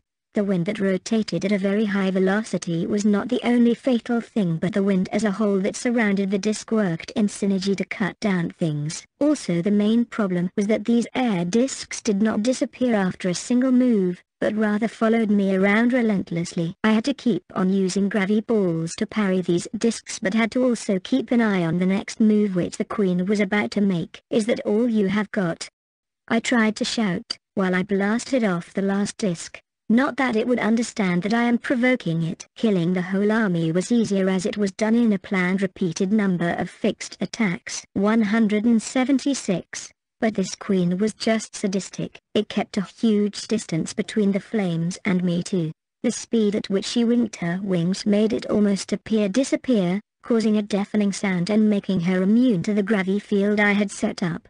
I launched a number of fusion ball attacks and in between jets of dark flare but she was able to dodge all. Her speed was almost at the same level as me, even greater than mine. It's so unfair, to be able to move so fast even with that huge body. Her next move was pretty much obvious as I saw her thorn shining with a blue color. She was preparing for a huge lightning strike. If it's that, then I think it will be quite easy to dodge and then I will close in for the attack. So I thought, but when a huge circular ray of blue plasma started moving in my direction, I was shocked. I tried to maneuver in midair while using my webs and accelerate with the help of wind magic, while also controlling my body weight using anti-gravity magic. One might think that it would be difficult to control these many spells at once, but when it's life or death situation, you must need to do everything to survive. The plasma ray didn't stop but kept on traveling while following my every move quite intuitively. So the queen was smart enough to predict my next move. If I slowed down a bit or did not use every means at my disposal to move fast then I would be burned down to the last cell. After two minutes it finally stopped, and the queen let out a huge roar while it buzzed around in a circular fashion. 177. It seems quite frustrated and I have almost drained it SMP with that attack gone, it appears to be mad. Finally, lost your mind. Then let me finish you. Something was odd. Suddenly the roundabouts of the queen had turned into a huge hollow blue disc. Huge sparks of lightning emanated from its every body parts, especially from its joints. What is it now this time? I used my appraisal, since I didn't quite catch this information the last time. I missed it. Even after so much preparation I am not good enough. The blue necklace around its neck, it's a legendary weapon, just what is up with every boss category monster in this dungeon? After they drain all of their MP, they throw their final trump card. How did they even get hold of such a weapon? The whole body of the Red Queen was now glowing in a blue light as huge lightning strikes fell around in a disorderly fashion, so I did not needed to dodge them. Zoom! I was knocked off and directly fell in the lake. Something so fast hit me that even my senses couldn't keep up. I instinctively looked up with my eight eyes and there it was a huge blue plasma ray flying around.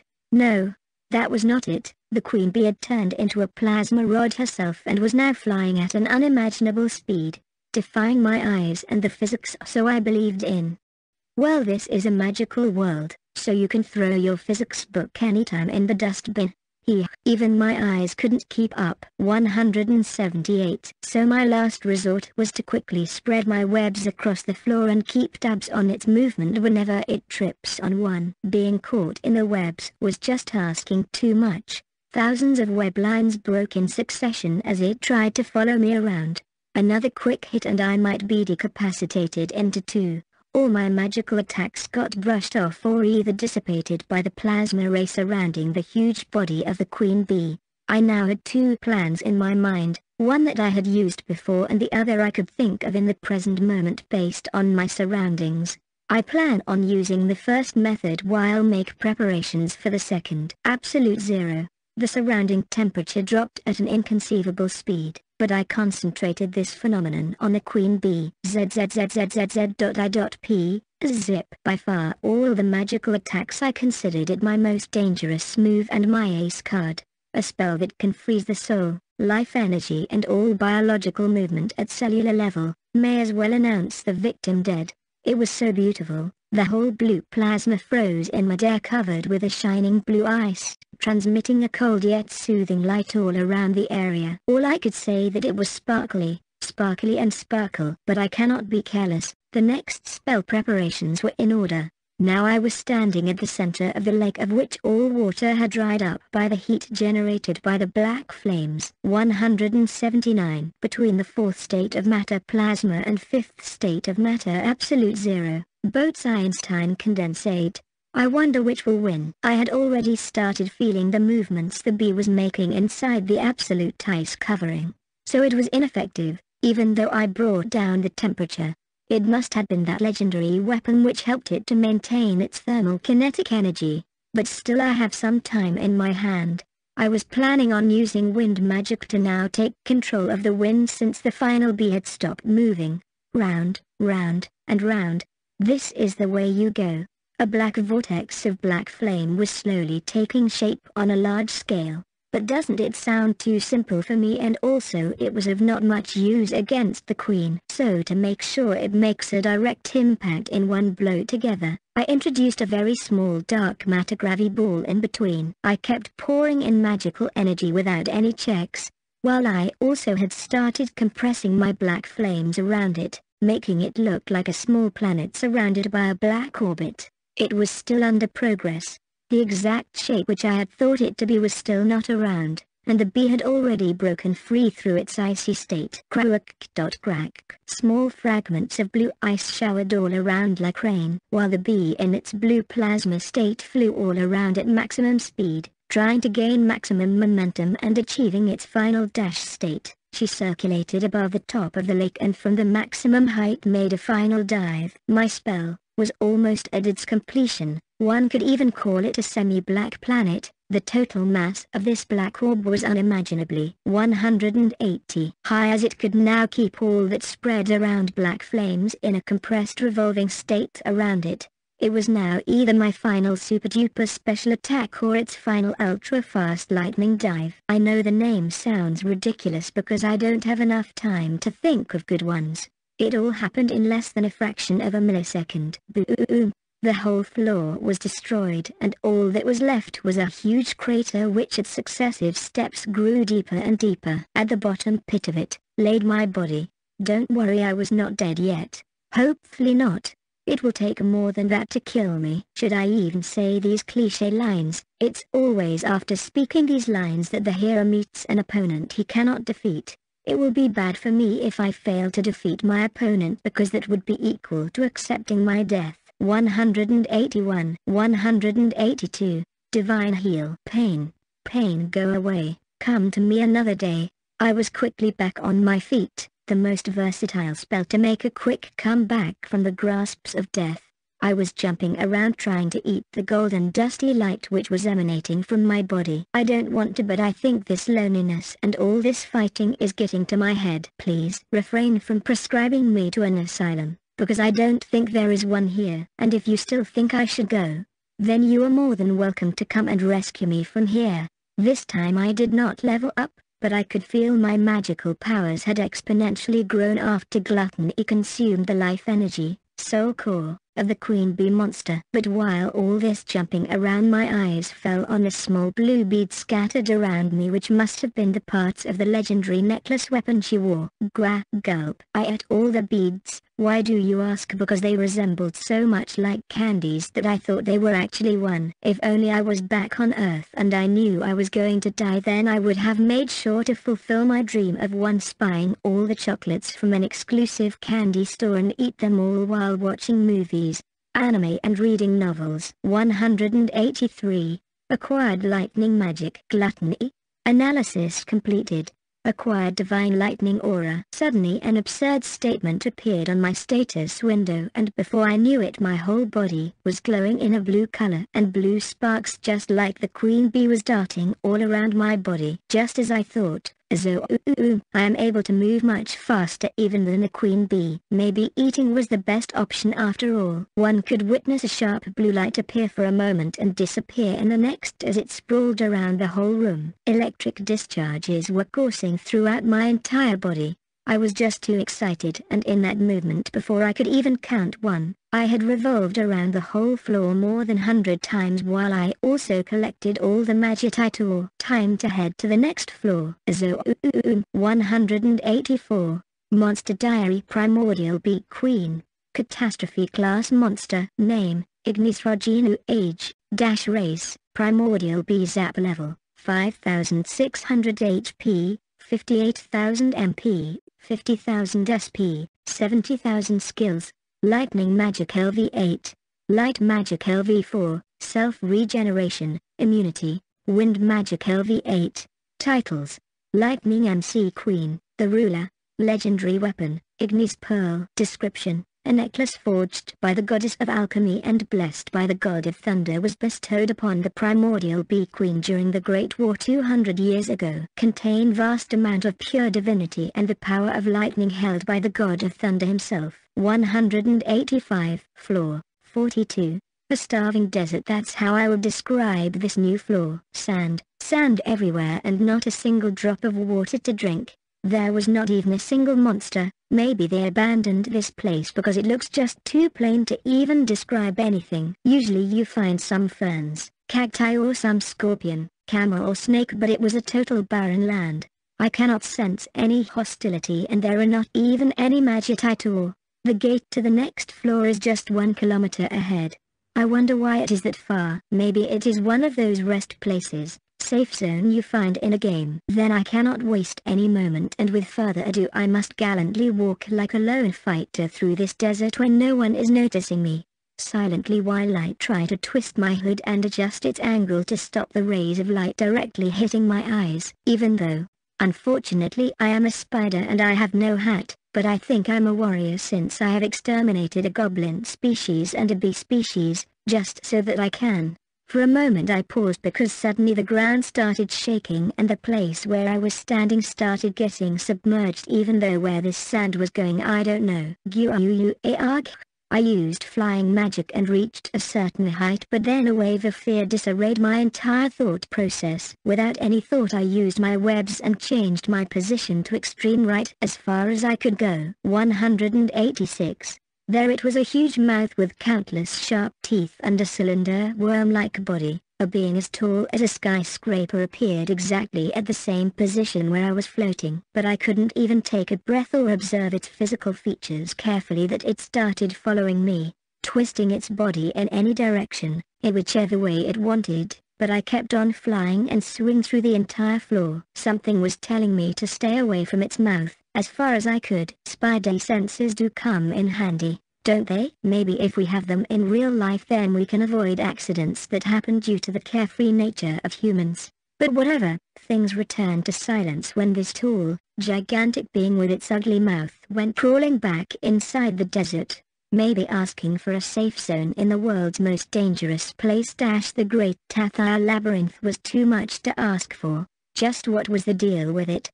Was it sleeping all this time? That's why I couldn't sense its presence before. And how long is it, to twist its body at any place and any way it wanted? What about its bones? Wait does it even have any time for appraisal? Dash just when I thought things couldn't get any tougher. So we have got a time eater here. A single bite and my time will be eaten by 10,000 years. So not even my bones will be left behind. I am glad that I avoided its jaws. Does something like that should even be allowed to exist? I need to keep my guard up all the time. I don't know from where next time it will emerge. 187. Monster Diary Ancient Death Worm. World Disaster Monster. Name, Tempest Vic Age, Dash Race, Time Eater Worm Level, 6600 HP, 70,000 MP, 90,000 SP, 80,000 Skills, Space and Time Magic LV10, Immunity, Self-Regeneration, Earth Magic LV8. Titles, Empty Hourglass. Sand is considered to be the representative of the flow of time. The falling sand in an hourglass is equivalent to the time past, that will never return again, even if you flipped back the hourglass. It will always symbolize the passage of same amount of time but will always have a different nature and will never be the same. 188 189 it's probably roaming underneath all that sand, waiting for me to stop moving and then capture. So I will give it the bait while preparing a surprise gift for it. A monster then suddenly popped out of the ground eating sand and all the living beings alike. It was directly aiming for me without any hesitation, but I easily dodged it since I can now use divine lightning speed. Fusion Ball, Wind Cutter, I used two consecutive spells and half the body that appeared above the surface was cut down and fell on the sand.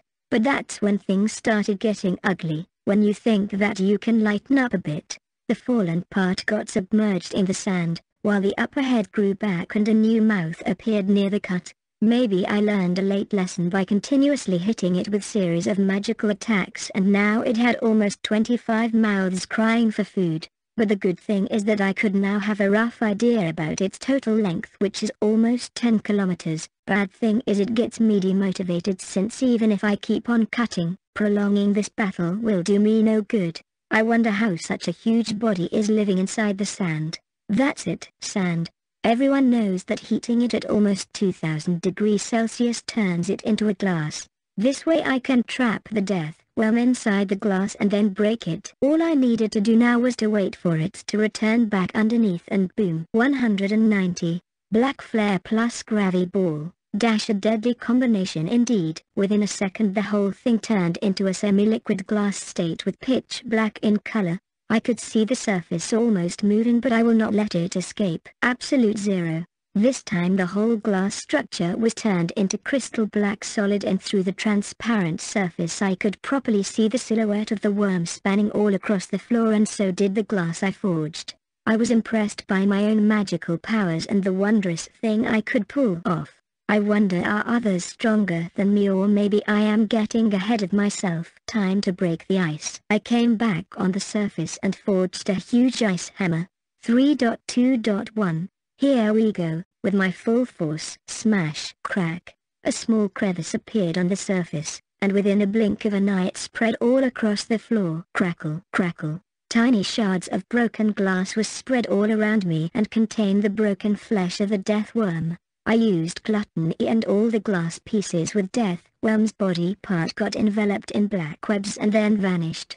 You have leveled up 191. As usual the pure white thread started wounding around me and I was put under a deep slumber. And when my eyes opened again I had been asleep for 15 days. The number of day I needed to rest had increased when I level up.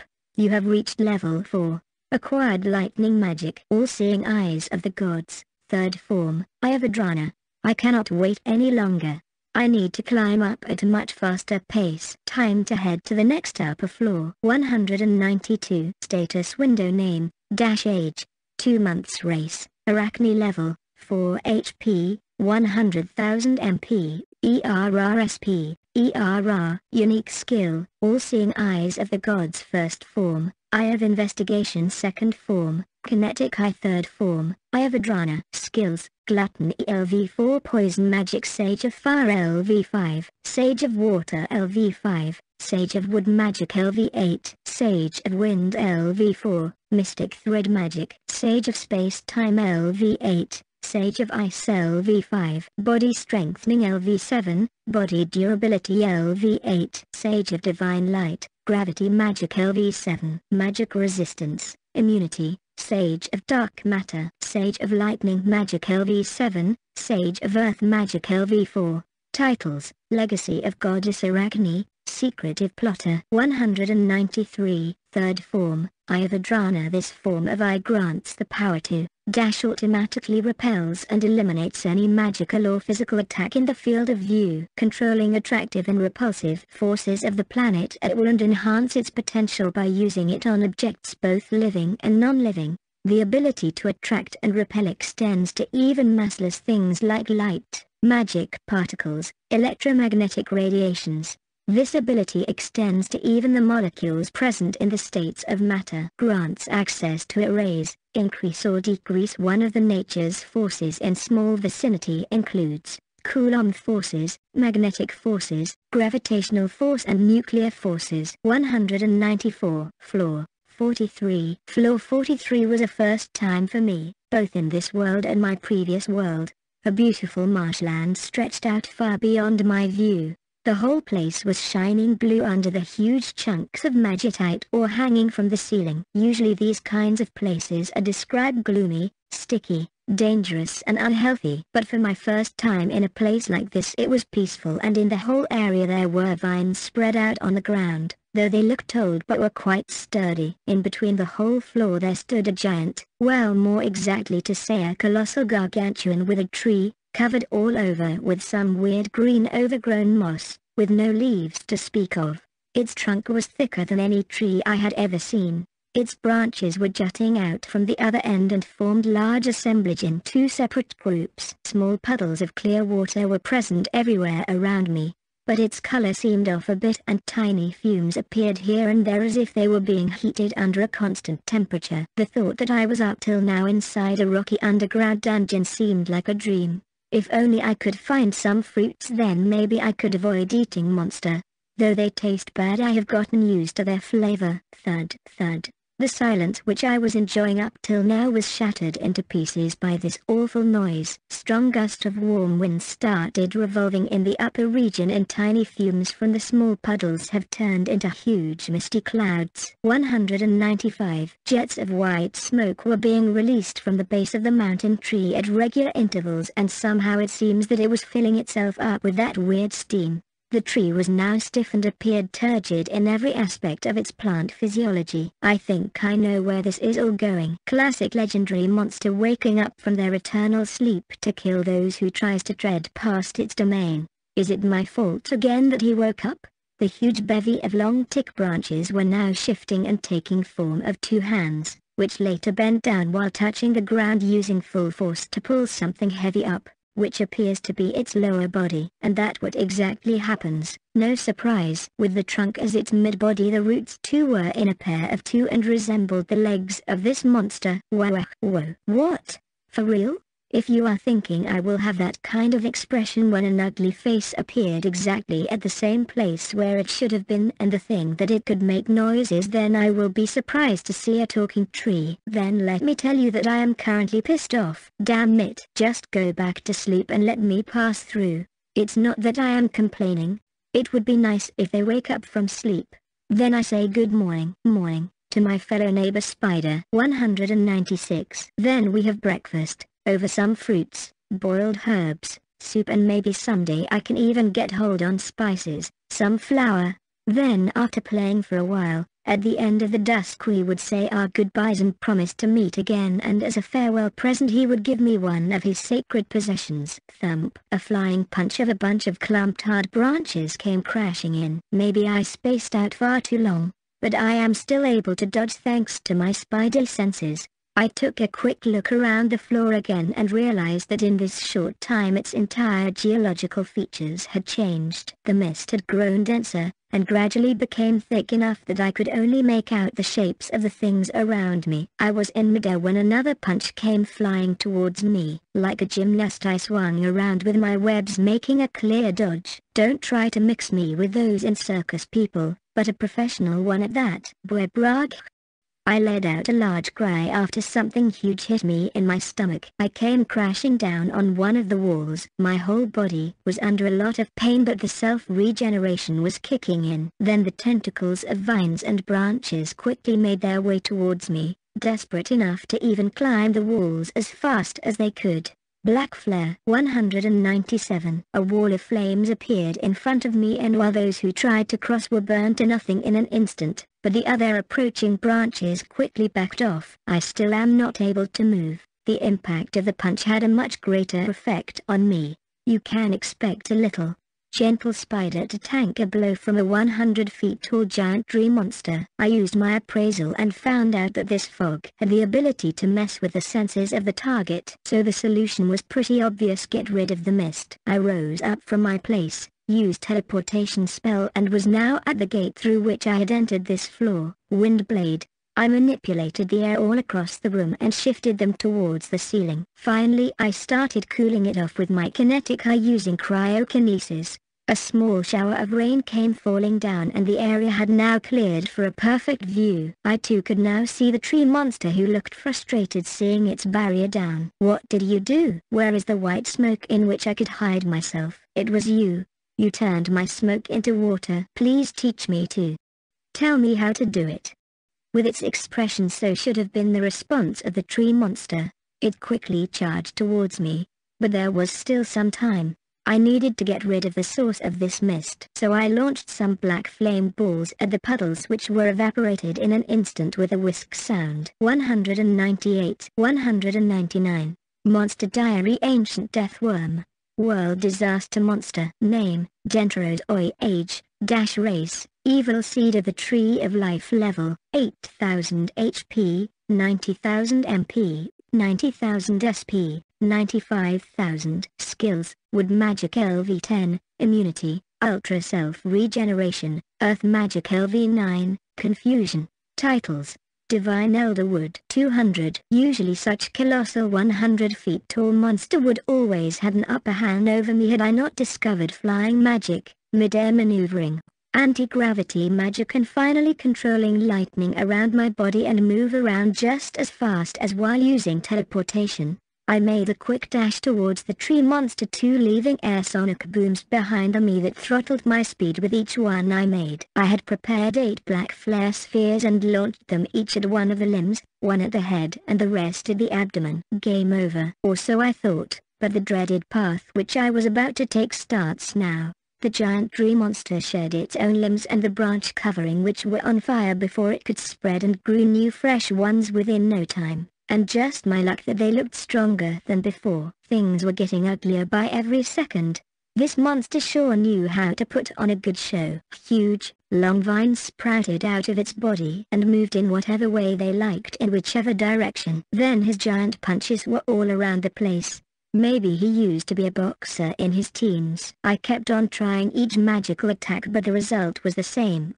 Its densely packed and intertwined vine-made body withstood all of them and those which were damaged simply grew, like it was not that big of a deal. Things escalated when, suddenly earth wall obstacles started appearing out of nowhere trying to block my path while the tree monster had started throwing off rocks by first crushing them and 201 throw its pieces all around. For some it might look like it was a waste of time, but even the smallest crushed rocks were thrown with reinforcement magic fixed at a pace strong enough to leave a huge crater wherever they fell. Destruction was widespread, to the extent that all the world disaster pictures I saw in the newspaper would just look like small torn down rooms in comparison to what was happening here. But thanks to my teleportation skill and blue lightning speed I was able to keep up with its huge number of attacks. Recently after unlocking my fourth eye I had an idea, a spell that can be strong enough to destroy this entire floor including this tree monster.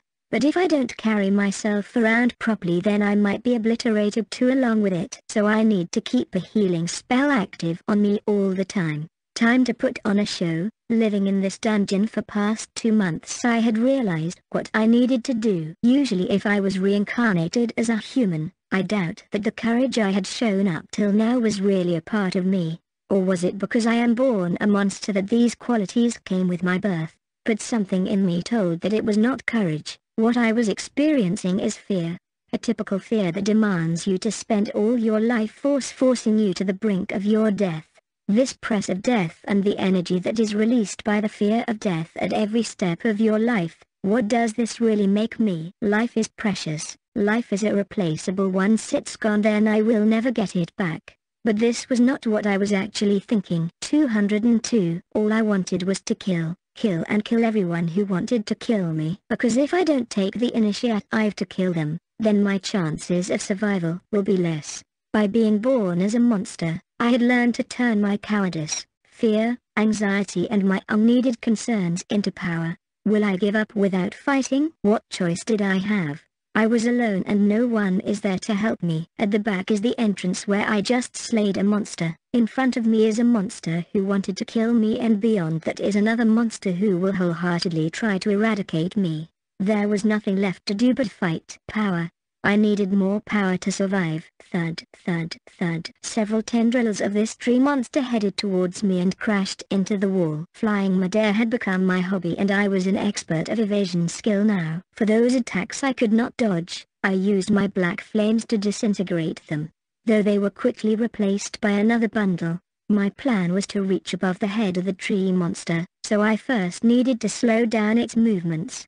I continuously launched a number of dark gravity balls and then used Absolute Zero spell to make it stop, though it will only buy me 5 seconds and then it would just shed off its armor-like skin. 203. This spell of mine was actually based on one of the theories I read in an astronomical encyclopedia, and with these special dash eyes of Adrana I can now perform it. Problem is I don't know the result will be same or not or will the whole spell just stop in between while several holes will be punched inside my body as I would be left wide open, unprotected and exhausted then. It was all on just one new idea, that's all.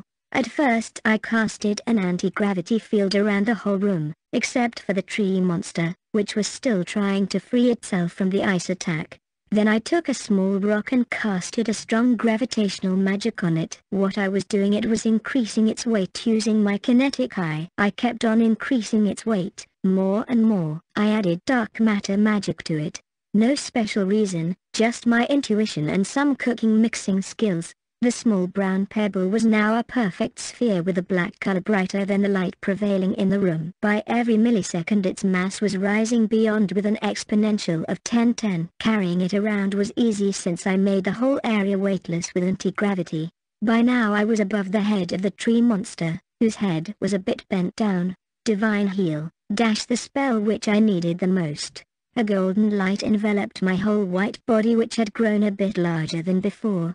After my evolution to the fourth level, 204, last and final the small pebble, whose mass was almost more than half of a large planet, I considered a spherical area greater than the radius of the pebble and using my third eye form I raised Coulomb force. If you are wondering what I did, then by removing this force, I raised the nature of particles that attract and then repel each other to maintain stability. But now the only force that remained was the strong nuclear forces and gravitational forces which were both of attractive nature. With no other variable forces to keep the stability of the pebble in check, all its atoms had now started to move inwards, that is towards its center of mass, leading to the formation of a black hole and ultimately a gravitational collapse of the supermassive particle. Hypernova, the small dark black sphere in front of me, it was majestic brimming with magical and life forces of infinite possibilities. I had done something that could even rival the dawn of creation. I had to squint all of my eight eyes just to look at this magnificent piece. Black whips were revolving all around me. Just being in the presence of such a thing had broken me into a heavy sweat. There was still two seconds left. Moving with this heavy particle was impossible in normal circumstances. But this time around I had taken that into account too. My legs. They were burning, but I need to hold on if I want to beat the tree monster, if I want to end this quickly, if I want to get out of this hell soon. If I want to meet her. 205, 206. I have to do it, even though it is hurting. My legs were burning, my claws were being crushed under the huge pressure, while I was in an instant being healed by my healing magic. My ends of the legs were covered in blue light of plasma ray jets along which blue lightning was radiating throughout my body.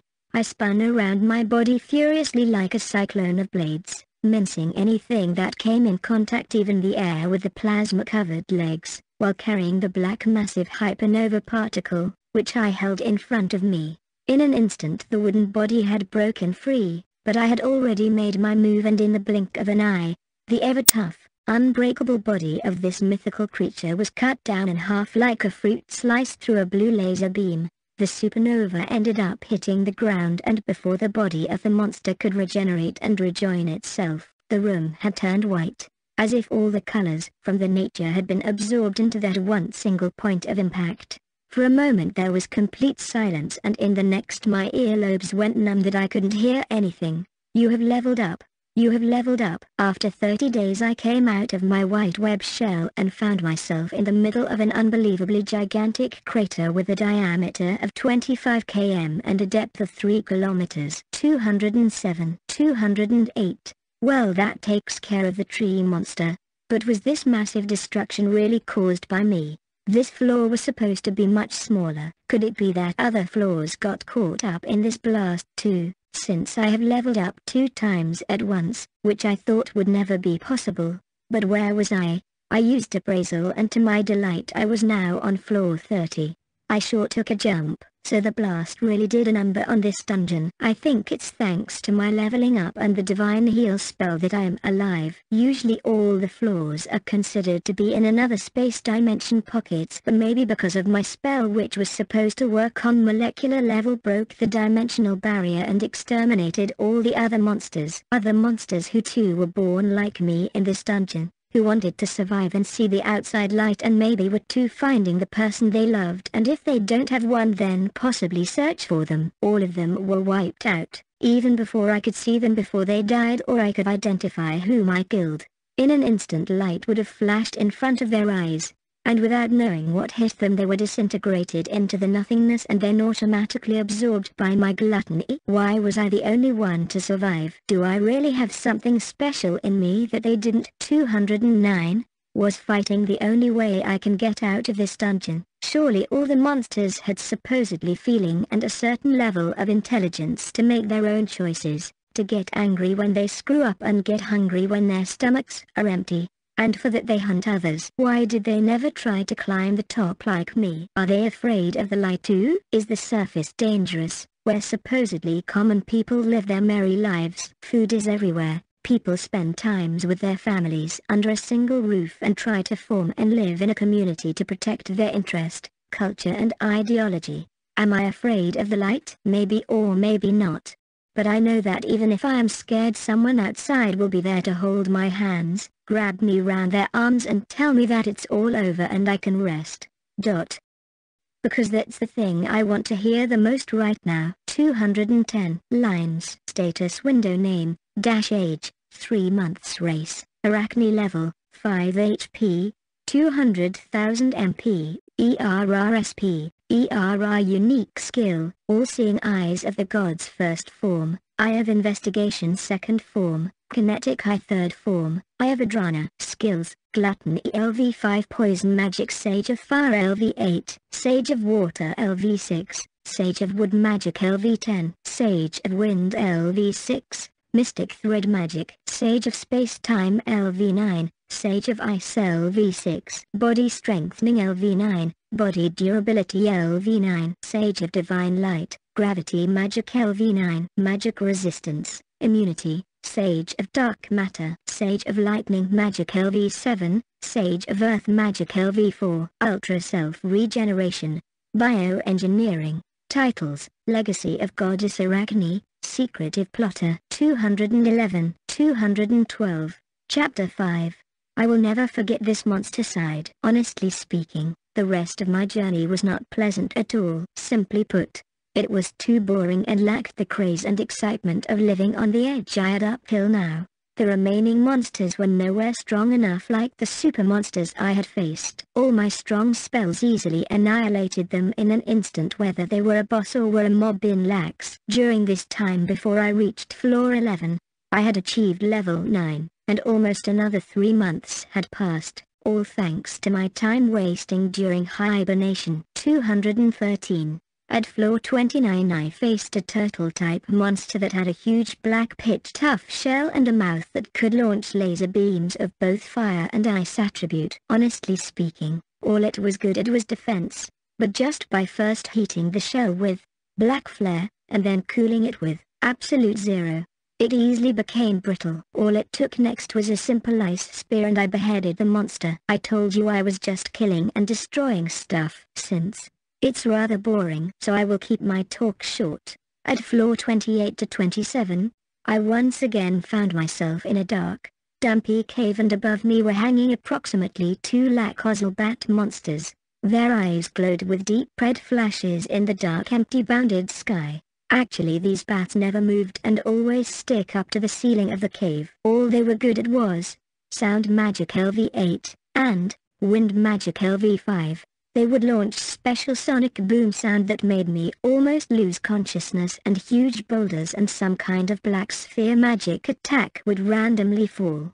For those who didn't have magic sense would never be able to dodge those falling objects, but like a lightning blue light I dodged them all and with a single plasma lightning strike I cooked all the bats in one swoop. As usual, seeing the whole bat clan annihilated, the Emperor Ozelbat showed up.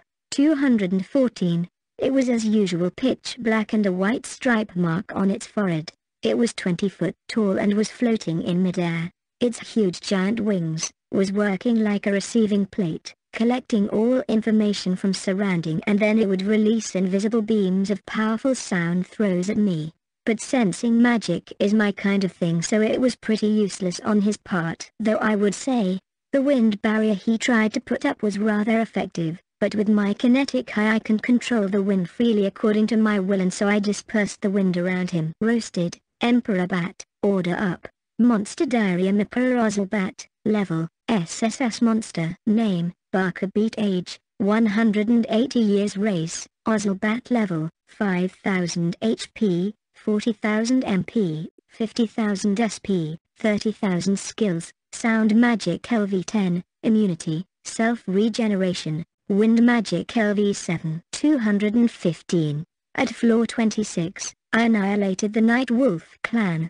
They were a species of red-colored wolf monster, as big as an ice cream truck, they were a pack of 50 wolves. Even with their huge body, they sprawled around in the wilderness without making a single noise. They started running around, moving to high grounds thinking to pounce over me and tear me down with their steel claws. This was their turf and they had the home advantage. If that's what you and my enemies are thinking, then fine with me. How about this new fighting technique? Absolute Zero, Dark Gravisphere. The whole floor was frozen like a mystical ice forest.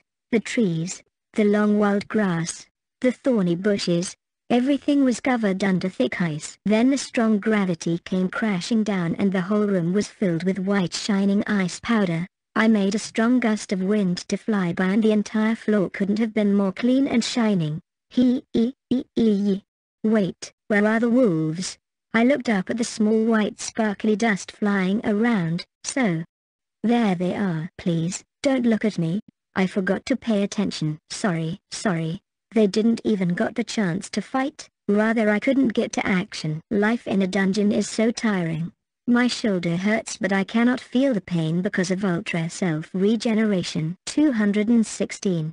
At floor 25, I found myself in a huge metal chamber.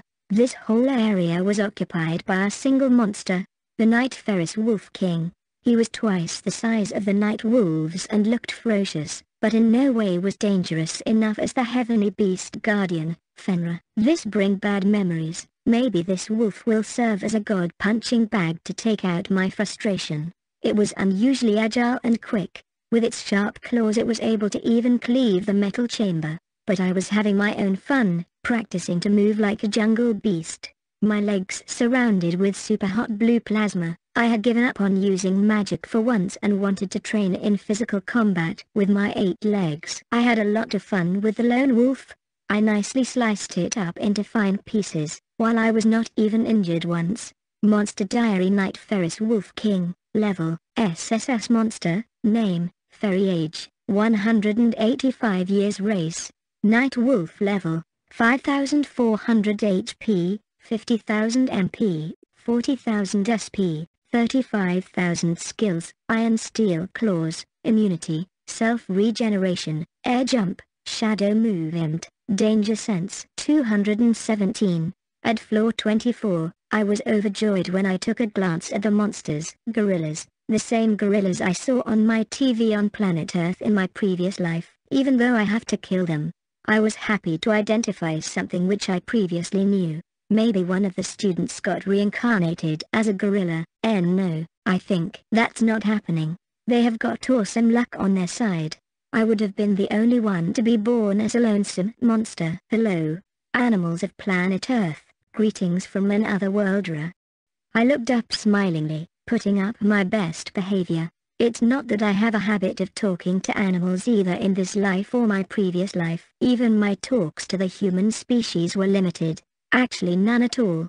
Maybe to some extent of yes and no. Surprisingly, white feathers were scattered in front of me and all the 200 gorillas had suddenly grown out a huge pair of white wings.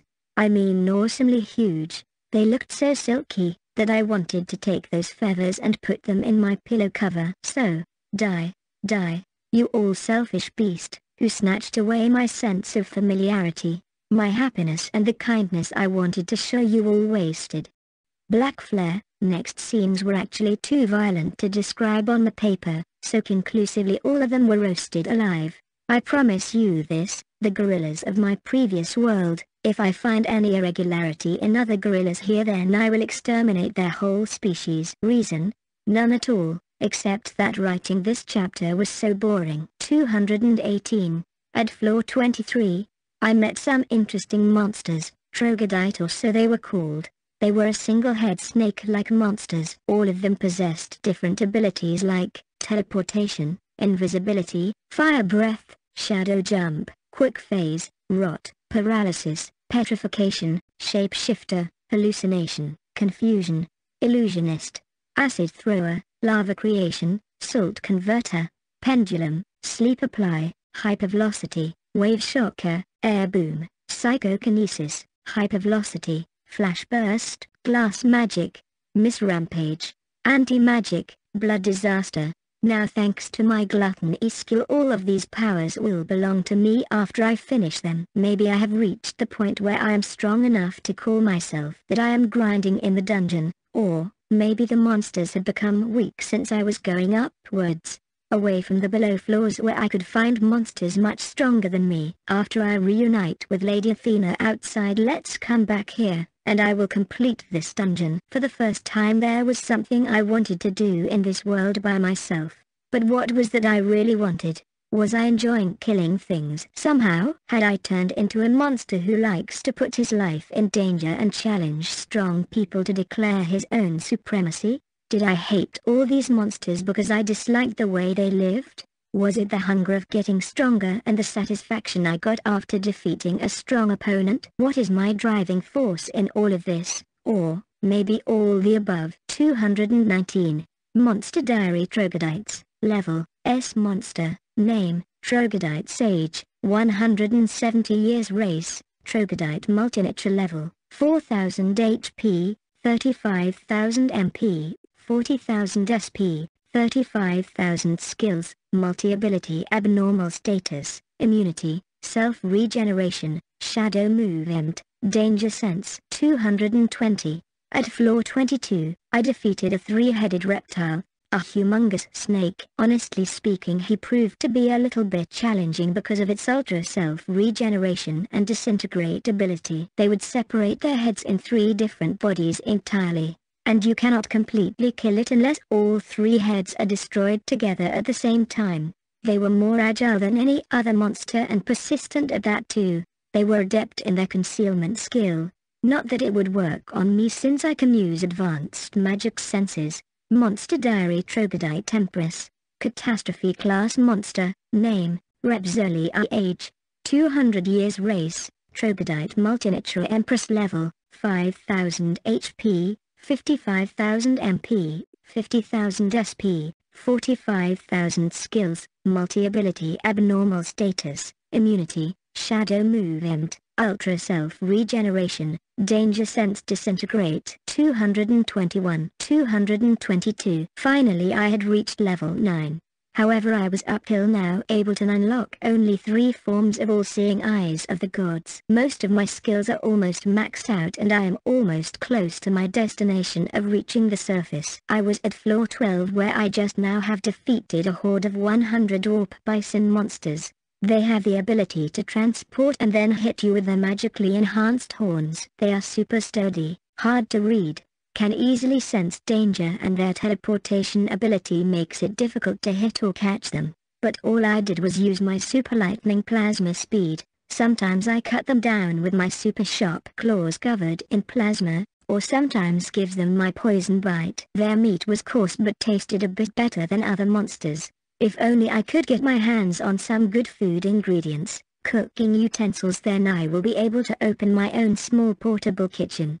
I was overly excited and headed to floor 11. As soon as I had taken my rest and made all my preparation and cleaned up the place of all the available magicites and water I could carry. 223 Status window name, dash age, 6 months race, Arachne level, 9 HP, 99 million MP, ERRSP, ERR unique skill, all-seeing eyes of the gods first form, Eye of investigation second form, kinetic eye third form, Eye skills, gluttony LV7 poison magic sage of fire LV10, sage of water LV10, sage of wood magic LV10, sage of wind LV9, mystic thread magic, sound magic LV7, sage of space-time LV9, Sage of Ice LV9, Immunity, Body Strengthening LV9, Body Durability LV9, Sage of Divine Light, Gravity Magic LV10,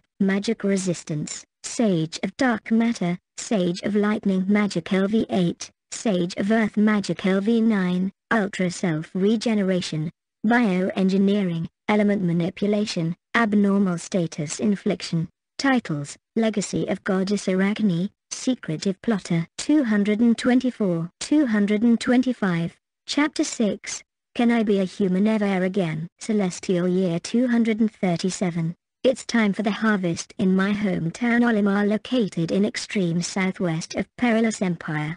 I miss the green leafy sweet vegetables I used to grow on the farm with my father. Also a week later the whole family would plan together a picnic to the Camellia cherry forest and under the shy pink camellia trees we would play all day picking the sweet plum camellia cherry that had fallen from the trees because of the wind, or otherwise would climb ourselves to pluck up the cherries. Sometimes we would chase around the gathered mystic sparrow squirrel or feed them instead. This year I promised to join my wife and seven-year-old daughter Mia and play 226 with her during this whole harvest festival.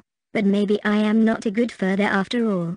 A soldier has always to answer his calls, family relationships comes after the country. That's what we were taught at the military training academy, even though it was supposed to be my vacation from the military, but because of this sudden planned expedition to the demon continent to subjugate the growing beast villages in the Canandra Mountains, my holidays were annulled under the leadership of Her Highness, the second Princess Siesta Perilous.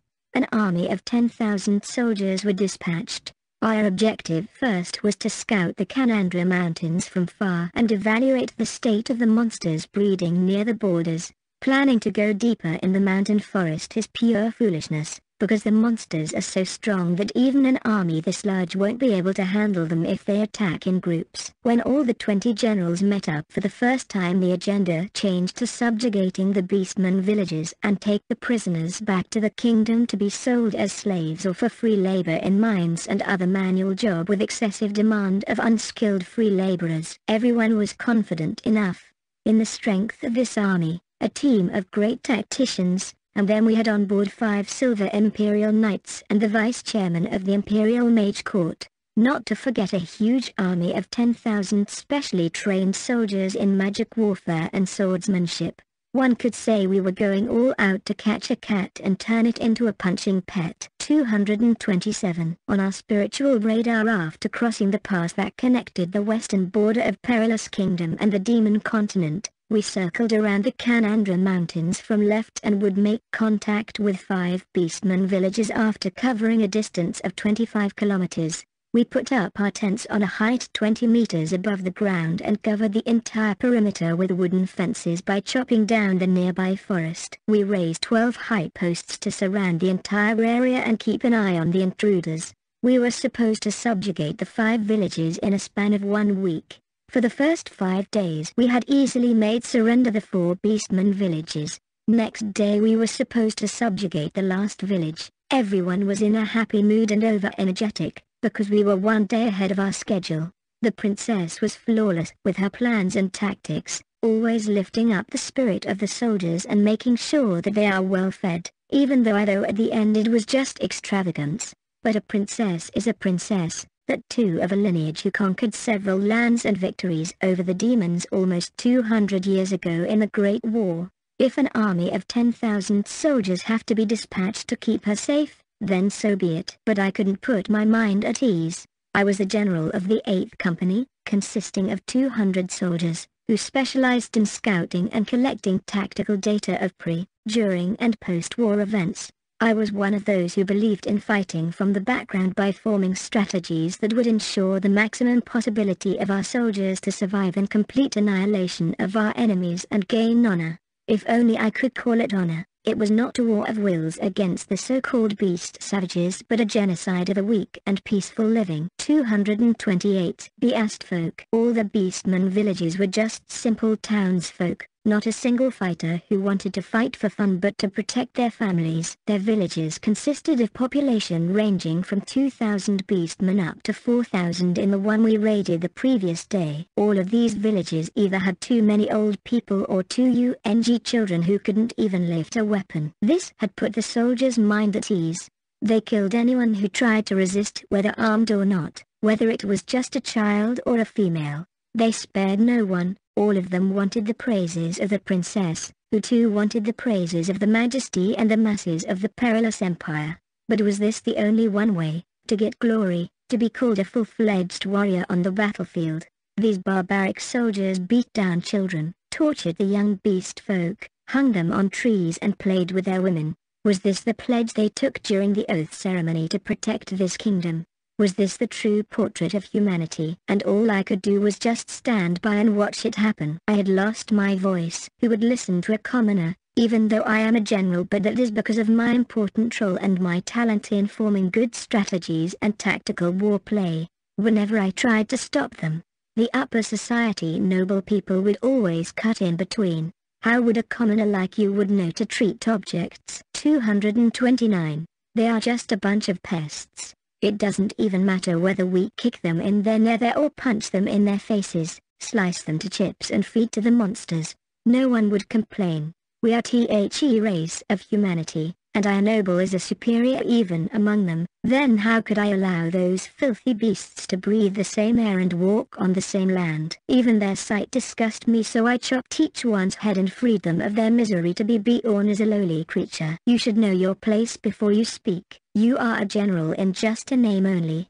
Just look at you small weak platoon, all we need is your pathetic skills and then you can go and till the farmlands for all I care. I once visited one of the beast villages after it had been subjugated. Almost all the small built brick houses were on fire. Black pitch ash and walls, broken gates, torn down buildings, streams of blood flowed all around, splashed like ink blots across the streets and walls. Dead bodies and distorted body parts littered around.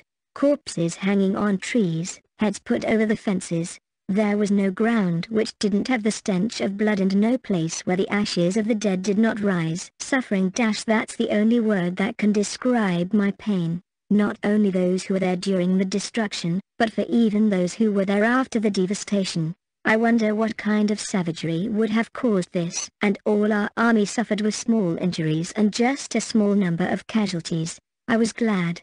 But something inside me had broken, as if a piece of mine was burning brightly but I felt so cold under the presence of my own shadow. Most of the soldiers had fun, 230 while looting the goods of the beast folk, their money, priced possessions, food and women.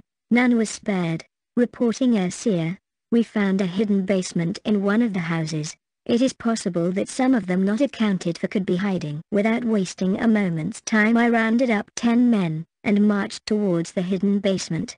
It was a half-torn down house, probably done by an explosion magic. I entered through the gateway with a missing door. The whole house was almost reduced to emptiness, but the walls looked newly built. There was a small portrait hung on the wall, a little bit tilted maybe due to the impact of the explosion. I took out the picture and wiped the blood that covered its upper area. It was a portrait of a young man, a beautiful beast woman and two small kids, one with a white fox ears and a long tail, while the other kid had light brown in color. I was dumbstruck, the girl with the white fox tail, she resembled every bit of Mia, my own daughter. I was speechless and confirmed that the dead body lying at the backyard of the house was indeed the man in this portrait. Then the women and the children remain unaccounted for. Could it be? The men who were on guard above the basement saluted me as I arrived on the aforementioned suspicious spot. 231. As per the information, I rolled over the red carpet, which had some drawing made over it and a small wooden door that opened vertically came into view.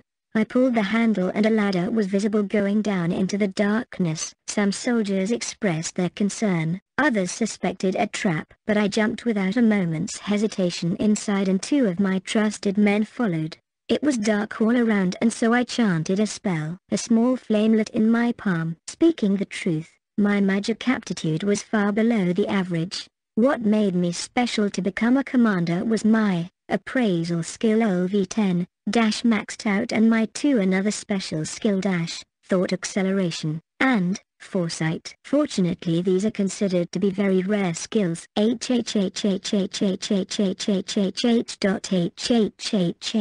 Was someone crying? It more sounded like someone was trying to suppress their voice by any means possible. I faced my palm to the left wall and under the fallen table I could see two figures. I without any hesitation started approaching them. Sir, wait we need to take precautions. We don't know whether they are hostile or not. Okay, then be prepared. I will lift off the table. Take positions. Actually this conversion was going telepathically so you need not concern with leaking information and plans. I lifted up the table with my left hand, and forced my meager amount of magical power into the little flame I lit. 232. Under the cover of darkness, I could now probably make out two shadows and a bit of their details. A beautiful tall fox woman and an eight-year-old girl with white fox ears and a fluffy long tail. The girl was on the verge of crying, while the mother was holding her mouth tightly but she herself was shaking heavily. Definitely, these two are the remaining figures in the portrait. For some reason, I was sure what I had to speak next, but my voice somehow couldn't reach them. Unfortunately, none of us knew Beastman language, so communication was a big issue.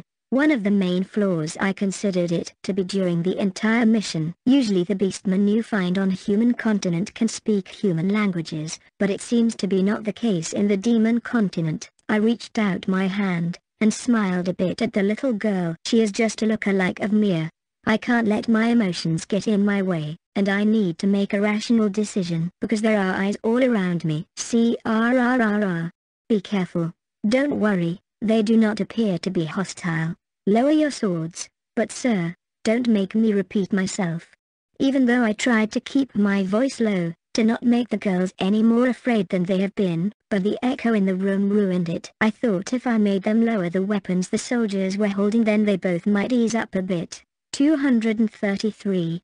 The woman slowly rose up from her sitting position and raised up both of her hands and so did the little girl. Their new resistance was futile. They knew they will be sold off as slaves and separated from each other or even worse tortured to death. But even if there is a flicker of hope that they can survive, then they were ready to suffer hell because throwing one own's life away out of despair and give up is cowardice. If they are alive, then there is every bit of a possibility to meet again, the possibility to explore this world and maybe find happiness. Thoughts came pouring in my mind. All I wanted was to see a smile on that little girl's face. Is there any way of saving them? Can I abuse my power as a commander to a small extent and let these two go? What if I make them run away towards the next target village? Then they can warn the other beastmen and abandon the location. This will save all those people whose life would be miserably destroyed for no reason at all. This war was meaningless. We were only adding fuel to the fire between the conflicts of two races, just because the villagers here are not accustomed to fighting. It doesn't display the strength of their races. Beastmen are strong warriors, possesses special body reinforcement magic, ultimate combat abilities and natural reflexes thousand times better than us humans. If they really wanted then they could give us a run for, but maybe their weaknesses was already accounted for and so the princess decided to attack determining her own safety. Now I see. 234. Do I smell some fresh prey? Mr. Commoner. A loud, husky voice rang inside my ear. A huge tall figure walked in, his large steps making absurdly unnecessary loud noises. Commander, Rit, may I know the reason, to visit during the inspection time of Company 8th? This man was the commander of the 3rd Platoon, the one who raided this village and turned it into a place of shamble and ruin. I need to exercise caution with my words and yet act dignified because of his noble status and our same ranks. How tiring now could this be? Nothing much. I just told you I can smell something ecstatic, won't you fill me in, my dear comrade? For some reason his chin was lifted up, and his brows pushed against each other. Somehow, all this makes me nervous, the more I think the lesser I understand the meaning of all the thing we were doing. We have confirmed two remaining civilians, hiding in the basement. Don't make me laugh. They are not civilians, but bugs to be played with. The man then clapped his hands, and with each clap a huge fire explosion appeared. Whereas dot dot war. The child who was quite up uphill now, finally made some noise but exactly at the wrong moment. But before she could continue, her mouth was shut up closed by her mother's palm. 235 See, these savage creatures, can't understand the beauty of my magic prowess. So let me take care of them and then they will surely admire my might. For I am Rit Coil, the next in line to be declared as the family head of the Coral family after this achievement of mine. Just how hard had I worked and had been waiting for this day to come. I hesitated for a moment but silently slided in front of that little girl and him, blocking his eyesight. Just, what in the hell are you trying to do? Let me have these two under my care. My men will surely love the big one. As for the little one, I will play with her with my magic. I needed to do something, a way to get us out of this mess. I was now under my thought acceleration skill. Currently, this commander wants to harm these two, who just are simple civilians. Then the kid has the same face as Mia, which reminded me of the last promise I made to her. Those two have kept on being silent, then that means they will gladly follow me. I don't have the authority to defy this man's will, but surely I can delay it by a bit, and later figure something out. But for now, I am sorry, but I have to refuse. You see, I was interrupted when I could feel a sudden pressure of the magical power being forced upon me. I tried to look up, but my gazes always went down. What's the matter Commander? Are you somehow feeling ill? How can you refuse this ambitious man's wishes? The one who will command you someday. You must feel honored that you can be a help to me. So, I need to come up with an answer. Quick, for Mia's sake, for the sake of those two who shouldn't have been a part of this war. 236 Because someone whimsically wanted them dead. There is a reason I am here, and for that matter I won't waver, even though I am a commoner and it has made me realize again and again that I can't stand up against the noble. You, see these two are supposedly confirmed to be from the next target village, so it will be helpful if we can collect some specific information of them about their security and people living. In a way what I said was true. Even though we can't understand beastmen languages, we can torture them and make them point out their village locations, hideouts, number of people and other important stuff important for military intelligence. I was now looking straight into the eyes of Commander Ritt, even though my whole body was hurting and screaming in pain. Going against such strong magical pressure, defying the nobility, dishonoring the military code and helping the prisoners of wars, I stood against all such heavy burden on my shoulders, all to bring a little smile on Mia's face. The commander stared back into my eyes for half a minute and then suddenly changed his way of speaking. He sounded as a totally different person. This sly bastard. I see. In that case I cannot wait to see how long you can keep this up. Ritt soon left, but when he passed through my back, I realized that I needed to watch my own back now all the time. The uneasiness feeling in the room soon lifted up. 237. I took a deep breath. My shoulders and stomach still in a bit of pain and my head still feels heavy, as if I was about to collapse out of dizziness and neural malfunction. I slowly walked to the kid and placed my hand in front, but it was painful to see her turn around her head, but I did not mind. Such response is most befitting of our actions. Hate, hate. Is that what this girl is feeling towards me or is it fear? I don't know. I beckoned the beast woman to follow me and she took the hint. She appears to be highly intelligent and seems to have understood the events that unfolded in a way. Now I need to make some special arrangements since I am taking care of them now, and make sure that no one suspects us. Both of them were taken to my tent. It was not as large as that of other commanders but still big enough to fit these two. I brought some warm towels, a bunch of dresses which I took from one of the houses, seeing they were intact. I made sure to order a glass of warm milk for the kid and a bowl of soup for the lady. Now I made them stay in the right corner of my tent, which was in a bit of a blind spot because of the cupboard and putting up a curtain of same color as the tent made it almost unnoticeable. I passed each of the other mentioned items including bed sheets and pillows, but was never able to directly look them into their eyes. I felt so helpless and somehow I kept on blaming everything on me, and wondered had things gone differently? What if she did not look? 238 like my own daughter? I wonder what Mia is doing back at home. Just two more days and I will be back at home. I clenched the small glass necklace which my daughter gave me before I left home. It was the first thing that she ever gave me as a gift. My lucky charm. Tomorrow we had to travel to the next beast village and attack. Preparations were already done. All that I wanted was to keep this violence and gore limited to those who resisted and for the soldiers to exercise caution because they had started taking things for granted. Carelessness is the second reason for the young's demise while the first is prejudice, excessive pride. I had cleaned myself up, and started thinking of new battle strategies while lying on the bed. It was already midnight and the most of the noises coming from the drunkard and the merry-making soldiers from outside had quieted down. Now that I remember there was another girl in the portrait. Maybe her elder sister. Her body was not found.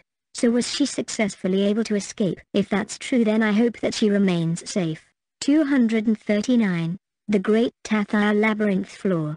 10. On that night when it had not even been an hour before my eyelids put up a curtain on my vision, I started hearing loud cries from the northern part of the camp. I quickly got changed and put up as much metal pieces on me as I could. When a soldier of my company came rushing in, without making any announcement. That came as a surprise. That means the news is just that important that the formalities could wait. I don't mind, or even bother with those stupid formalities. I only find them in my way of work. Just some stupid extra efforts. But that was the code. Commander. It's the Beastmen. They are attacking in large numbers from the northern forest. All our troops deployed in the northern station have been overwhelmed. I always had this fear within me, to face a surprise attack from north. Even though the full camp was in an advantageous location, the northern perimeter being surrounded by dense tropical forests always welcomed suspicions. Send a platoon of 15 men to the north to gather intel and do not engage. I repeat do not engage the enemy. I am leaving for the conference. Yes yes sir. The soldier then saluted me and left. As I was at the entrance of the princess's tent, a thorough checking of everyone by the outside special guards was necessary. These soldiers were special and exclusive to Princess Siesta. Commander. The report. 240. I looked back and my trusted men that were standing right in front of me. I needed to make haste. That was pretty quick. We have confirmed that a large number of beastmen around 2,000 in number that have attacked the northern checkpost. They first spread a special paralysis gas in the air and then launched arrows, huge boulders. It seems that they have got this time good fighters and good magicians on their side too. Most of the tents were burned down or either blown up. The situation of the soldiers in the north is not that active. Most of them were slacking off from their post which brought this doomsday. Those stupid nobles just can't perform their duty properly. Most of my soldiers were commoners like me too. They looked up to me for being the only commoner with the commander post. Their hate for noble had been pretty much obvious from their training days, always being bullied by the upper-class soldiers for being inferior and replaceable tools. I more or less understood the situation now. All I need to do, is to make a report to the princess, and let her decide to fight back or retreat. So just in case, start packing up, take all the non-perishable food, clothes and tents with you, and the two captured host GG, victims in my tent to be transferred to one of the nearest cart prisons. You are dismissed for now. In case of emergency or something comes up then do not hesitate to report. I walked in through the entrance by lifting up the smooth pink silky curtains, they were made up of such high-quality cloth that not even my three months' salary could afford. So I was a bit too excited to see my hands being slowly grazed along by the curtain. 241. Back to business. Long live the princess. Commander of 8th Company, Special Intelligence Unit and Scouting Division reporting with the situation. I looked around and saw the commander of 5,6,8,11,17 TH Company already present. The commander of Company 1, 2 and 7 were reported to be engaged in battle with the beastmen in the north. We had several casualties, but with the poison gas all around and in the cover of night under the dense forest, it was difficult to make the intruders retaliate. The princess was quite in a daze. Her face a bit flustered and red she was under the effects of alcohol. I wonder who did this to her. It just means that making a rational decision would be tough and potential mistakes are inevitable. Some of the commanders were still late and the princess and others present were getting impatient. That's when the commander of 3rd Company, Rit waltzed in, with a sword covered in blood. Behave yourself Commander Rit, you are in the presence of Her Highness. Objected the commander of the 5th Company. This is the Blue D of the Demon Beastmen, whom I took capture in the previous fight and now they dare to attack us. So I killed some of their comrades whom I took capture and asked my soldiers to hang their heads near the So East post. Just what are you implying? We don't have time for your foolish violent indulgences. Princess if I may. 242. Fine. Do what, ever. It was obvious that we had lost the princess in this situation. I wonder why she indulged herself with such a frivolous activity, because I had never seen it happening before. It was just too irresponsible on her part when we were in the last stage of our plans. Why doing this and sending some of these living pests near the east post. I have placed a trap explosion magic, while they try to disperse towards east and rescue their people, they will all die. In the chaos, we will make retreat. I have already made preparations for your highness's safety. I understand, but where we will go to.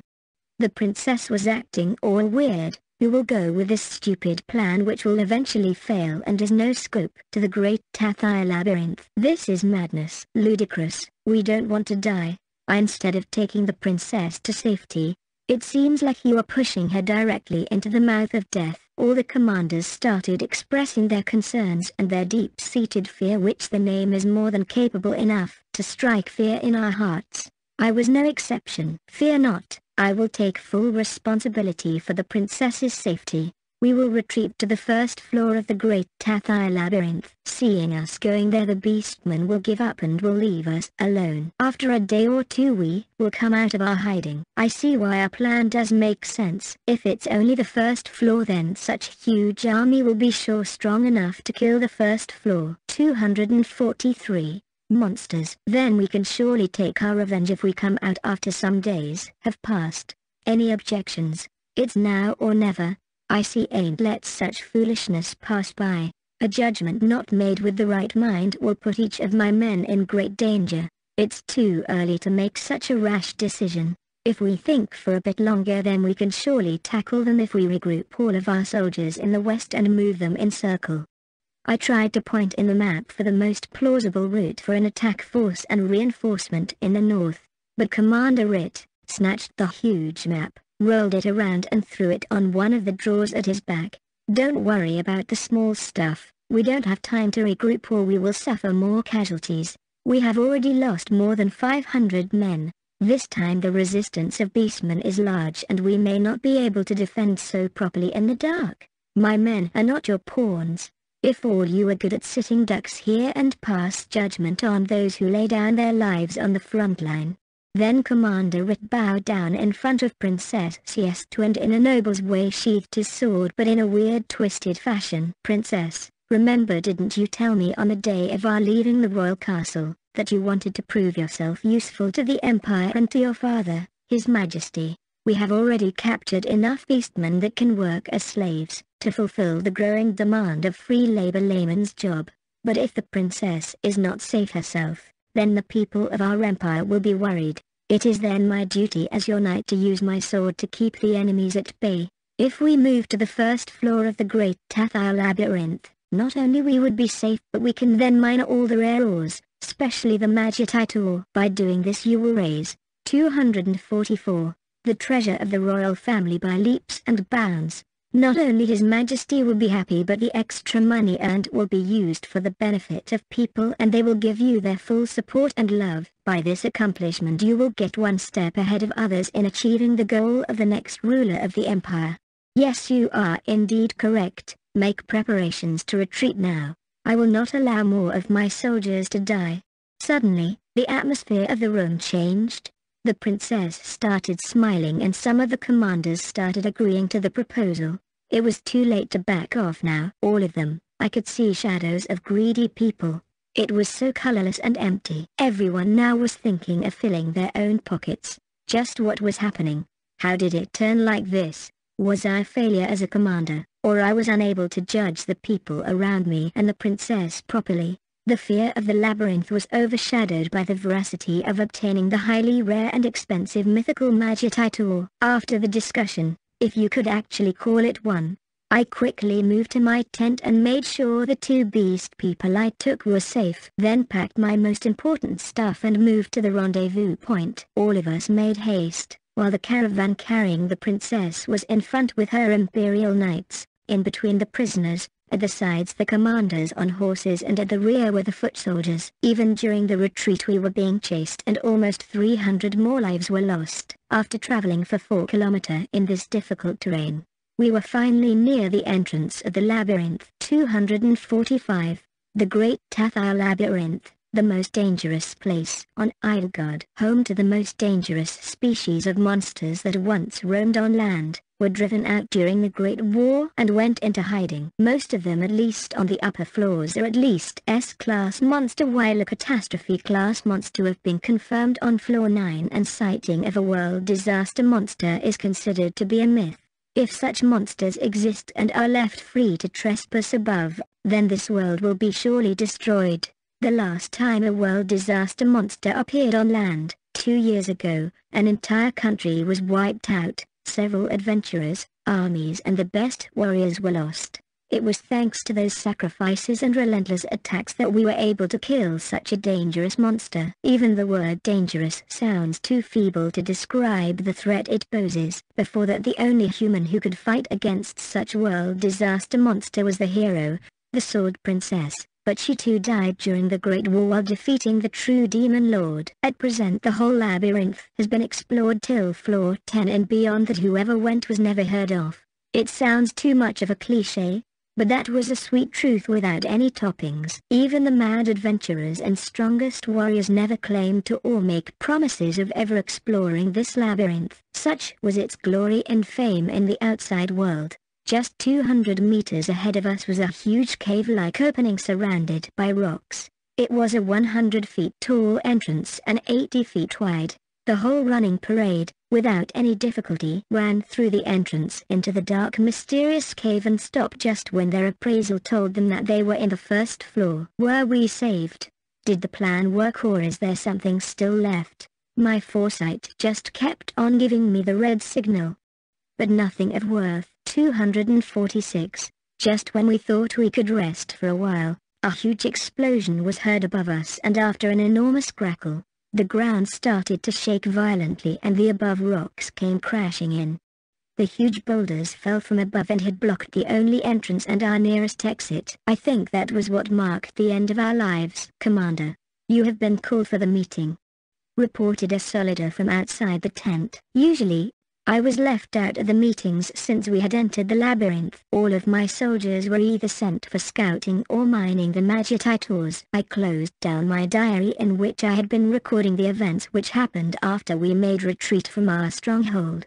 I pushed back my chair lazily, since I had lost my motivation to do anything. All that I had left was to look after the soldiers under my wing the two people I had taken in my care and to think whether I will be able to return to my family or not, my hometown, the farm in the Kumla cherry forest. Such sweet memories I have of them. Will I ever get a chance to make new ones? I went to the corner of my tent which was covered by a hanging bed sheet of the same color. Through the sides I made a small peek and looked at the two sleeping figures. They may appear peaceful, but from inside they were filled with sadness and remorse of losing their family and home. They had lost their future, their freedom, their happiness, and just about anything. 247. Sometimes I would find the little girl playing around with the small wooden cubes I gave her or crying in her mother's lap. Usually they both would chatter in lower muffled voices but I couldn't understand their language. Whenever I would approach them, the girl would always hide behind her mother, but at least it was better than before. Sometimes in my absence she would smile at her mother, maybe she knew that her mother needed a reason to live too. The fear directed towards me had now changed into hesitation of meeting a stranger, even though I had been good to them and provided them with necessary supplies but we were the ones who destroyed their peaceful lives in the first place. They had the every right to hate me, the one who orchestrated and the one who played. On certain occasion when the child is alone sleeping, I would find her mother weeping without making a single sound or whisper. That was her resolve, to not let anyone know about her fears and depressed state, her losses, but to stay strong for her child, to remain calm and find a way to survive. For this harsh world, where such cruelty exists, can there be a time where people can live with peace, even though it means we have to live under the fear of someone strong, someone who can judge everyone, not only humans but all living species equally. Someone who can make friends with anyone, someone who can with a single glance take down the enemies who threaten the peace of this world, even though it means that we have to give our certain rights. I would wholeheartedly welcome a ruler who can put an end to all these conflicts, discrimination, inequalities and crush down every opposition with strong force if need arises to. All I want is to live each day without fear, a happy peaceful life, to guarantee our safety, and help us in our needs unconditionally. There. 248. Dread of a bandit attack, terror of a monster invasion, horrors of an enemy nation attacking or the pain of being betrayed by your own. To be free from all. I walked past several prison carriages and tents. The soldiers were dried out like raisins left out for too long in salt water. Simply put they were overworked and completely depressed. We would soon run out of supplies, food and water. Eating monsters is not an option as they can be poisonous. The soldiers who were unable to fight or were not good enough against monsters were either sent to the first floor to clear the blocked exit or were put up for mining the magicite ores growing out of the walls and ceiling. These rocks were so tough that it took a lot of effort even with the best tools we had. But even a small amount of these could help you to lead a rich happy and fulfilled life. The people at the top wanted these rocks for themselves to garnish as much money as they could. But for me these were just chunks of normal rock. For they can neither help you satisfy your hunger, neither can you wear them, nor build houses with them. Because in times like these, for survival we don't need the metal coins. In this trapped hellish place they are pretty much useless. We don't even have the required skills to make strong weapons out of these rocks. The princess just couldn't stay at the first floor and took the bait of the third commander who made her talk to his tune to move in below floors and mine more doors, while the other soldiers clear the exit. No matter how many soldiers we lose here, but if we make back to the Empire with as much resources as we could then it's a win for them. At present we were on the 10th floor and had just the previous day defeated 200 Bloodrogogas. Many soldiers were lost in that battle. It was thanks to the diversions on the battleground that the soldiers could keep on attacking. 249. By now we had lost almost 1,200 soldiers, but this number could have been twice, no thrice or maybe we would not even have been able to make up till floor 10 unless we had sacrificed those beastmen captured. You are right in thinking that those beastmen were used as decoys. They were mercilessly thrown in front of the monster, to become their prey, while the soldiers took their sweet time to kill those monsters. The number of slaves captured in thousands had now reduced to hundred. It is probable that with the dwindling supplies, all of them would be killed in the next floor. I was now standing outside the princess's tent, being thoroughly checked by guards and after getting clearance entered the huge area with a table put in between surrounded by chairs more than required. Almost all of the commanders were present except for that of four, five, and eight who lost their lives on the above floors. After paying my respect to the princess I took my seat.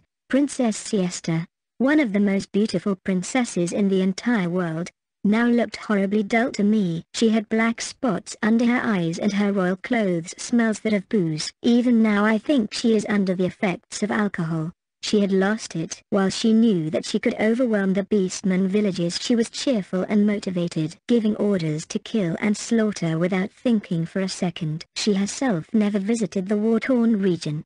And if she had then maybe by any chance she would have realized the mistake she was making and would have pulled back. But now we were doomed. I wonder whose fault it is. Maybe it was all of us who were at fault. They just don't go and call it collective responsibility for no reason at all. In the face of odds and real danger, she had abandoned her duties and had strayed away from her path. One could say she was heading to their 250 path of ruin and destruction. In the royal palace such a situation would have been harshly treated and would have declared the princess as a failure, trash leading to disownment. The conversation began with a heated argument of what to do with the remaining beastmen. Some suggested finishing them off in the next floor. A team of 20 soldiers had been dispatched to floor 11 for reconnaissance, but they haven't returned. Most probably they were found out by the monsters and killed. Another unit was being made ready to gain information on the new kind of monsters we had to face. Most of them had given up hope. We had successfully mined all the ores, but no results were being produced by the people who were clearing off the rubble in front of the entrance. The rocks were just too big and sturdy. Especially they had a special anti-magic effect on them, so they couldn't even be fixed by magic. Outside contact was impossible, all the transmission magic had failed reception. It was probably because we are in a different pocket dimension in each of the floors. After all such huge spaces can't be built inside the dungeons. This labyrinth was the symbol of both the glory and the gore of the Great War, where our ancestors fought against the evil with the gods. To gain the riches you had to put your life on the line. At some point we would run out of food and water, death was certain. We didn't know how many floors we had to go down, or at which floor a monster would wipe out all of us. Death seemed inevitable, and all of us had realized that. 251 In that heated moment of our discussion, a soldier of the princess's guard came in running. T the beastman are, revolting. They have broken free from their cages and are attacking us, reporting 25 casualties. For now we have apprehended the aggressors. Commander Ritt at this news rose up from his seat and banged on the table. How dare those filthy animals tried to backstab us. First we got caught up here because of their kin race, but we showed them kindness by giving them food even though we could have left them to rot here. This is how they pay us. The princess too made a disgusted face and started biting her fingernail tips. Those bald monkeys, those demons who pretend to be humans, filthy, such filthiness. I can't stand it. So this is how they show their kindness to us to the royal princess. Insolent fools. Princess, I say we should execute them all, to show them the price they have to pay to go against the royal princess. Commander Ritt, with his blood pressure shot as high as it could, and his reddened eyes, probably because of over-drinking and drug doses, shouted out his proclamation as loud as he could. And so did the other commanders followed in his footsteps. Yeah, it is entirely their fault that we are in this predicament. I say we just get over with them, filthy beast animals. Sharing our provisions with them had been a waste from the start. I support this proposal. So we should execute all of them in front of the soldiers after one hour from now. 252. The princess finally rose up from her seat and brandished a hand in front. In her dismal yet excited tone said slay all those pests. I don't want to see a single one of them alive. It is all their fault that I am stuck down here. So I will make them suffer just as much they had made me suffer. Soldiers round them up, you heard the princess. It is time for the filth to pay with their cursed blood. All the soldiers who heard this cry got fired up. I had no way to object the proposal which was deemed passed by all the sitting members, and the ways the people are reacting. Was I the only sane person left? What has happened to these soldiers? who pledged to lay down their life to protect the honor of our country, were now behaving like mindless barbarians. This madness, there was no escaping it. I needed to return to my tent, because, a huge hand crept on my shoulders and my legs froze. If I am not forgetting then you commander have two of these cursed creatures in your care now. My people will escort you to get them in their right place. So hurry up. You don't plan on defying the orders of the princess are you? I could then feel several gazes piercing through me, obviously for no good reason at all, as if land had cracked below my feet and my blood froze. The only thing that kept me sane here was going to be killed in mere moments. So I think I too became impatient and lost my cool. After all, it was not something I could just go forward and accept, not as a commander but a human being who wanted to trust what he had seen with his eyes up till now that amidst these savages there would be still a glitter of hope. 253 But, those two weren't even part of that revolt just now. They never would hurt anyone. How could you just kill a small child? But surely, when they grow up the hate for us will grow and then they will come after our lives for revenge. We can't let that happen. But even you are not sure of that. Punishing someone of a crime that never happened. That is not justice. There is no fair play during the war. Now get yourself moving, or are you trying to side with the enemy? If so then be my guest. All of your property will be confiscated by the Empire. Your family back there will be exiled and labeled as traitors too. You don't want that happening do you? My eyes were now dead, for what I had heard was enough to make my soul break. Maybe I was too weak to become a soldier after all. The glory, the fame and the bravery of the battlefield was too bright a dream for a kid like me back then. But it's all hollow and dark now. Maybe I should have stick to farming and making medicine at home. With that I could have at least lived a longer and maybe somewhat of a peaceful life with my family, without knowing the dark secrets of this world. I was now somehow standing in front of my tent. I involuntarily walked inside and pushed the curtain where two life forms were sitting and playing with each other, merrily clapping hands according to their own tune. The small girl lifted her head up and smiled at me for the first time. Her bright eyes, which had seen atrocities which no kid should have seen, were still innocent. What is this? Why now of all times? Because of the consequences of my decisions you are all going to die. 254, 255. I banged my hands as loudly as I could on the wooden shelf to wake myself up. But by now the soldiers outside the tent thrust in forward without my consent. This was a sign of pure defiance of a superior. But I knew it was the order of someone else. Someone whose voice and action at present drifted everyone's dark hearts. But if their hearts are dark, then I wonder what color would mine be. Because I just stood there watching silently, I neither had the power to stop those ruffian soldiers nor the strength to knock them down. Just a bystander, who couldn't make up his own mind. Then maybe I had no heart at all. My soul was long missing. Just like a brittle glass piece, it had already been shattered to pieces. The beast woman and beast child kept staring at me, crying and shouting for help. That's what it actually sounded like, seeing how rough the soldiers were trying to be with them. Their hands were tied tightly with the rough rope and slowly carried to the open area where other beastmen were being tortured. Their hands tied too and loud deafening screams could be heard. Beaten with all kinds of weapons like mace, hammer, piercer. There were all kinds fingers cut, tails smashed, or near missing. Who could have done these kind of terrible things to them? And the answer was everywhere around me. The woman and the child too were thrown like non-living objects where all the beast people were together. Slaughter them all, pierce those cursed monkeys and cleanse this land of the filth. The princess vociferously made her proclamation. In a second several soldiers drew out their swords, some placed their spears in front and at the signal of Commander Ritt, thrusted their pointed tips without any mercy into those living beings whose hands, 256, were tired, half dead and weak to the point that they couldn't even stand up to fight back or run. The child who was crying up until now, started howling. Somehow by grace she was still alive, but how?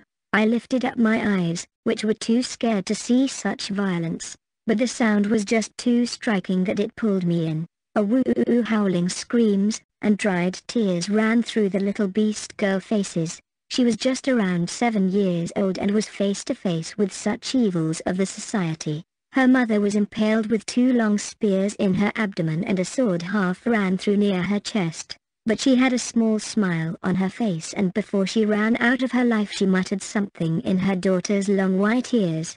The cries kept on getting deeper and deeper as if resonating with the feelings in my mind and the broken pieces of the soul were slowly brought back together. I clenched the glass piece that was hanging in front of my neck and quietly whispered to it. Sorry, Mia but it seems that your father will not be able to keep his promise and will die as a traitor for all and a forsaken hero for myself. At least let me be that.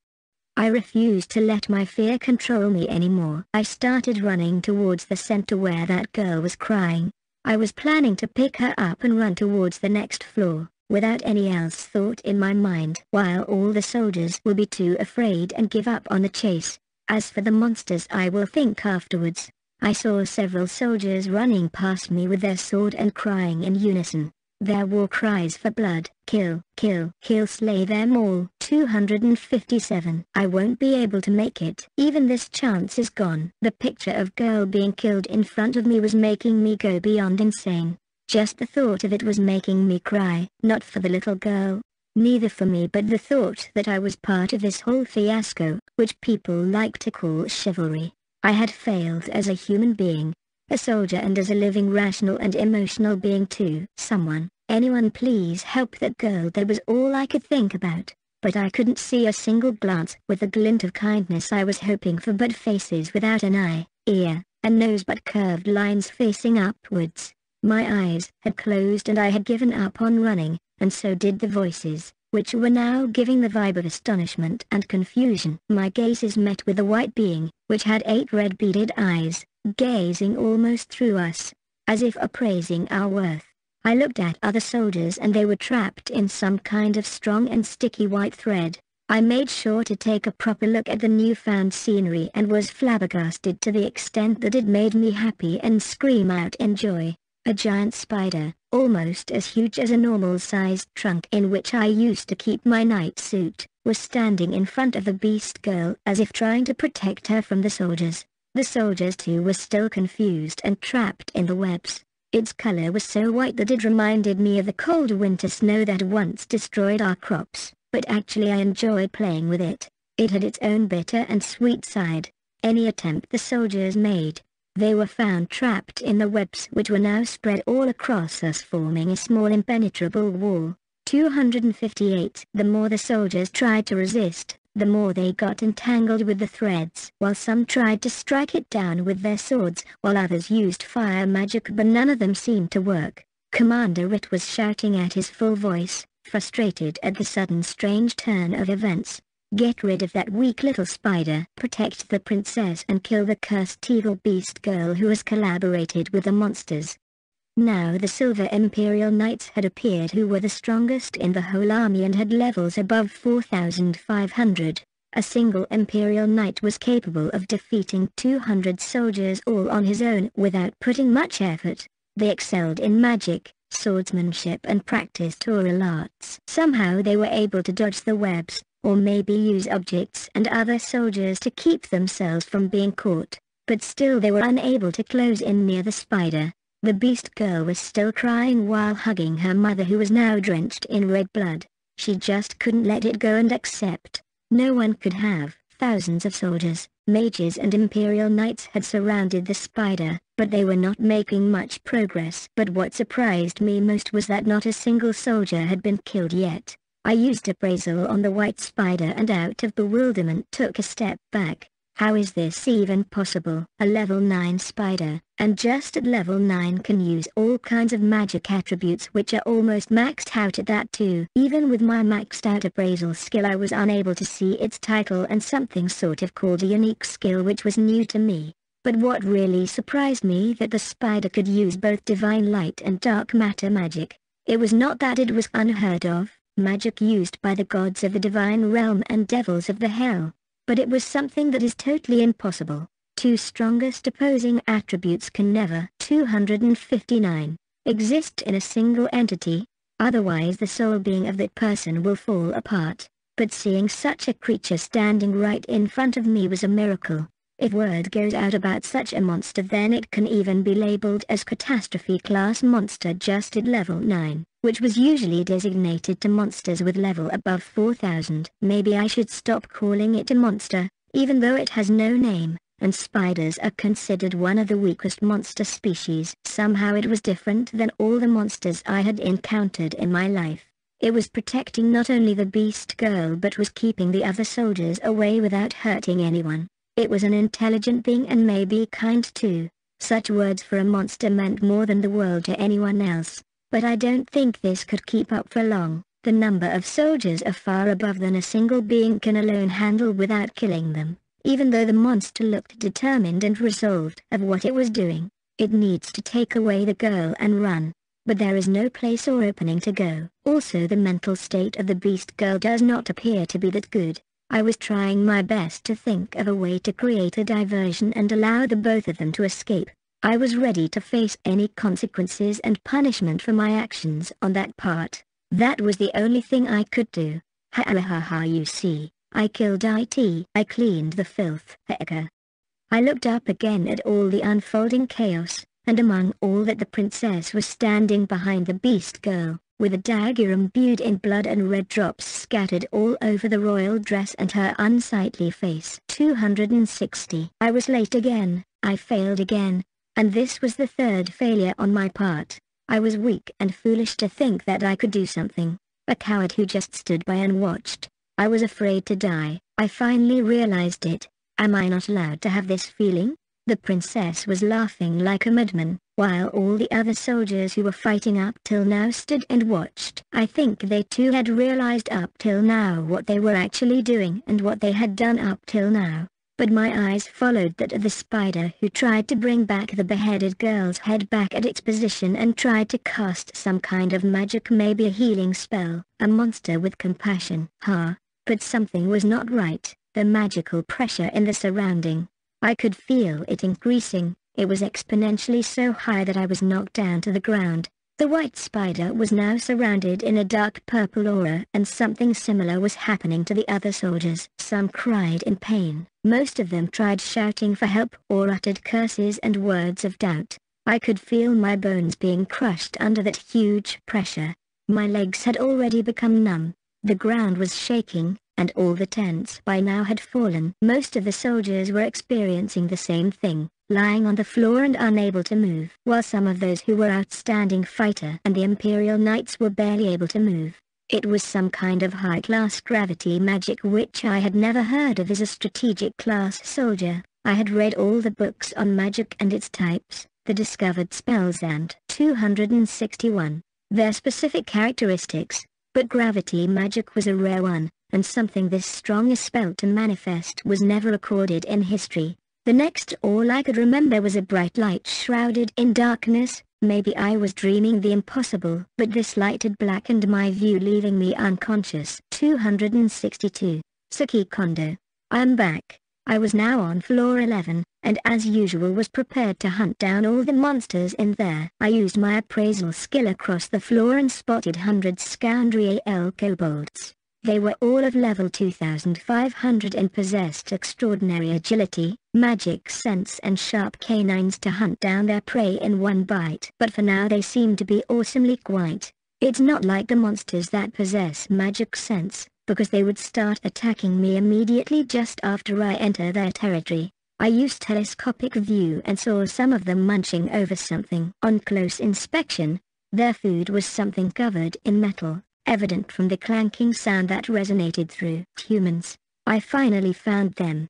Even though they were dead I couldn't contain my excitement and burned down the whole floor with black flare. No need to worry I made sure that all the humans were already dead. If I want to establish contact with them, then of course I can't kill them, even though they will be hostile to me in the start but if I am able to somehow relay that I am harmless then I do have a chance of cooperation. I was hoping to meet some humans since I was nearing the entrance but this was just too soon. With the small group of humans dressed in a knight's uniform I can conclude that they were a scout party. That means I will be meeting alive humans on the next floor, probably.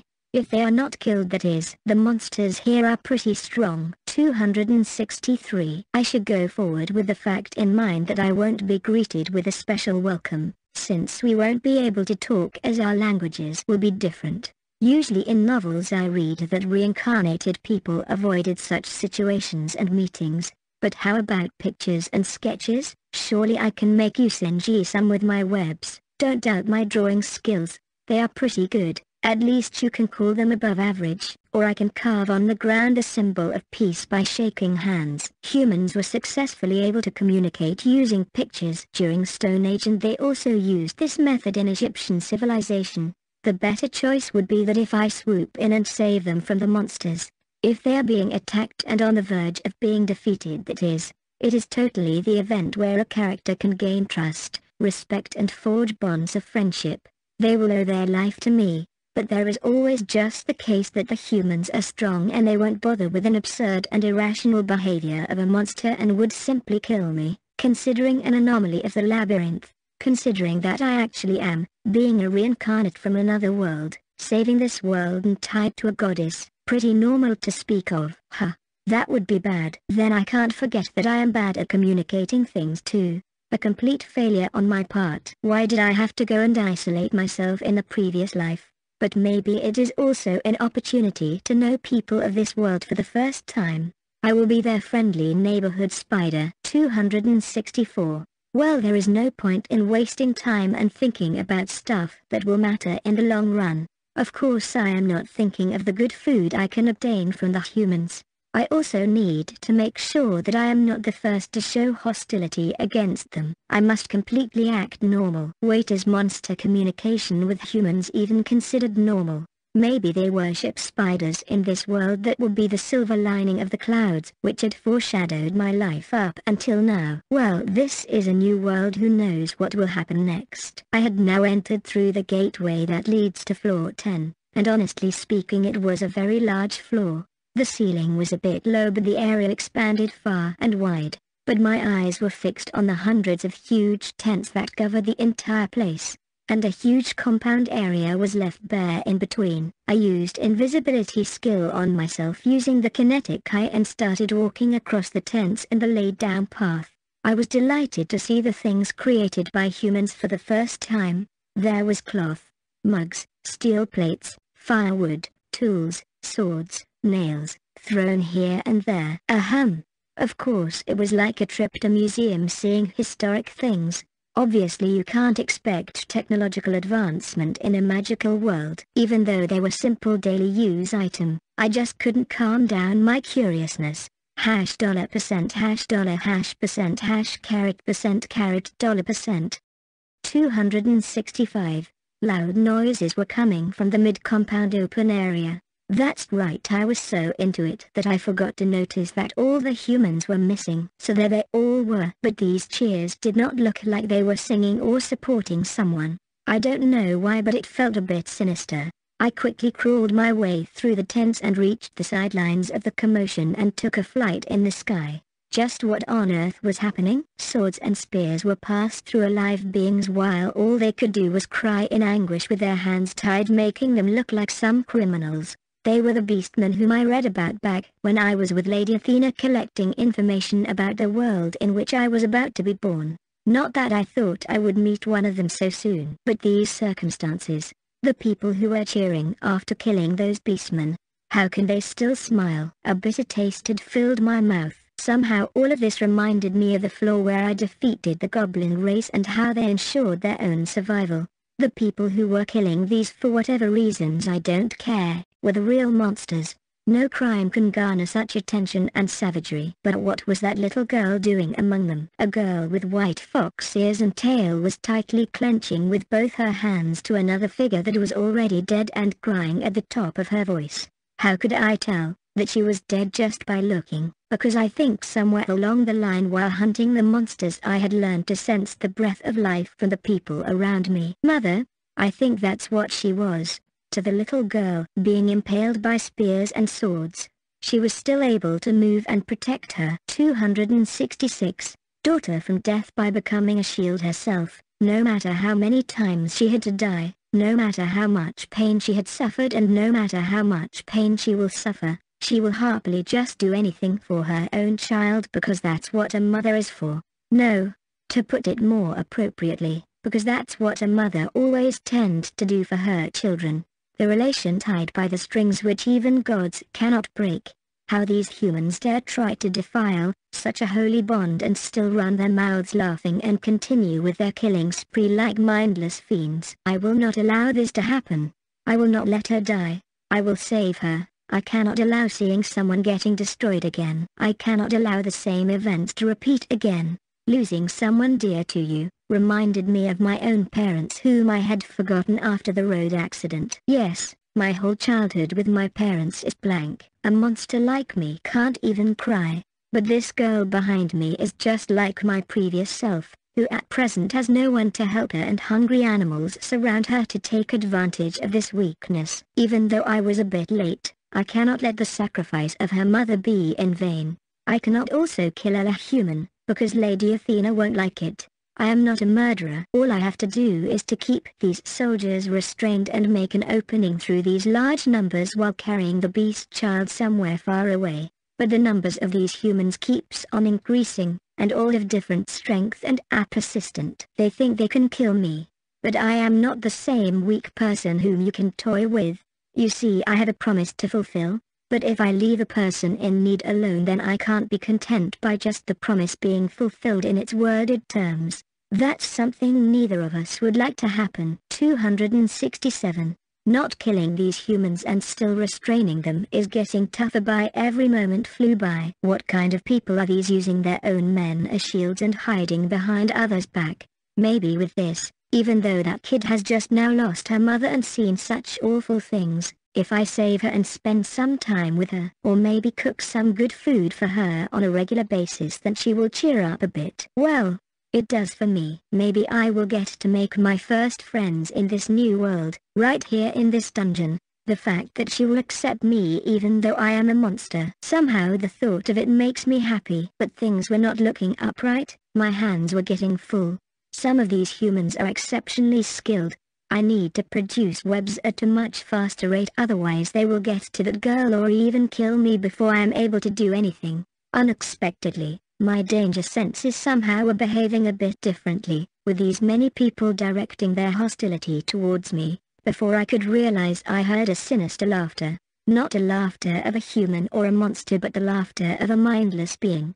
I looked back and another girl I had not accounted for was holding a dagger covered in blood and was slowly wiping the blood shots that had fallen on her faces.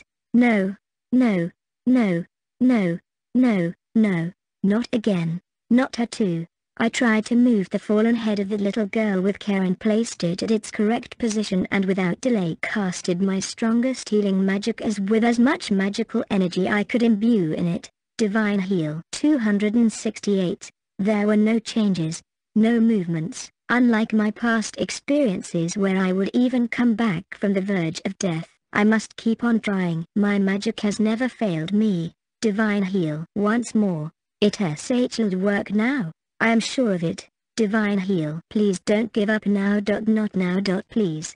I just wanted to save you. I was sure I am not late at least saving you was fresh here. Divine Heal. Divine Heal. But why? Why won't it work? I it because she is deep asleep now. FN I wanted to save her, I was supposed to save the world but couldn't even save this small girl. I thought I had grown up to be strong after beating those monsters but I was just getting ahead of myself. I am still weak, still shy, still afraid, still confused, still unable to make the right choice and go along with it when it counts the most. If only I had made the right calling and killed those monsters in front of me who called themselves humans. It was no different than Earth, just their ways had changed, a bit more inclined to violence and fight. Saving the world for these beings, I couldn't have been more wrong. I needed to save the world from them. Was there any purpose to all of this?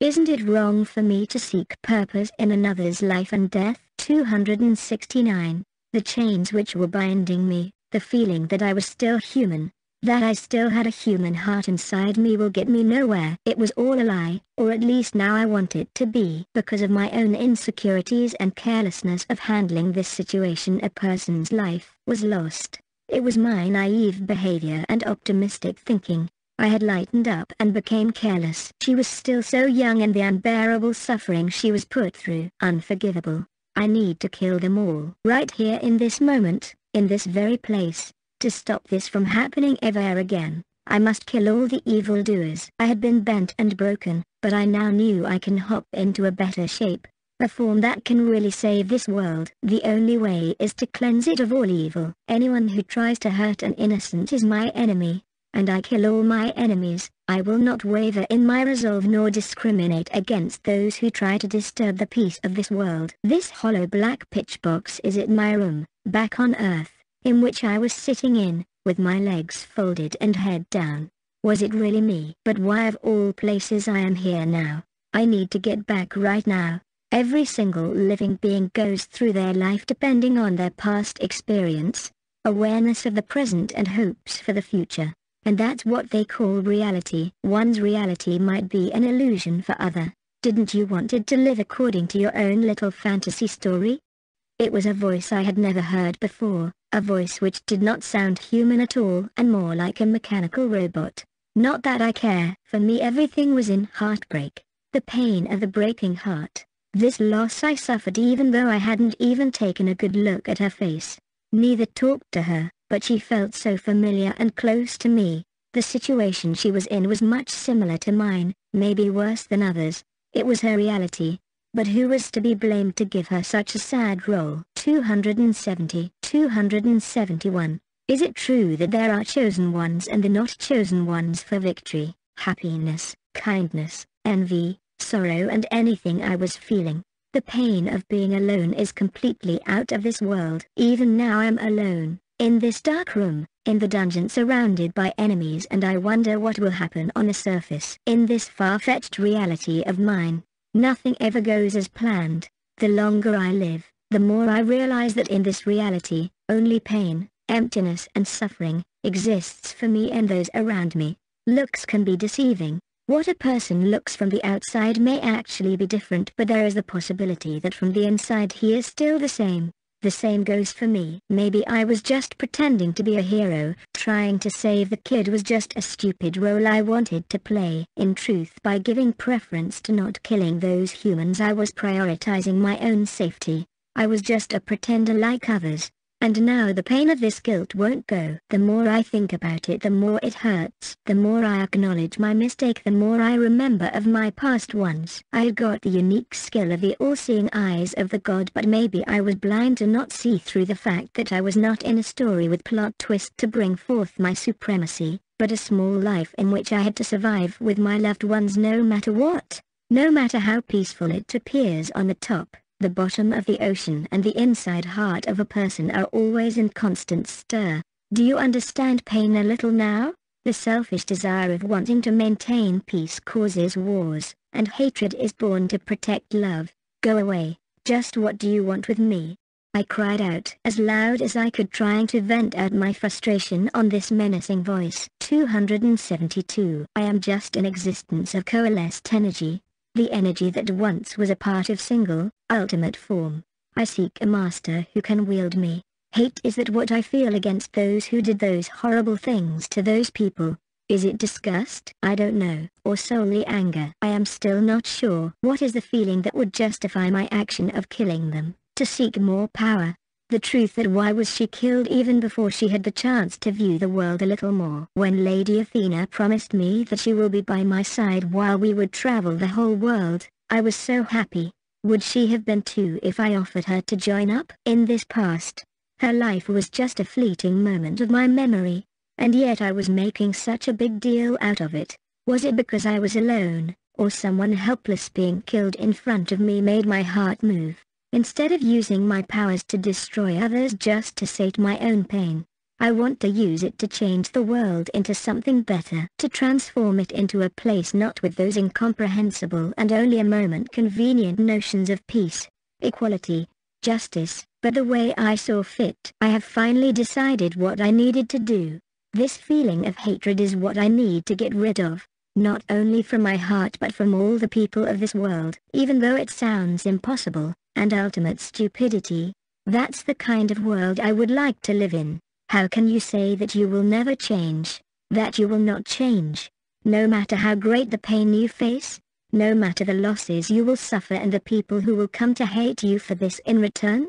Can you continue believing in yourself forever? You should give up on trying making me give up now. 273. This is one of the things I have decided on my own and there is no way I am going to give up now. When people get hurt, they learn to hate. When people hurt others, they become hated and racked with guilt. But knowing that pain allows people to be kind to each other, even though it may be out of sympathy. Even though I won't be able to hate Totos I will gladly accept the hatred of those.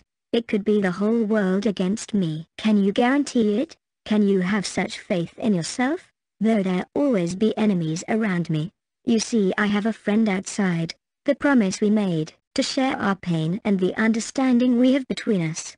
This feeling of being at peace with her far surpasses any other. As for the faith in myself I am going to prove it to you not by words but with my actions. I stood up from my sitting position and walked up to the place where the dark room seems to end and then I tried to pass my hand through the door. The dark room, cracked like a brittle glass plane, just by my single touch. You see, I told you, let's meet again when this world had become a little better than before. Crack, crack, crack. The room shattered into pieces which dissolved in an instant into the bright light that was in my vicinity light brighter than that of the largest star of the cosmos and warmer than that of sun engulfed 274 me in an instant while a black fluid settled underground started rising up like a storm and mixed itself in with me. This was my power and mine alone, it's all up to me how I use it. I know that better than any other. The world in which I want to live.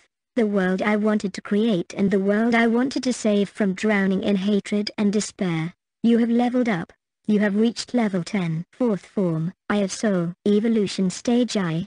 Complete. You have evolved into race, human.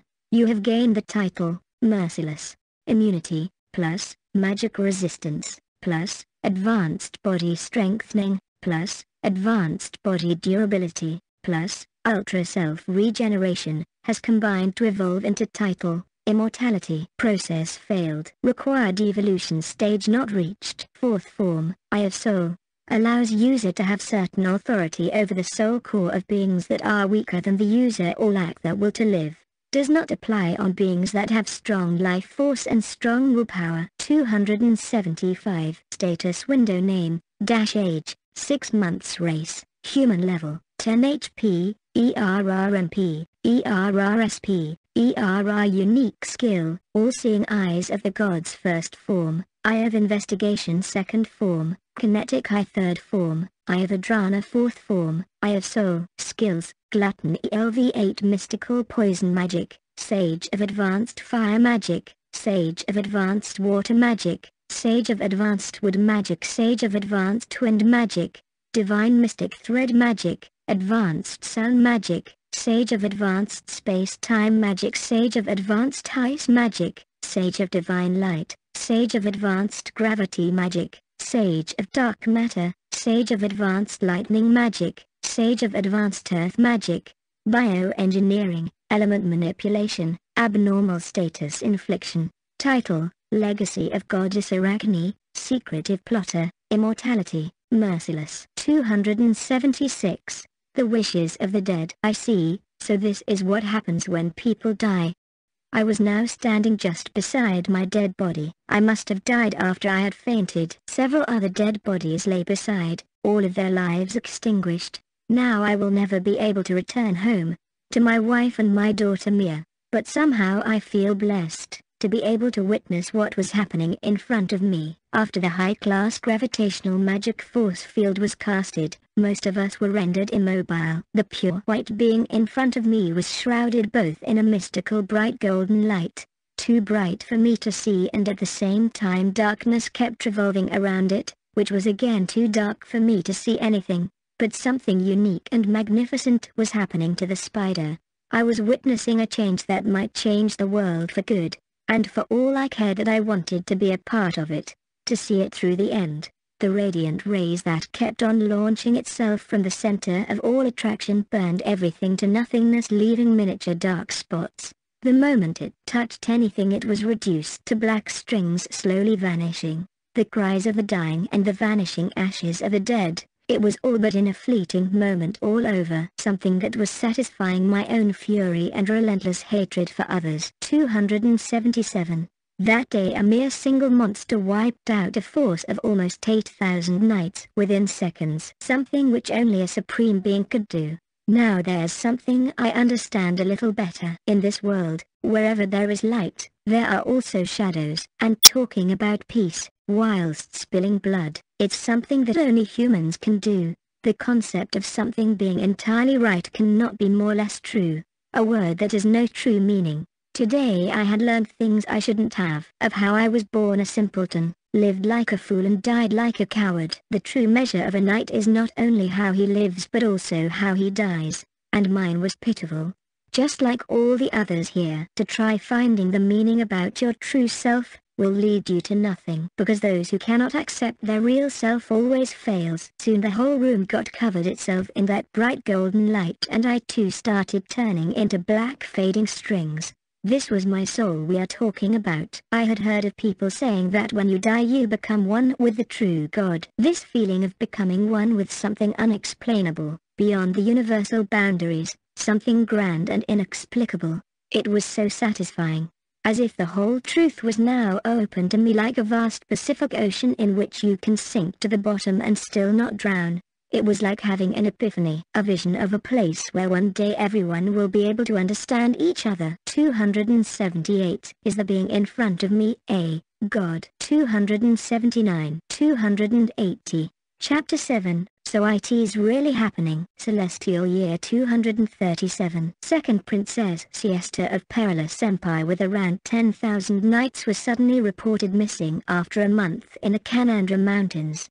While it was officially announced that they went there to subjugate the monsters and collect information about their growth and pedigree, but most of the other countries knew that was not the case. This missing army was then said to be the work of the Demon Empire and they were again announced as the enemies of humanity by the perilous empire adding fuel to the fire in the current state of affairs, creating problem for other countries who were involved with other species like elves, beast empire who lived on the demon continent, or were using resources imported from them. but the only being who actually knew the truth was the monster itself that annihilated that large an army in the great Tathai labyrinth. 281 Hart Kingdom, Royal Palace.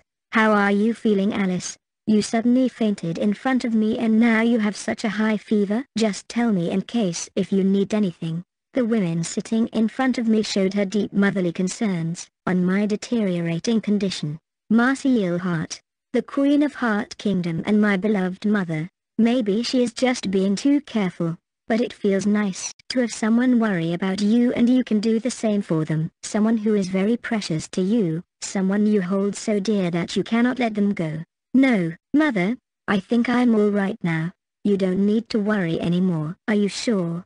Your father and brother will be visiting soon. I told you, it's just a simple fever and my head hurts a little. I am sure after sleeping for a while I will be good in no time. Fine, then if you insist.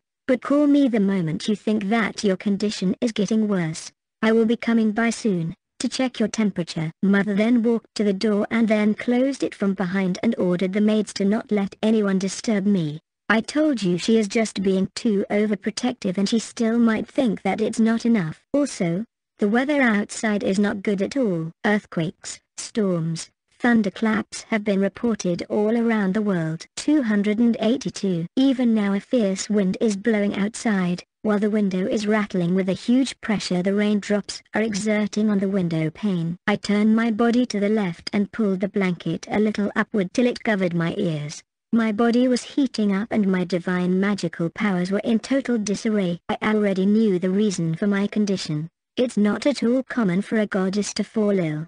Neither my healing magic was working on me. Saki. I could feel that she was in a lot of pain. Just what is happening to her? Even though this fever has subsided a little, it doesn't imply that Saki would be feeling well at all. I promised that I will be sure to share her pain. But here I was lying on the bed inside this comfortable royal palace, with so many people looking after me, but what about her? If only I knew what's happening to her. Except that she is still alive and her faint life signals that I keep on receiving from the northern direction. All I can do is just sit here and wait for her to return. They say wherever someone thinks of you, that's where HM is. I must keep on searching for her till I find her. This fever is nothing much to endure if at the end I am able to meet her. All I can do with my feeble powers is to wait and keep on waiting, as long as I can. 283.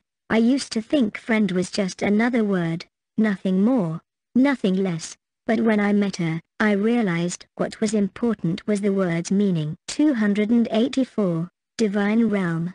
World God's Office. World God. Just what is happening in the divine realm? Lady Gaia came in rushing through my office door without knocking. Maybe she should consider a bit more about this old man's privacy before barging in and knock first.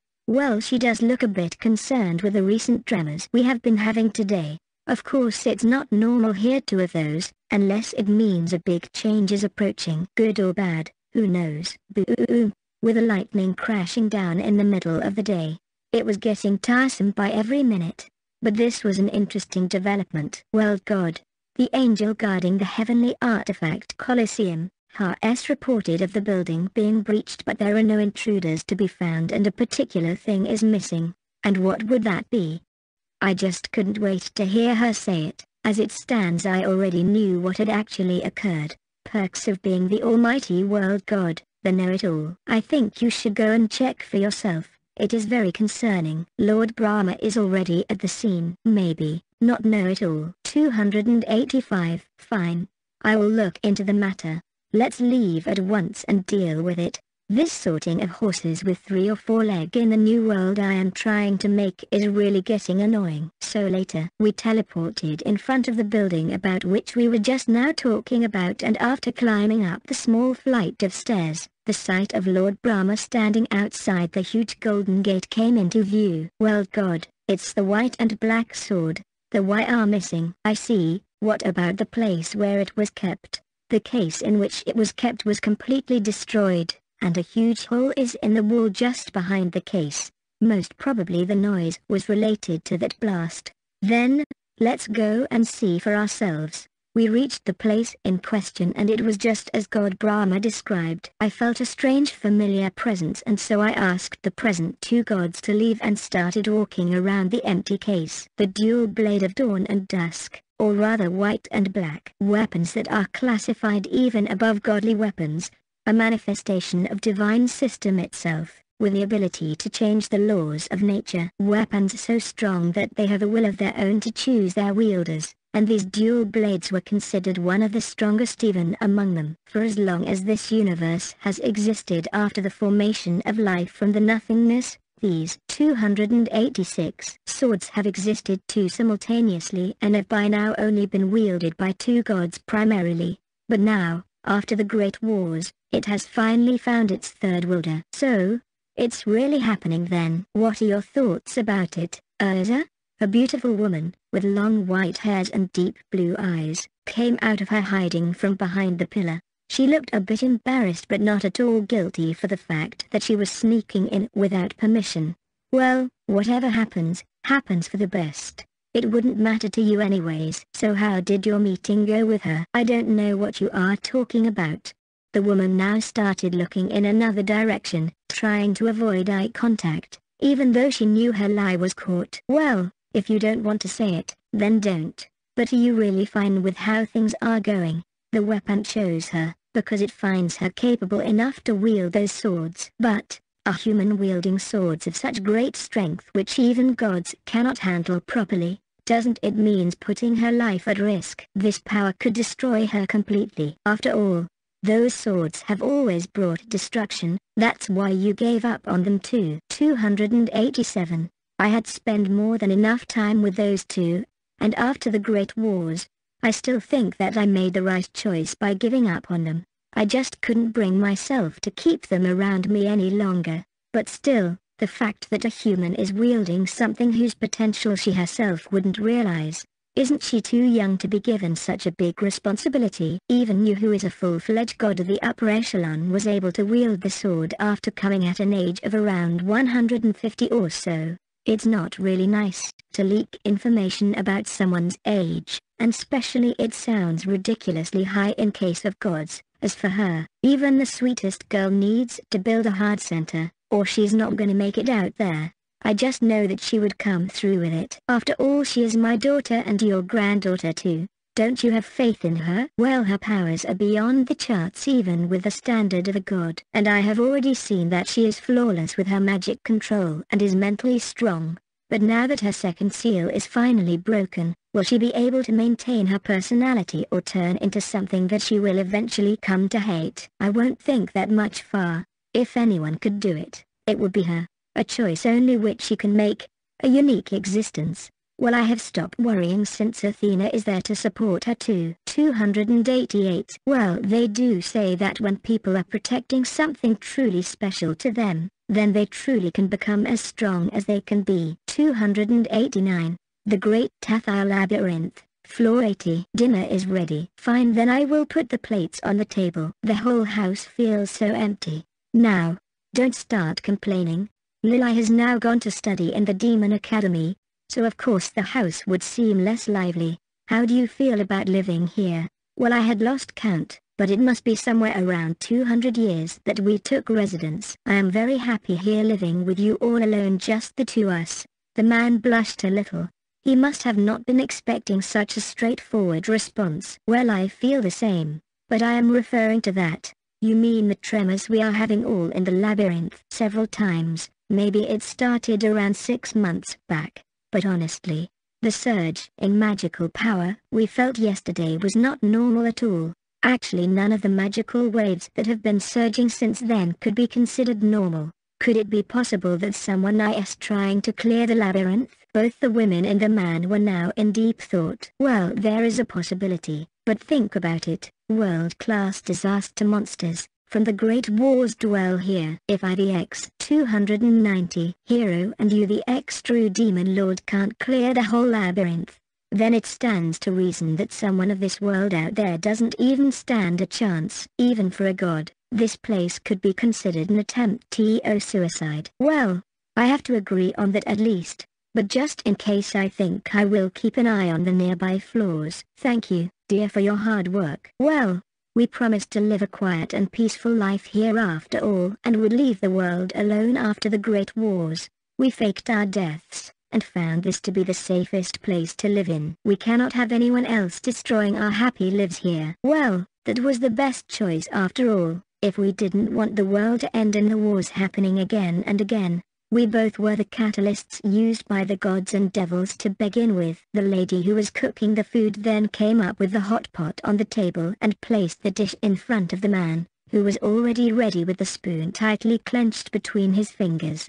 The anticipation of lifting up the lid, revealed an awfully smelling green soup, with purple things floating in it. Eat up I specially made it for you. Did you really follow the recipe I gave you? Then why the color looks so poisonous to me? What again did you say? Hot pot is all about just mixing things in whatever way you like. You have the poison resistance skill so it would be fine. 291. Why you dot dot already know it. Maybe you have got it totally wrong in the first place. The vegetables are not peeled and why is there a salt rock floating in between? I am coming from the next room.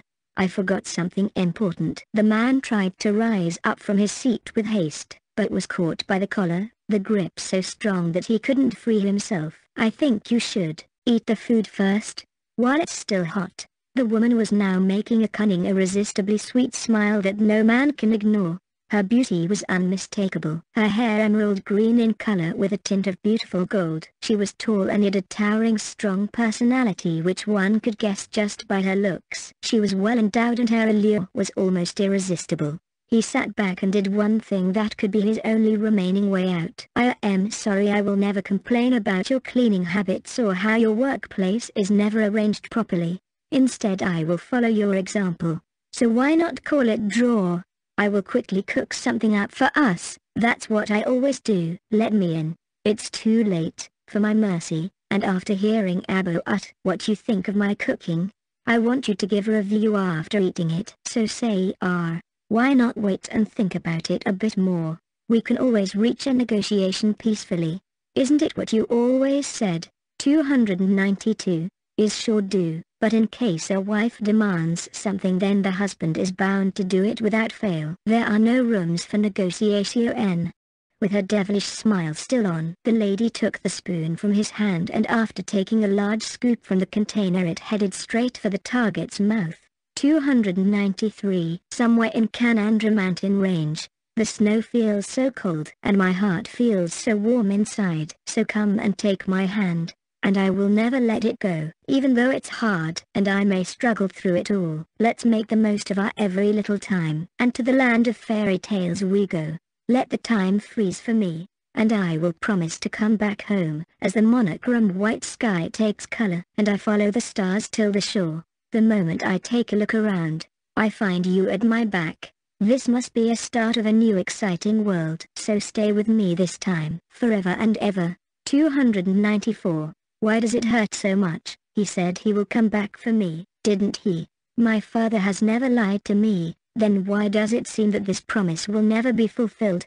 I can't seem to stop crying. My heartbeat seems to be fading after every beat. And I want to go back, back where my family is. But with my footprints lost, in this snowstorm I have no choice but to go forward. Lou just keep on moving forward and don't look back. I will be right behind you. So go. Your mother and little sister will be safe. Those were his last words to me as I crossed through a hidden doorway at the backyard. The wind was howling and even the thick blanket I was wearing failed to protect me from the cold. My ears on the top still feel so tingly, and my tail has become stiff with the cold. The collected snow keeps on increasing making it more difficult after each step I take. But I am a good girl, so I can't stop here. I need to keep moving, keep moving till I reach third. 295. A black figure fell in the midst of a heavy snowstorm, and in this white isolated kingdom, amidst all the snowfall, a dark black orb drops in the white background and unite. 296 297 Epilogue Good work everyone. Just 10 DIs of more work and we will be out of the labyrinth. A knight clad in silver steel armor which in all respect looked heavy, tight and elegant, considerably worn by the finest and strongest knights of the nation, silver imperial knights. I am talking about myself. Just look at me. In this army of 10,000 there were a total of five imperial knights, and we were the strongest force of this army. We can be even labeled as superhumans, with extraordinary physical strength, reflexes, magical aptitude and the most important of all our flawless combatorial arts. Thank you sir. Had it not been for you here, the monsters of first floor of the labyrinth would have eaten us. Even the first floor monsters are above level 2000, and could be considered almost invincible from us foot soldiers' perspective. As per the princess's order and discussed in the conference meeting, that 50 soldiers after every 15 days would be dispatched to cut out an opening at the entrance, escorted by a single Imperial Knight, whom they thought would be more than enough as a backup in case a monster showed up, and they were right in their decision. This just shows how much the nation puts their trust in us. 298 Though it bothers me a bit, that my primary objective was to guard the beautiful loving Princess Siesta all the time. She is my master after all. So how did I get stuck up here? Fifteen days have passed and another team will be taking their turn and by then we'll be back to the Empire. Just when we got here, the tremors were so huge, that I couldn't even sleep at night, but it has been so peaceful since then. I bet they went all out with their magical attacks, and are now taking their sweet time on one of the floors, while we have been working here like laborers all day. There's no other choice. This is the only way to go out. I think I am fortunate enough to be spared to fight those super strong monsters. Well, you make a geode point there. But all our food is over now. We need to get back and resupply our stock. I am going to draw the teleportation circle. By that time you should all go and collect all the things you need to carry back. Our provisions are almost over, so I don't think there would be much to go with. I ordered the soldiers. I went in an empty area, because drawing a teleportation circle takes a lot of time and concentration. A single mistake in the circle and only half of your body will reach the destination, while the other half remains here. In simpler terms, you die, if you screw up. 299. So how could be that, I am so brazen about it, because you already know it I am an Imperial Knight, the invincible. Ha ha ha ha ha. Why is everyone suddenly looking at Emmy? Well I should get back to work. Princess, your most trusted and worthy knight is coming for you. After almost an hour, I finally drew a large teleportation circle to fit all of us. I took out a giant crystal from my pouch, which had certain markings engraved on it. It is actually a teleportation artifact, in which we will be channeling our magical energy. Since mine alone won't be enough, the receiving teleportation circle was already drawn at the entrance of the 10th floor, so there shouldn't be a problem. So wish us best of luck. All of us stood inside the circle and by touching the artifact and circulating all of our magical energy into it, the light which emerged from the crystal was faint at first, but it continued growing in intensity until the entire area was set ablaze with blue light. Finally, with a blinding flash the darkness returned back to the floor with no one to be found. At floor 10 near the entrance gate, another complex and detailed circular geometric pattern was carved into the ground and was protected by a barrier spell. Suddenly tendrils of azure blue magic particles began revolving around the magic circle, getting rid of the darkness that shrouded the whole place. A 300 group of 50 tired and hungry soldiers materialized inside the circle. What is going on? How tiresome. Why is it so dark here? It's empty. Where are all of our comrades? Don't tell me. Calm down. I don't think it's anything serious. Most probably they went down. Without notifying us. Those who know light mage I see cast a flash spell, and look around whatever you find. Yes, sir. All the others said in unison. It was completely dark, except for I could see as far as 2 meter, but I couldn't see anything beyond that. Since, I excel in earth magic, wind magic and water magic, I was unable to use any kind of light spell. Oh, the Order of Holy Light. I command thee, heed thy request and grant us your light. Flash bubble. Around 12 light orbs of different sizes and intensity were conjured while some were using fire magic to look around. Wahaha. Sir, look the entrance it's totally caved in and blocked. Saying this, The soldier pushed forward his light orb near the gate, shedding light on the huge boulders that stood in the way. Unfortunately, he wasn't joking G around. The entrance was completely blocked and we didn't know who did it or what else could have caused it. 301. Most probably it happened during the quakes, but why they didn't relay any information about it to us. Spread and look around.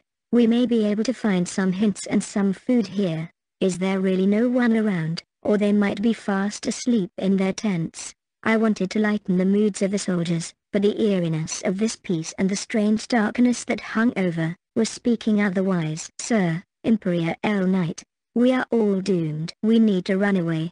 Saying this, the soldier screaming fell down, entangled in his own footwork. Just what is there, that you are so afraid of? We all started walking in a group, staying close to each other just in case with all of our guard up. We reached almost the center of the floor, and were left in daze. Our jaws dropped in bewilderment, by the sight of a huge white egg, no a huge white cocoon made of threads. The whole area had white webs around and some of us were already caught in it, and like inexperienced fools started shouting for help, giving invitation to the monsters to attack us. But no one appeared, neither a monster nor a human.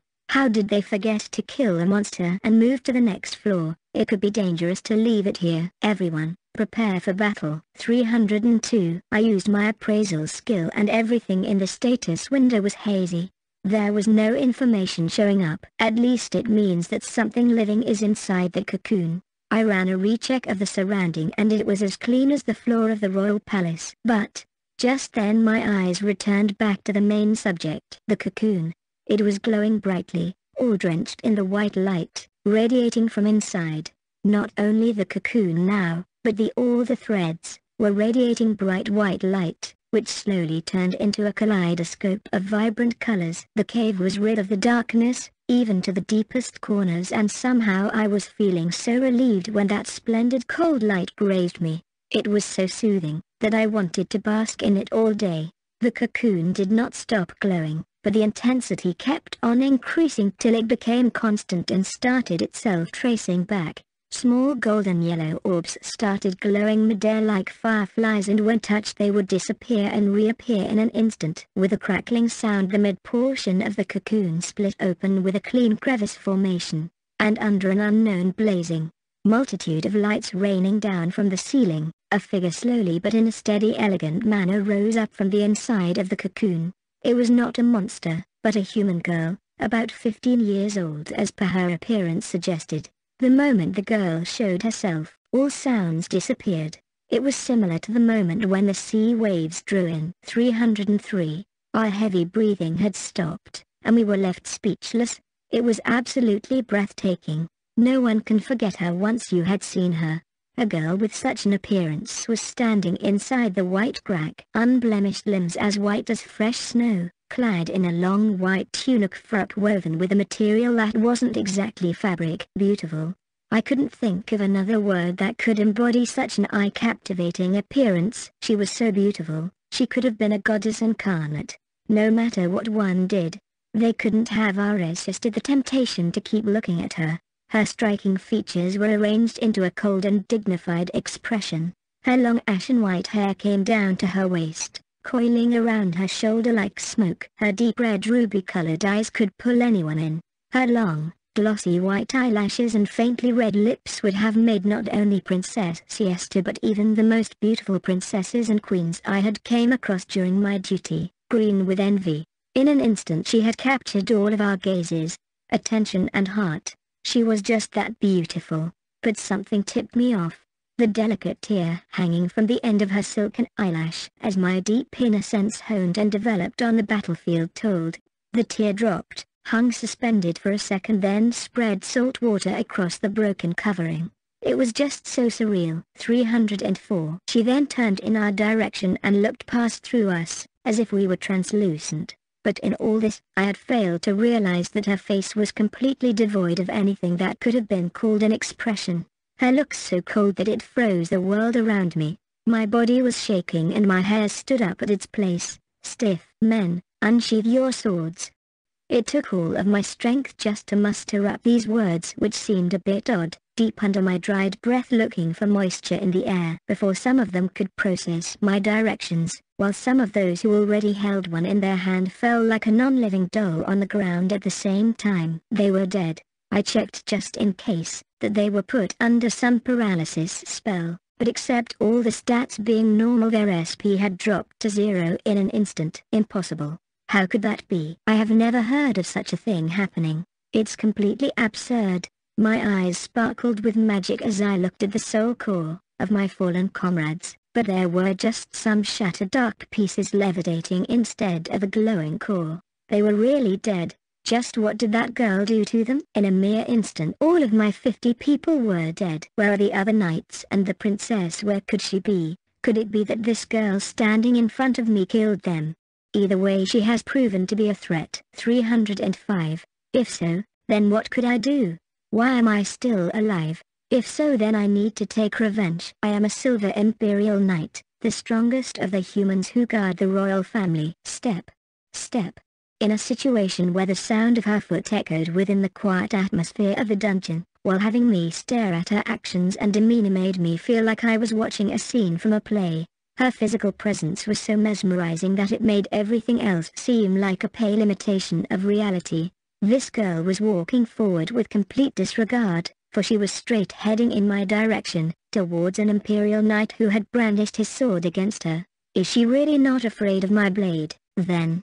I looked at the dead people and they were slowly disappearing into some kind of entangled black thread. My bones rattled and I gasped for more air. Sweat leaked through my body as I stood still in the silence. I couldn't move or take a single step. I thought it was some kind of weird spell or abnormality, so I checked, but found no spell trace being casted on me or a single abnormal status. It was just her presence that was able to put up such a huge pressure on one of the strongest to render me to a state of harmless being. Am I afraid? Am I scared, to the extent that my body has already given up? Just what in the worlds is she? 306.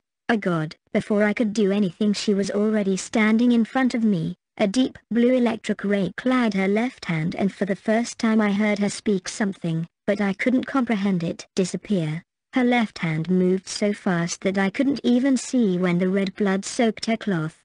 But that single slash was so beautiful that I could not remember anything next. 307, 308, afterward. Hello there. This is Noel Alicia. It's been only a short while since the first volume, and here you have the second one already. Isn't that amazing? I'm still very much a beginner when it comes to writing, so forgive me if you find the setting a bit dull or for the general events. I added things as they popped in my mind, and wrote this story that I wanted to read by myself. Even now, I'm still enjoying writing this story more than anything else. I'm not sure if this book betrayed your expectations or fulfilled them, but I'll be glad so long as you derived some amount of enjoyment from it. In my mind, this work of mine is meant to be a simple, fun read with a slant toward comedy. The atmosphere of this book's pretty different from Volume 1, and as I'm sure many of you have noticed, it's more inclined to a leveling system and I think this kind of thing will go until mid of volume minus 3. I'm not sure if you guys liked that more or less, but as long as you enjoyed it, I'm happy, as I'm sure those of you can already tell that I am a huge fan of isekai genre. Potent enough that after writing the second volume I am aiming for the third. I hope you're all looking forward to it as much as I am. 309 Once again, I'd like to thank my readers for letting me enjoy myself all the way through. May we meet again in the next volume of When I Got Reincarnated as a Spider with My Goddess. Noel Alicia. Contact me, noelalicia14 at gmail.com. Call me, plus 91 to 9 billion 905 million 594,028. Volume 3, Synopsis. After Saki Kondo has become a human herself, what action she will take next, whether to climb up or go down the floors, of how she will acquire her first possession and challenge the ex-true demon lord, of how she will become a part of a new family and learn more about magic, swordsmanship and about family. 310. See you in the next volume. 311.